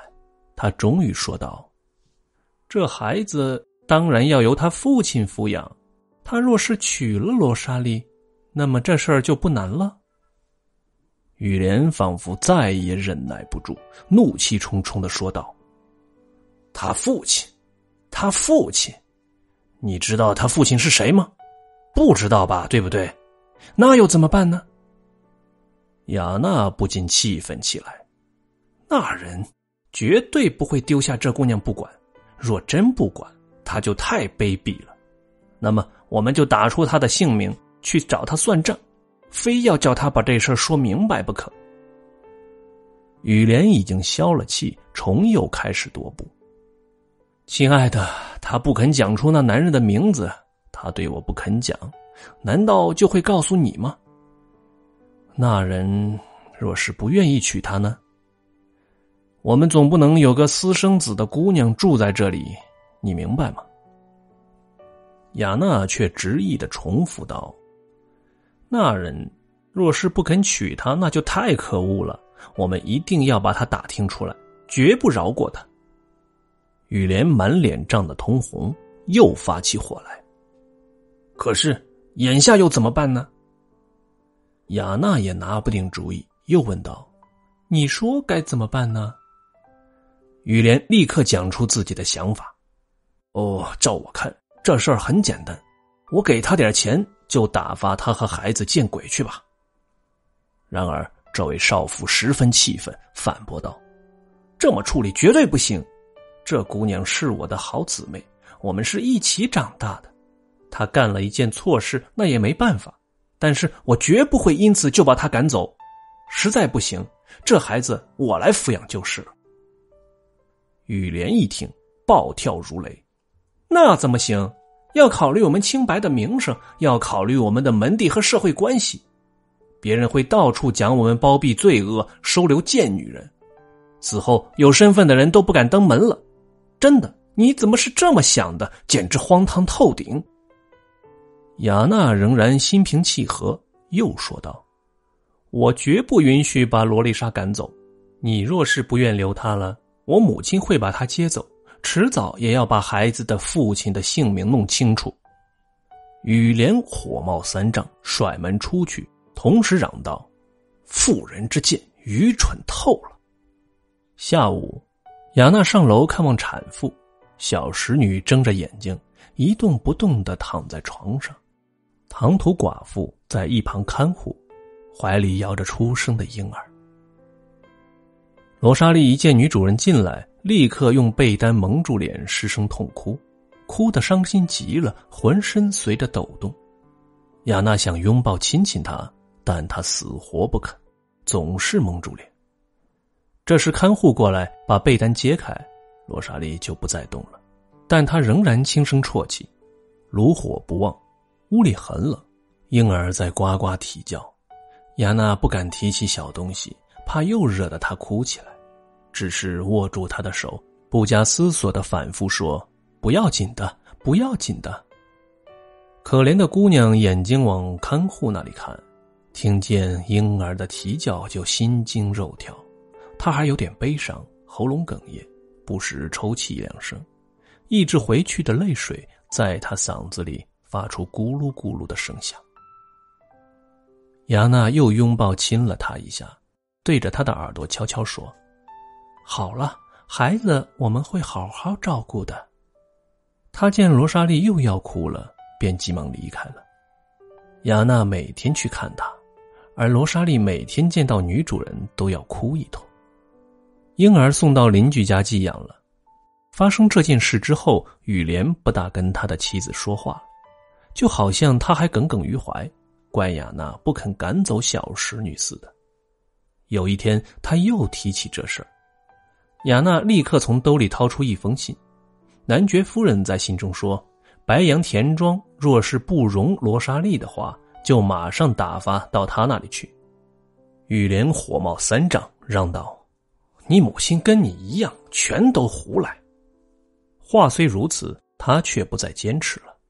半个月后。产妇能下床了，重新又照常干活。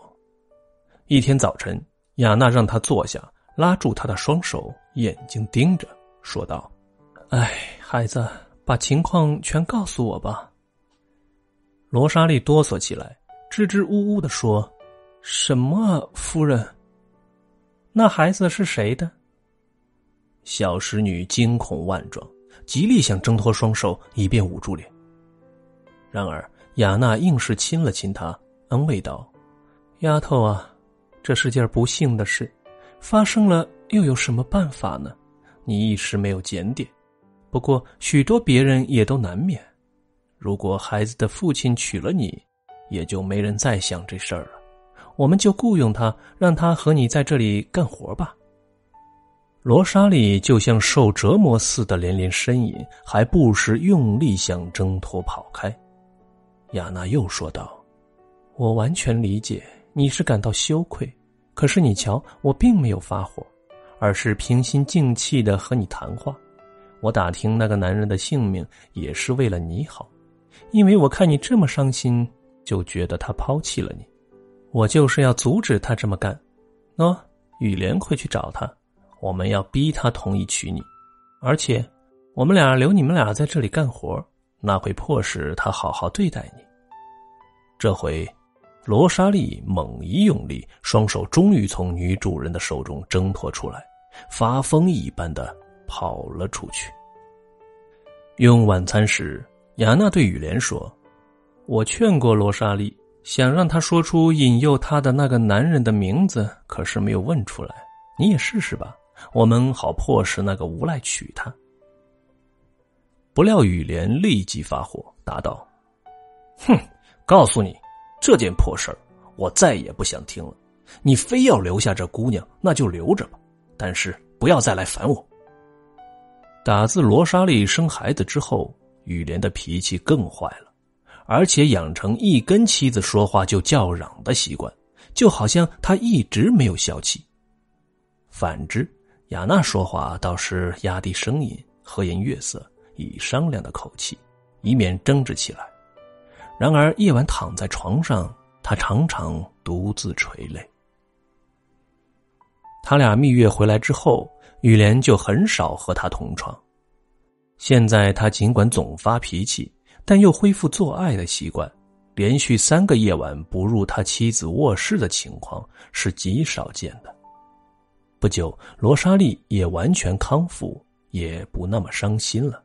只是还有点提心吊胆，摆脱不了一种无名的恐惧。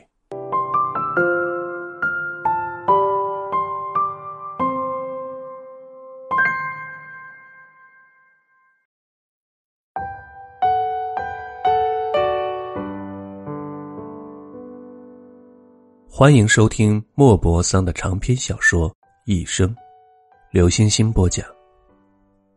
有两回，雅娜又想盘问他，他都慌忙跑开了。雨莲也忽然变得和气了，年轻的妻子又隐约怀有希望，心情也快活起来。不过偶尔还感到一种说不出来的烦躁，但他绝口不提。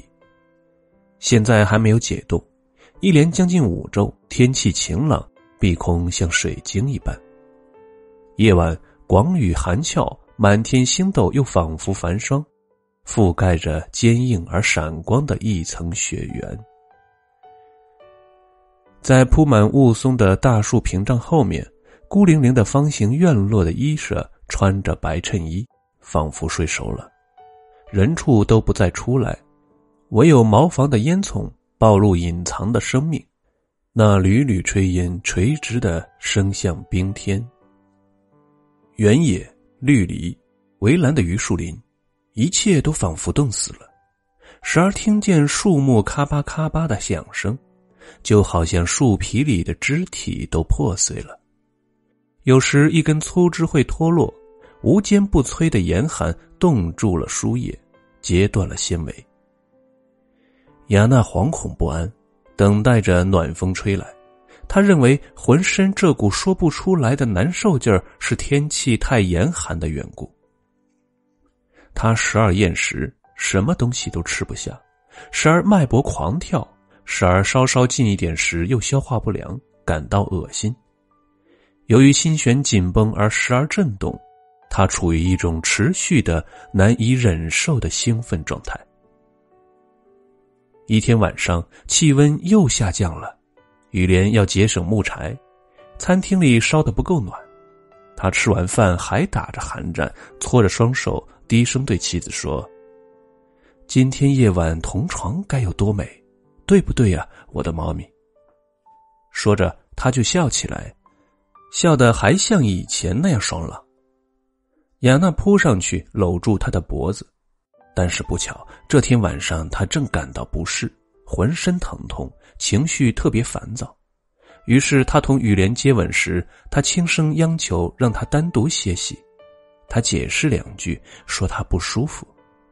亲爱的，求求你，我确实身体有点难受，等明天一定会好些的。雨莲也没有坚持，随你便吧，亲爱的。你若是病了。就应当调养调养。接着，他们就谈起别的事情。雅娜要早早睡下，雨莲特意吩咐下人给她卧室生上炉火。等仆人来禀报说炉火烧旺了，雨莲就吻了吻妻子的额头，回房去了。整座楼房似乎都冻透了，墙壁好像在直打寒战，发出轻微的声响。雅娜躺在床上瑟瑟发抖，她起来两次往炉子里添木柴，又找来长袍、短裙和旧衣服，一层一层的压在被子上，可是怎么也暖和不过来。双脚麻木了，战栗从脚传到小腿，再传到大腿，他辗转反侧，心绪烦躁到了极点。过时不久，他的牙齿开始略略打颤。双手也瑟瑟发抖了，胸口憋闷，心跳缓慢下来，发出砰砰的低沉声响，有时还仿佛停止跳动了，喉咙也发紧，好像吸不进气来了。难以抵御的寒气侵入他的骨髓，在他的心里引起极度的惶恐，他从来没有这种感觉。从未像这样，生命危险就要咽最后一口气了。他心里念叨：“我要死了，就要咽气了。”他惊恐万状，立刻跳下床，摇铃呼唤罗莎莉。等了片刻，再次摇铃，又等了一会儿，他身子冻得冰冷，不住的颤抖。小使女呼唤不来。大概头一觉睡得太死，怎么也吵不醒。雅娜一时急得昏了头，光着脚就冲向楼梯口。他不声不响的上楼，摸黑找到门，推开便叫了一声“罗莎莉”，同时脚步未停，径直走进去。碰到床沿，伸手一摸，发觉是一张空床，床上空空如也，而且冰凉，不像有人睡过。雅娜深感诧异，不禁想到：怎么回事？这么冷的天他还往外跑。这时，他的心忽然狂跳，胸闷上不来气，双腿发软，只好下楼去叫醒雨莲。雅娜确定自己要死了，渴望在失去知觉之前见他一面，因此她推门闯进他的卧室，借着奄奄一息的炉火光亮，她看见她的丈夫和罗莎莉的头并排枕着一个枕头。他惊叫一声，那两个人一下子都坐起来。他猛一发现这个情景，在惶恐中一时怔住，身子动弹不了，继而他才跑出去，逃回自己的房间。那边雨莲拼命喊：“雅娜！”他的心极度恐惧，生怕见他的面，听到他的声音，生怕跟他四目相对，听他辩解而编织谎话。于是他又冲出门，跑下楼去。这时，他在黑暗中奔跑，不顾会从台阶上滚下去，摔到石台上会有骨折的危险，心中只有一个念头：径直往前冲，逃得远远的，什么事也不想知道，什么人也不想看见。跑到楼下，他坐到台阶上，仍然光着两只脚，身上只穿着睡衣。他呆在那里不知所措。雨莲已经跳下床，急忙穿上衣服。雅娜听见他的动静，又站起来要躲避他。雨莲也下楼来了，边走边喊：“雅娜，听我说。”不，他再也不愿意听，再也不愿意让他碰一碰手指头，就像有杀手追他一样。他又冲进餐厅，想找一条退路。找一个藏身的地方，一个黑暗的角落，想法避开他。他刚蜷缩在餐桌底下，雨莲就推开门，他手里举着蜡烛，连声叫着：“雅娜！”于是，他又像野兔一般窜进厨房里，如同入围的野兽，在里边兜了两圈，看着雨莲就要追上了，他就猛然打开通向花园的门。直奔野外跑去，他那赤裸的双脚踏在雪地上，有的地方深陷到膝盖。虽然身上几乎一丝不挂，但他并不感到冷，只是内心如焚而躯体麻木。他毫无知觉，一味的向前奔跑，白色的身影跟雪地一样。雅娜沿着林荫路跑去，穿过灌木林，又越过水沟。跑到旷野荒原上，夜空没有月亮，群星闪烁，好像拨在黑色天穹上的火种。然而荒原却还清亮，远望去一片悠悠的白光，一片凝冻静止、无边无际的沉寂。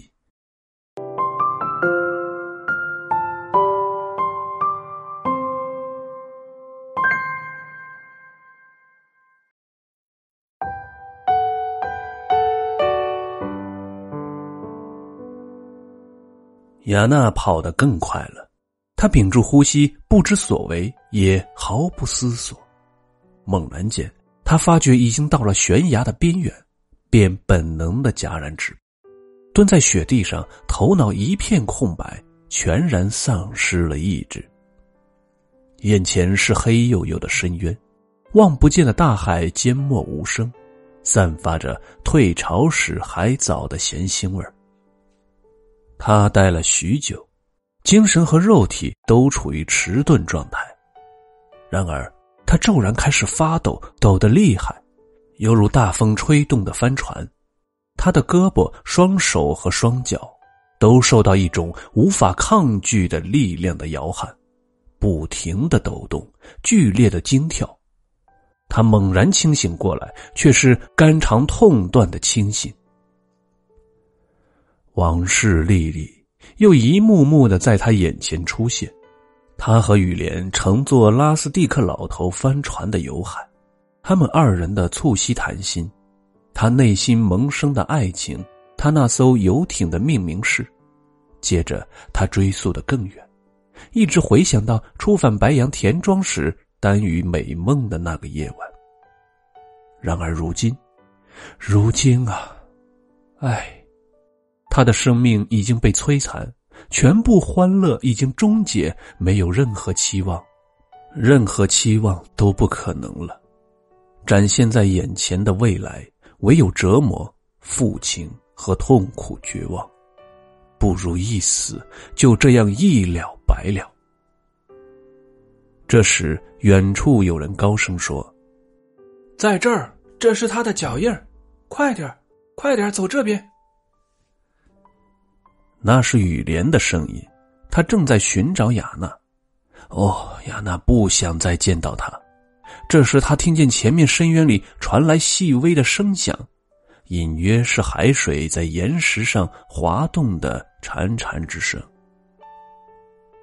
他支撑着站起来，已经纵身要跳下去，像绝望之人那样诀别生命，又像垂死之人那样临终一句话。像战场上肠子被打出的年轻士兵那样，最后一声呼喊：“妈妈！”妈咪的形象赫然出现在他的脑海中。他看见母亲泣不成声，看见父亲跪在他溺水尸体的眼前，一时间，他完全感到了父母的悲痛欲绝。于是他浑身绵软，又跌倒在雪地上。等雨莲和老西蒙以及提着马灯随后的马里与斯赶到时，他不再逃避了。他们抓住他的胳膊往后拉，因为他就在悬崖边上了。雅娜已经不能动弹，任凭他们摆布。他觉出他被人抬走，后来放到一张床上，用滚烫的毛巾给他按摩。又过了一阵，一切都消失了，他完全失去了知觉。后来他做起噩梦，真是一场噩梦吗？他躺在卧室里，天亮了，可是他起不来，是什么缘故呢？他却一无所知。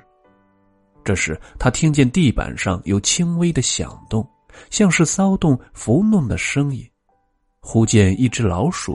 一只灰色的小老鼠窜上他的被子，紧接着又上来一只，继而第三只向他胸口逼来。小碎步跑得很快。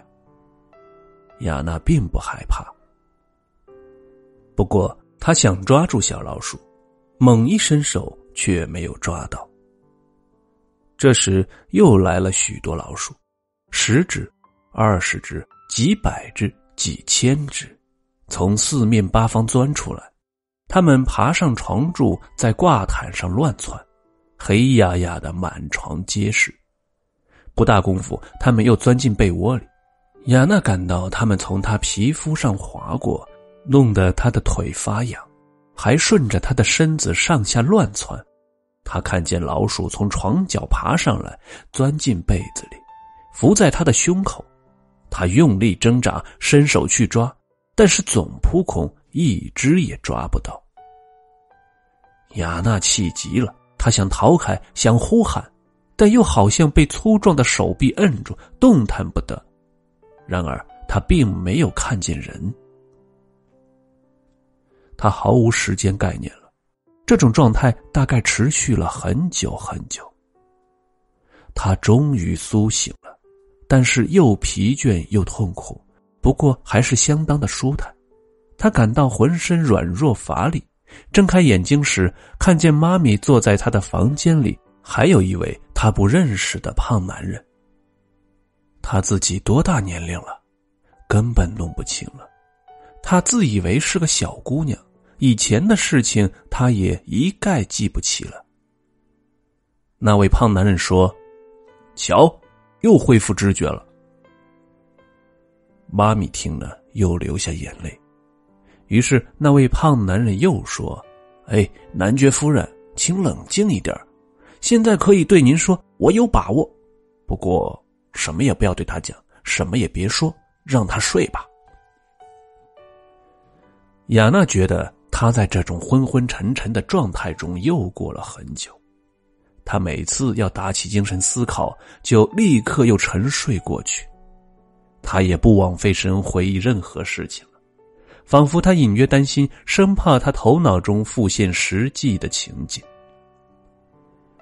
且说有一回，他醒来时，看见只有雨莲坐在他身边，于是他猛然回忆起这一切，就好像遮掩他从前生活的幕布一下子拉起来了。他立时心如刀绞，又想逃走。他推开被子，跳下地，可是双腿支撑不住，立即跌倒。雨莲急忙上前要搀扶，他却嚎叫起来，不让雨莲碰他。他的身子扭转卷曲，在地上打滚。这时房门忽然打开，跑进来丽松姨妈和唐土寡妇，接着是男爵。最后是男爵夫人惊慌失措、气喘吁吁的跑进来。他们又安置雅娜躺下，她立刻闭上眼睛，存心不说话，好凝神想一想。他母亲和他姨妈在一旁看护，他们百般体贴，总想盘问他：“喂，小雅娜，我的小雅娜，现在只有我们，你听见了吗？”他装作没听见，不予理睬。他清楚的知道这一天过去了。到了夜晚，看护守在他身边，不时喂他点水喝。给水就喝，就是不说话。但他再也睡不着了。他吃力的思考，回想那些遗忘的事情，仿佛他的记忆出现漏洞似的，有一片片空白点，根本没有留下。所发生事情的痕迹。经过长时间的专心回忆，他才渐渐想起全部的事实。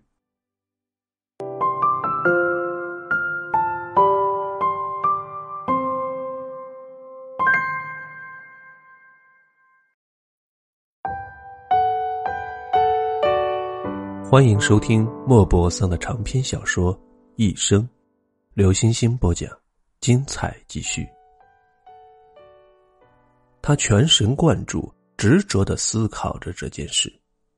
母亲、姨妈和父亲全来了，显然他大病了一场。那么雨莲呢？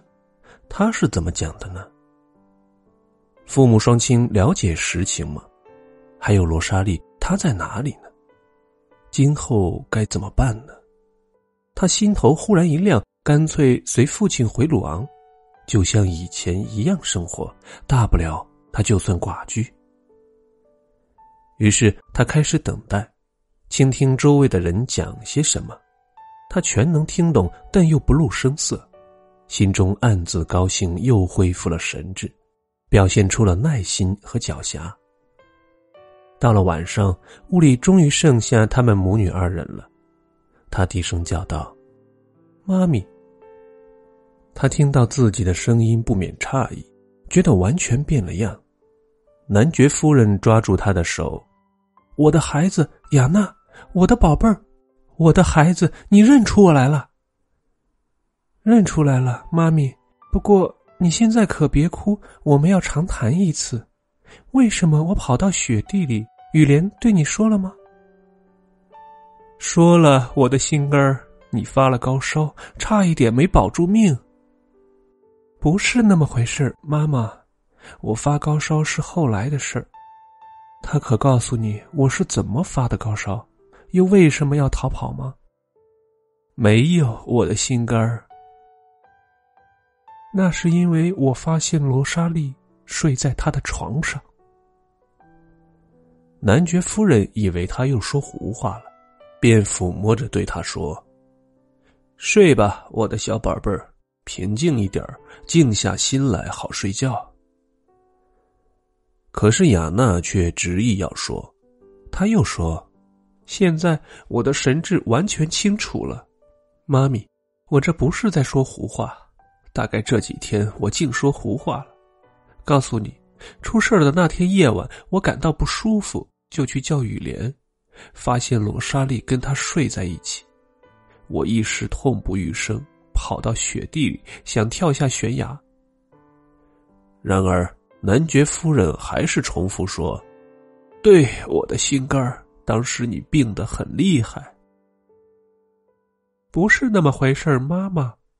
我发现罗莎莉睡在雨莲的床上，就不愿跟她一起生活了。你把我带回鲁昂，我们还像从前那样。男爵夫人已有医嘱，凡事不要只有雅娜。于是他答道：“好吧，我的小宝贝。”可是病人不耐烦了，看得出来您并不相信我。你去叫爸爸来，他最终会明白我的意思的。男爵夫人非常吃力的站起身，拄着两根拐杖，他拖着脚步出去了。过了几分钟，他又由男爵搀扶着回来了。老夫妇二人坐在床前，雅娜立刻讲起来，她的声音细弱但很清晰，诉说雨莲性情古怪，心肠冷酷无情，为人特别吝啬，而且还负情背义。总之。他一股脑全讲出来了。等他讲完时，男爵看得出来女儿并没有讲胡话。不过仓促间，他还不知道这事儿如何看、如何解决，又如何回答。父亲温柔慈祥的握住他的手，还像从前讲故事那样哄他睡觉。亲爱的，听我说，你必须谨慎从事，不可操之过急。在我们做出决定之前，你暂时迁就点你丈夫，这样行吗？你答应我吗？雅娜轻声答道：“好吧，我答应。不过我一养好病，就绝不留在这里了。”接着，他又压低声音问道：“现在，罗莎莉在哪里呢？”男爵回答说：“你再也不会看见她了。”可是雅娜不肯罢休，追着问道：“他到底在哪儿呢？我想知道。”男爵这才不得不承认，罗莎莉并没有离开白羊田庄，但他肯定说他要走的。男爵做父亲的心受到伤害，他从病人卧房出来，还气愤填膺，径直去找雨莲，劈头责问道：“先生，我来要你说明白。”你是怎么对待我女儿的？你欺骗她，同她的使女偷情，这是一种双重的侮辱。不料雨莲却装作清白无辜，极力否认，又赌咒又发誓。况且他们有什么证据呢？难道不是雅娜说疯话吗？她不是刚刚患了脑膜炎吗？她刚发病时，有一天夜里进入瞻望状态。不是跑到旷野雪地上去了吗？他恰恰在那种状态中，几乎光着身子满楼乱跑，才硬说她看见使女睡在她丈夫的床上。她还愤然作色，威胁说要打官司，并表现出极大的愤慨。男爵反倒蒙住了头，他又是道歉又是赔不是，诚心诚意的伸出手去。而雨莲拒绝同他握手言和。雅娜了解到她丈夫的辩解，丝毫未有动气，只是说了一句：“爸爸，他满口谎言，不过我们迟早叫他无话可说。”一连两天，雅娜一声不吭，像在凝神静思。到了第三天早晨，他要见罗莎莉，男爵不许人去唤小使女上楼。说他已经离开了，雅娜丝毫不让步，反复的说：“那好，派人去他家把他找来。”雅娜已经发火，这时大夫进来了，男爵他们把事情全告诉大夫，让他来判断。忽而雅娜又哭了起来，她极度冲动，几乎喊道：“我要见罗莎莉，我要见她。”于是。大夫握住她的手，轻声对她说：“您要冷静，夫人。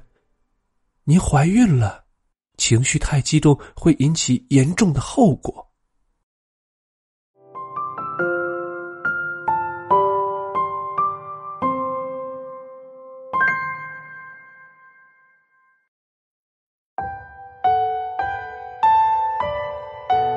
雅娜像挨了一击，顿时怔住了，当即觉得身子里有什么东西在蠕动。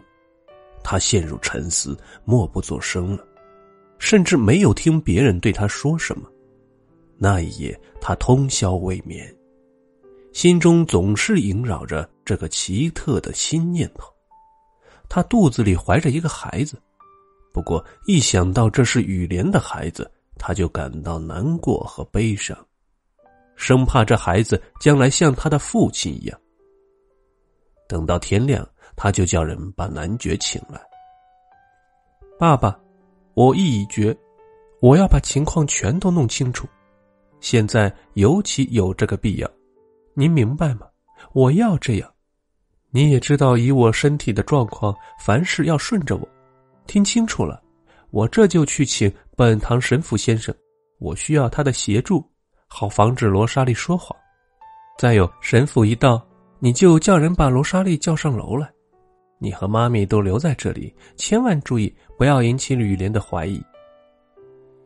一个小时之后，神父请到了，他又胖了一圈，跟男爵夫人一样喘得厉害。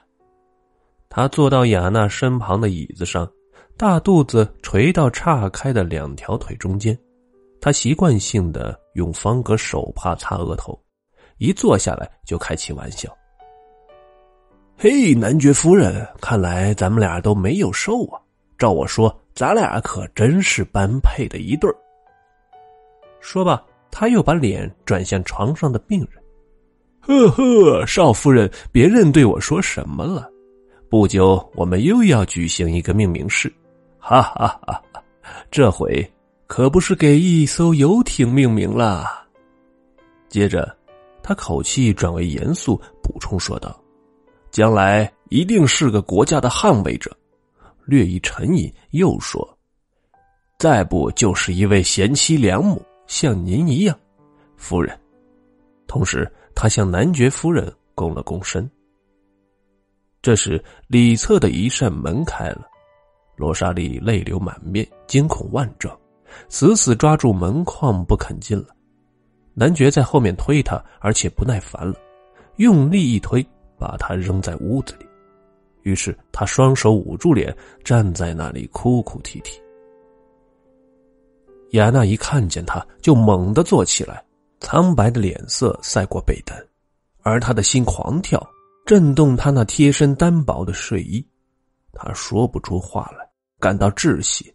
连呼吸好像都停止了，他终于开口了，但由于冲动，说话断断续续。我，我用不着问你了，只要看见你在我面前这种羞愧的样子，我就完全明白了。他喘不上气来，停了片刻，接着又说：“但是我要了解全部情况，全部。”全部情况，我把神父先生请来了，要明白，这就是你的一次忏悔。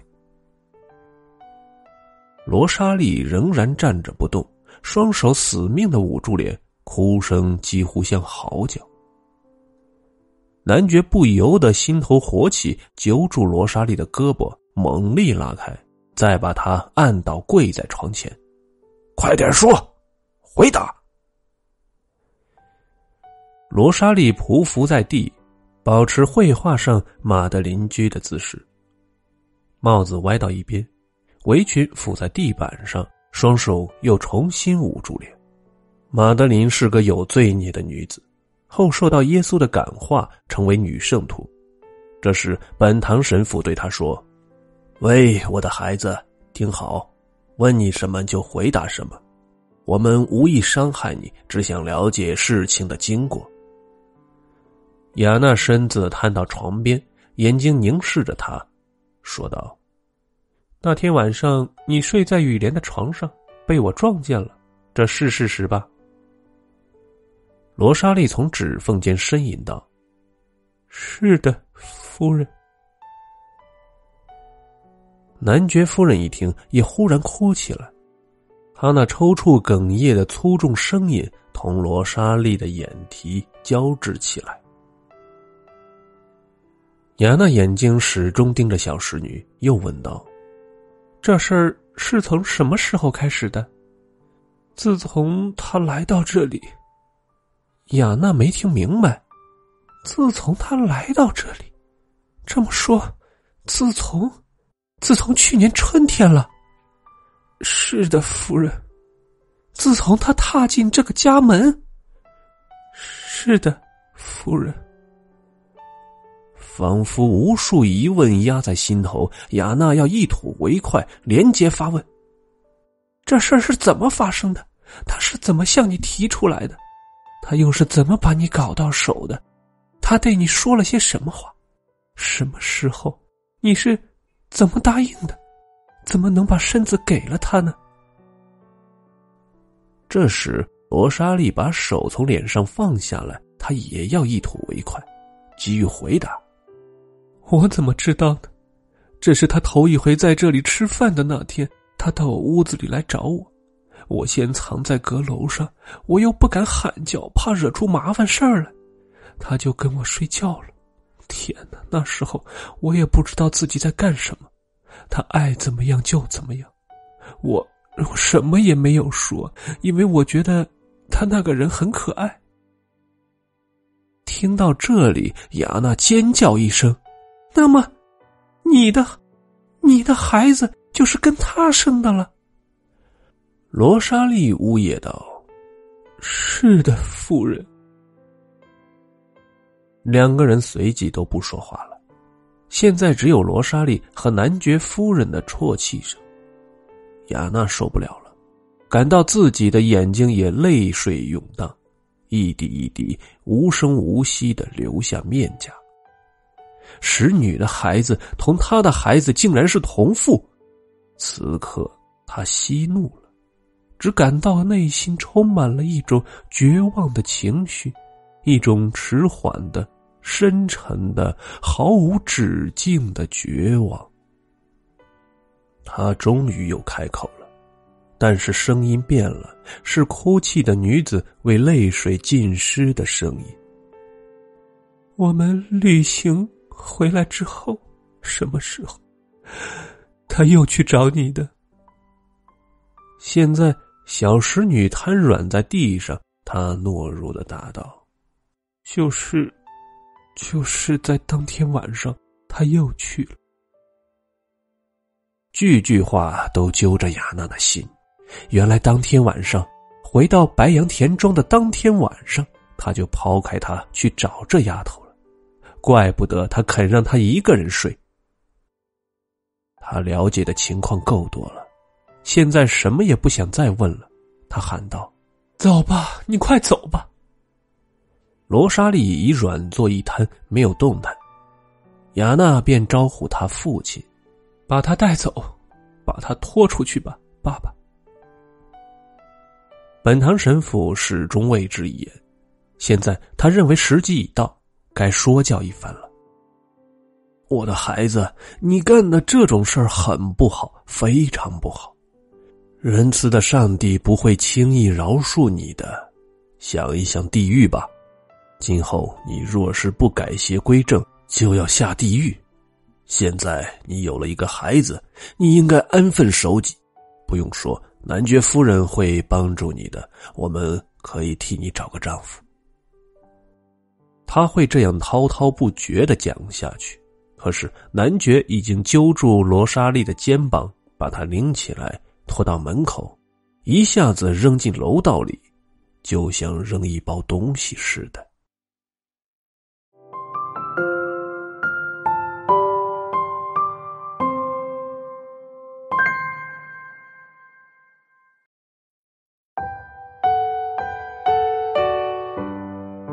男爵回过身来，脸色刷白，比他的女儿还要愤慨。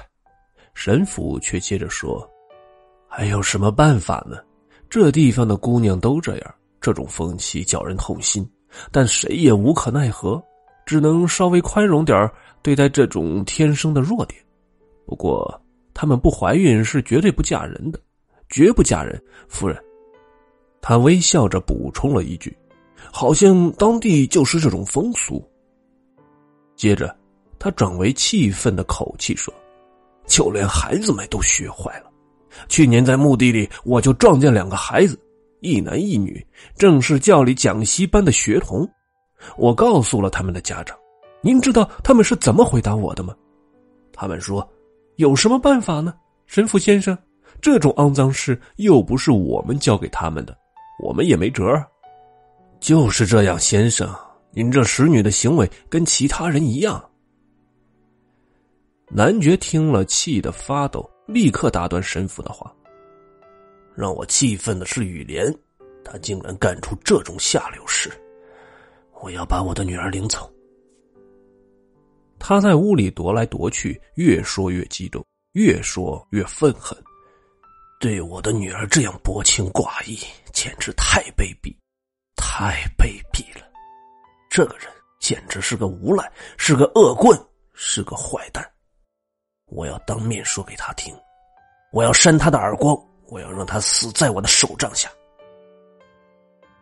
神父坐在垂泪的男爵夫人身旁，从容不迫的吸着鼻烟，正想如何尽到息事宁人的职守，他又说道：“哎，男爵夫人，咱们私下说，他的行为跟所有人一样。”忠实的丈夫，您说有很多吗？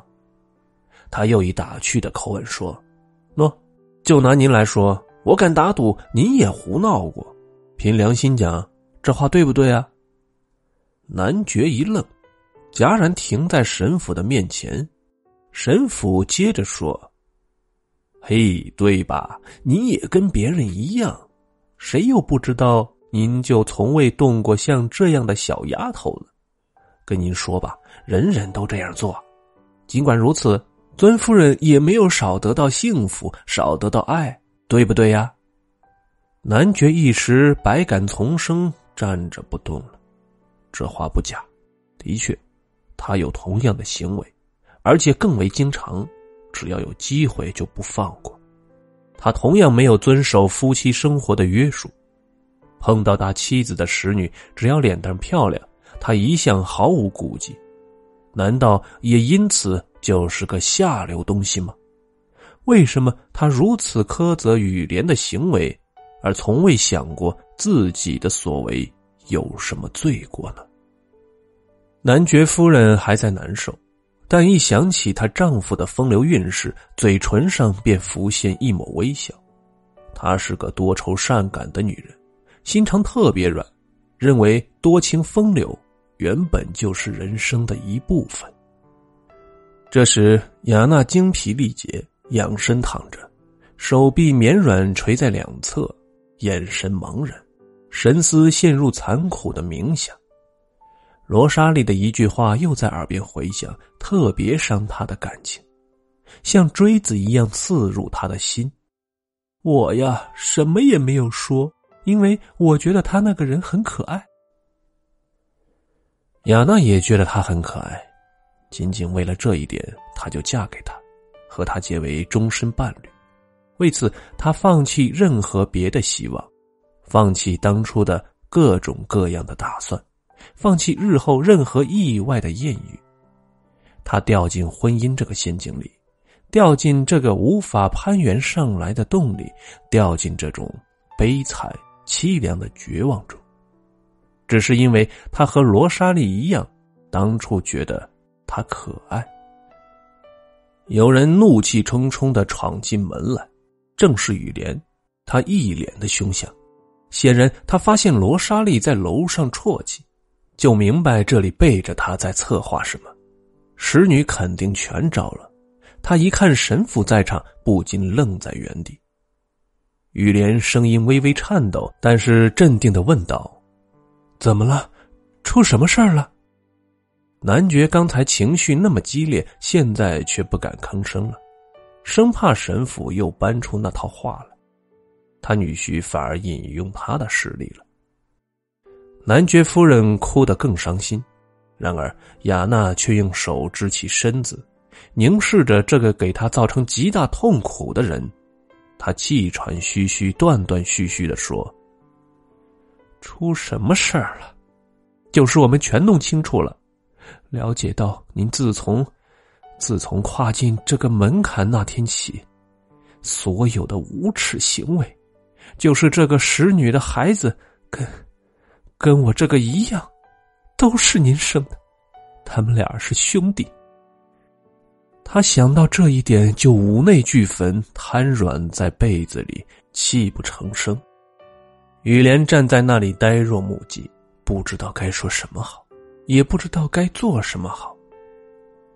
神父又来劝解了：“好了，好了，别这么伤心了，少夫人要理智一些啊。”神父说着，起身走到床前，把他热乎乎的手。放在这个悲痛欲绝的少妇的额头上，怪事就这么一接触，雅娜便软了下来。她立刻感到浑身软绵无力，仿佛这个乡村神父惯于替人赎罪，给人慰藉的粗壮的手，只要一触碰，就能产生神奇的效果，让人的情绪平静下来似的。这位老先生仍然站着，接着又说道。夫人，得饶人处且饶人。您遭受了巨大的不幸，但是上帝仁慈，又补偿给您巨大的幸福，因为您即将做母亲了。这孩子就是您的安慰。我要以孩子的名义恳求您，恳求您原谅玉莲先生的过错吧。这孩子将成为你们之间新的纽带，将是他忠实的保证。您身上怀着他的血肉，难道您能和他的心永远隔绝吗？雅娜答不出话来，她现在精疲力竭，内心残酷，肝肠寸断，甚至无力生气和恼恨了。她觉得自己神经松懈了，渐渐割断，整个人已经奄奄一息了。男爵夫人似乎从不记恨人。要狠心也不能持久，他轻声劝道：“算了吧，雅娜。”于是神父抓住年轻人的手，拉到床前，放到他妻子的手上，随即轻轻的在上面拍了一下，似乎要把他俩永久的结合起来似的。然后他收起职业说教的语气，高兴的说道：“好，解决了。”请相信我，这才是上策。然而，两只手合在一起，随即又分开了。雨莲还不敢拥抱亲吻雅娜，只是在她岳母的额头上吻了一下，转过身去，跨上男爵的胳膊，男爵也就顺水推舟，暗自庆幸事情就这样了结。于是，翁婿二人晚毕出去抽雪茄了。这时，病人已疲惫不堪，昏昏欲睡了。神父和男爵夫人则在小声的谈话。神父大谈特谈，解释并阐述他的看法。男爵夫人频频点头。最后，神父总结一下，说道：“就这样说定了，您给这丫头巴维尔田庄当嫁妆，我来负责给她找个丈夫，找一个又本分又诚实的小伙子。”嘿，就凭这两万法郎的财产，不愁没求亲的人，到时候就怕咱挑花了眼呢。男爵夫人心满意足，现在脸上泪痕已干，有了笑容，但面颊仍挂着两颗泪珠。他再三声明：“说定了，巴维尔田庄，少说也值两万法郎呢。但这笔财产要立在孩子的名头上，父母在世的时候只能享用。”神父站起身来告辞，同男爵夫人握了握手。“您不要动，男爵夫人，您不要动。您可知道，走一步路是多费劲呢？”神父出去时碰到丽松姨妈，丽松姨妈来看病人，她什么也没有觉察出来，像往常一样，别人什么也没有告诉她，她也就什么都不知道。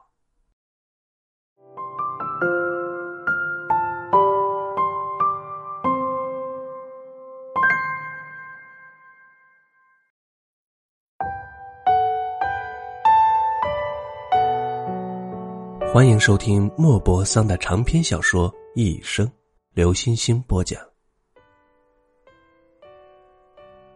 罗莎莉离开了白杨田庄雅娜正在度过痛苦的怀孕期。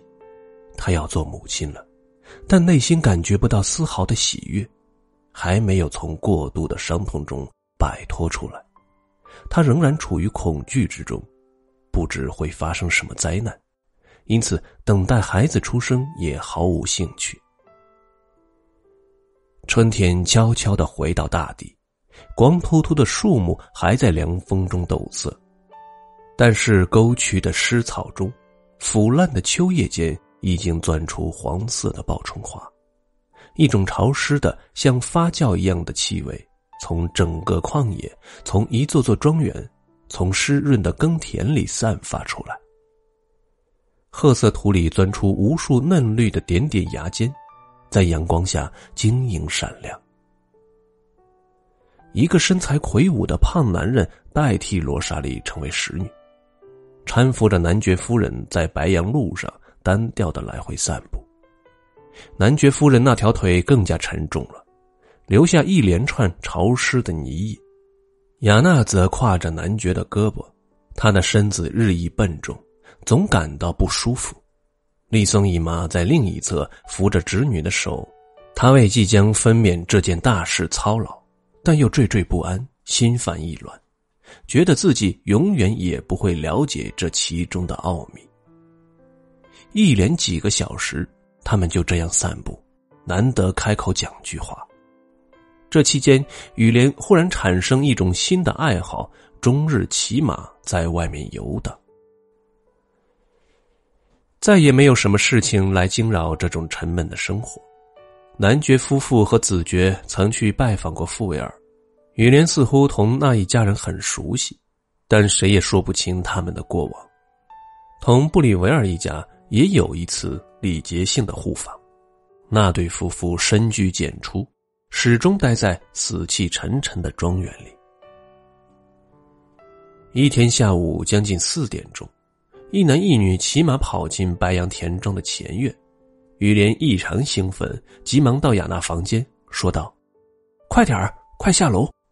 富尔夫妇来了，他们知道你有身孕，作为邻居来看望，就不拘礼了。我去换换衣裳。”雅娜有点奇怪，便下楼去接待。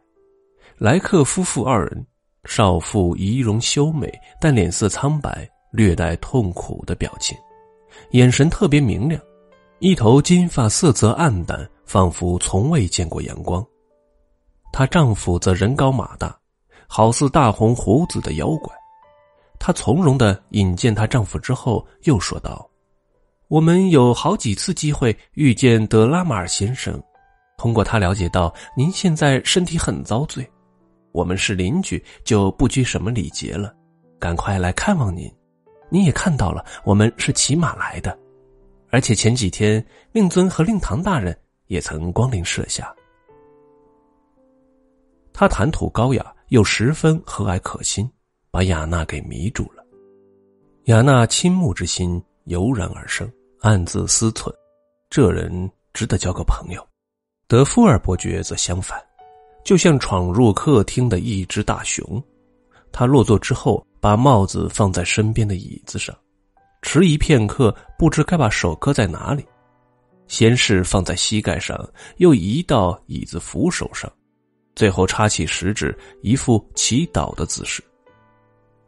这时，雨莲忽然进来，雅娜暗自一惊，简直认不出他了。她刮了脸，穿戴整齐，又像他们订婚时那样仪表堂堂，富有魅力了。他握了握仿佛见到他才醒来的伯爵的毛茸茸的大手。又吻了吻伯爵夫人的手，这时伯爵夫人那白如象牙的面颊微微一红，眼皮也微微一颤。雨莲开口了，她又像从前那样可亲可爱，她那双大眼睛如风月宝镜，重又变得温柔动人。那头硬发刚才还暗无光泽，经过梳理并涂上香脂，忽然重现柔软且明亮的波浪。傅维尔夫妇告辞的时候，伯爵夫人转身对雨莲说：“亲爱的子爵，星期四骑马游玩，你能去吗？”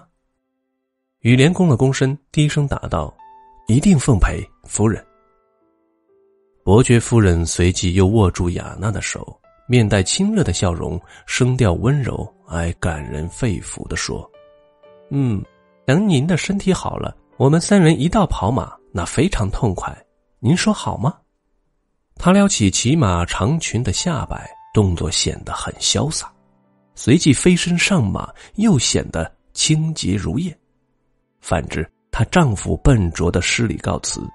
跨上他那匹诺曼底种的高头大马，稳稳的坐在上面，活像神话中一个半人半马的怪物。等他们出了栅门，拐弯不见了之后，雨莲好像乐不可支，高声说道：“真是一对妙人儿，同这种人交往很有用处。”雅娜不知为什么也高兴，她答道。伯爵夫人娇小可爱，我感到我会非常喜欢她。不过她那丈夫倒是个粗汉子。你是从哪里认识他们的？雨莲喜滋滋的搓着双手。我是到布里维尔府上偶然同他们相遇的。丈夫举止有点粗鲁，他酷爱打猎，还别说，他是个正牌的贵族。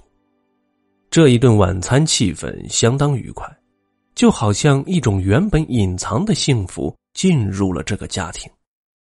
然而，直到七月底，再也没有发生什么新鲜的事情。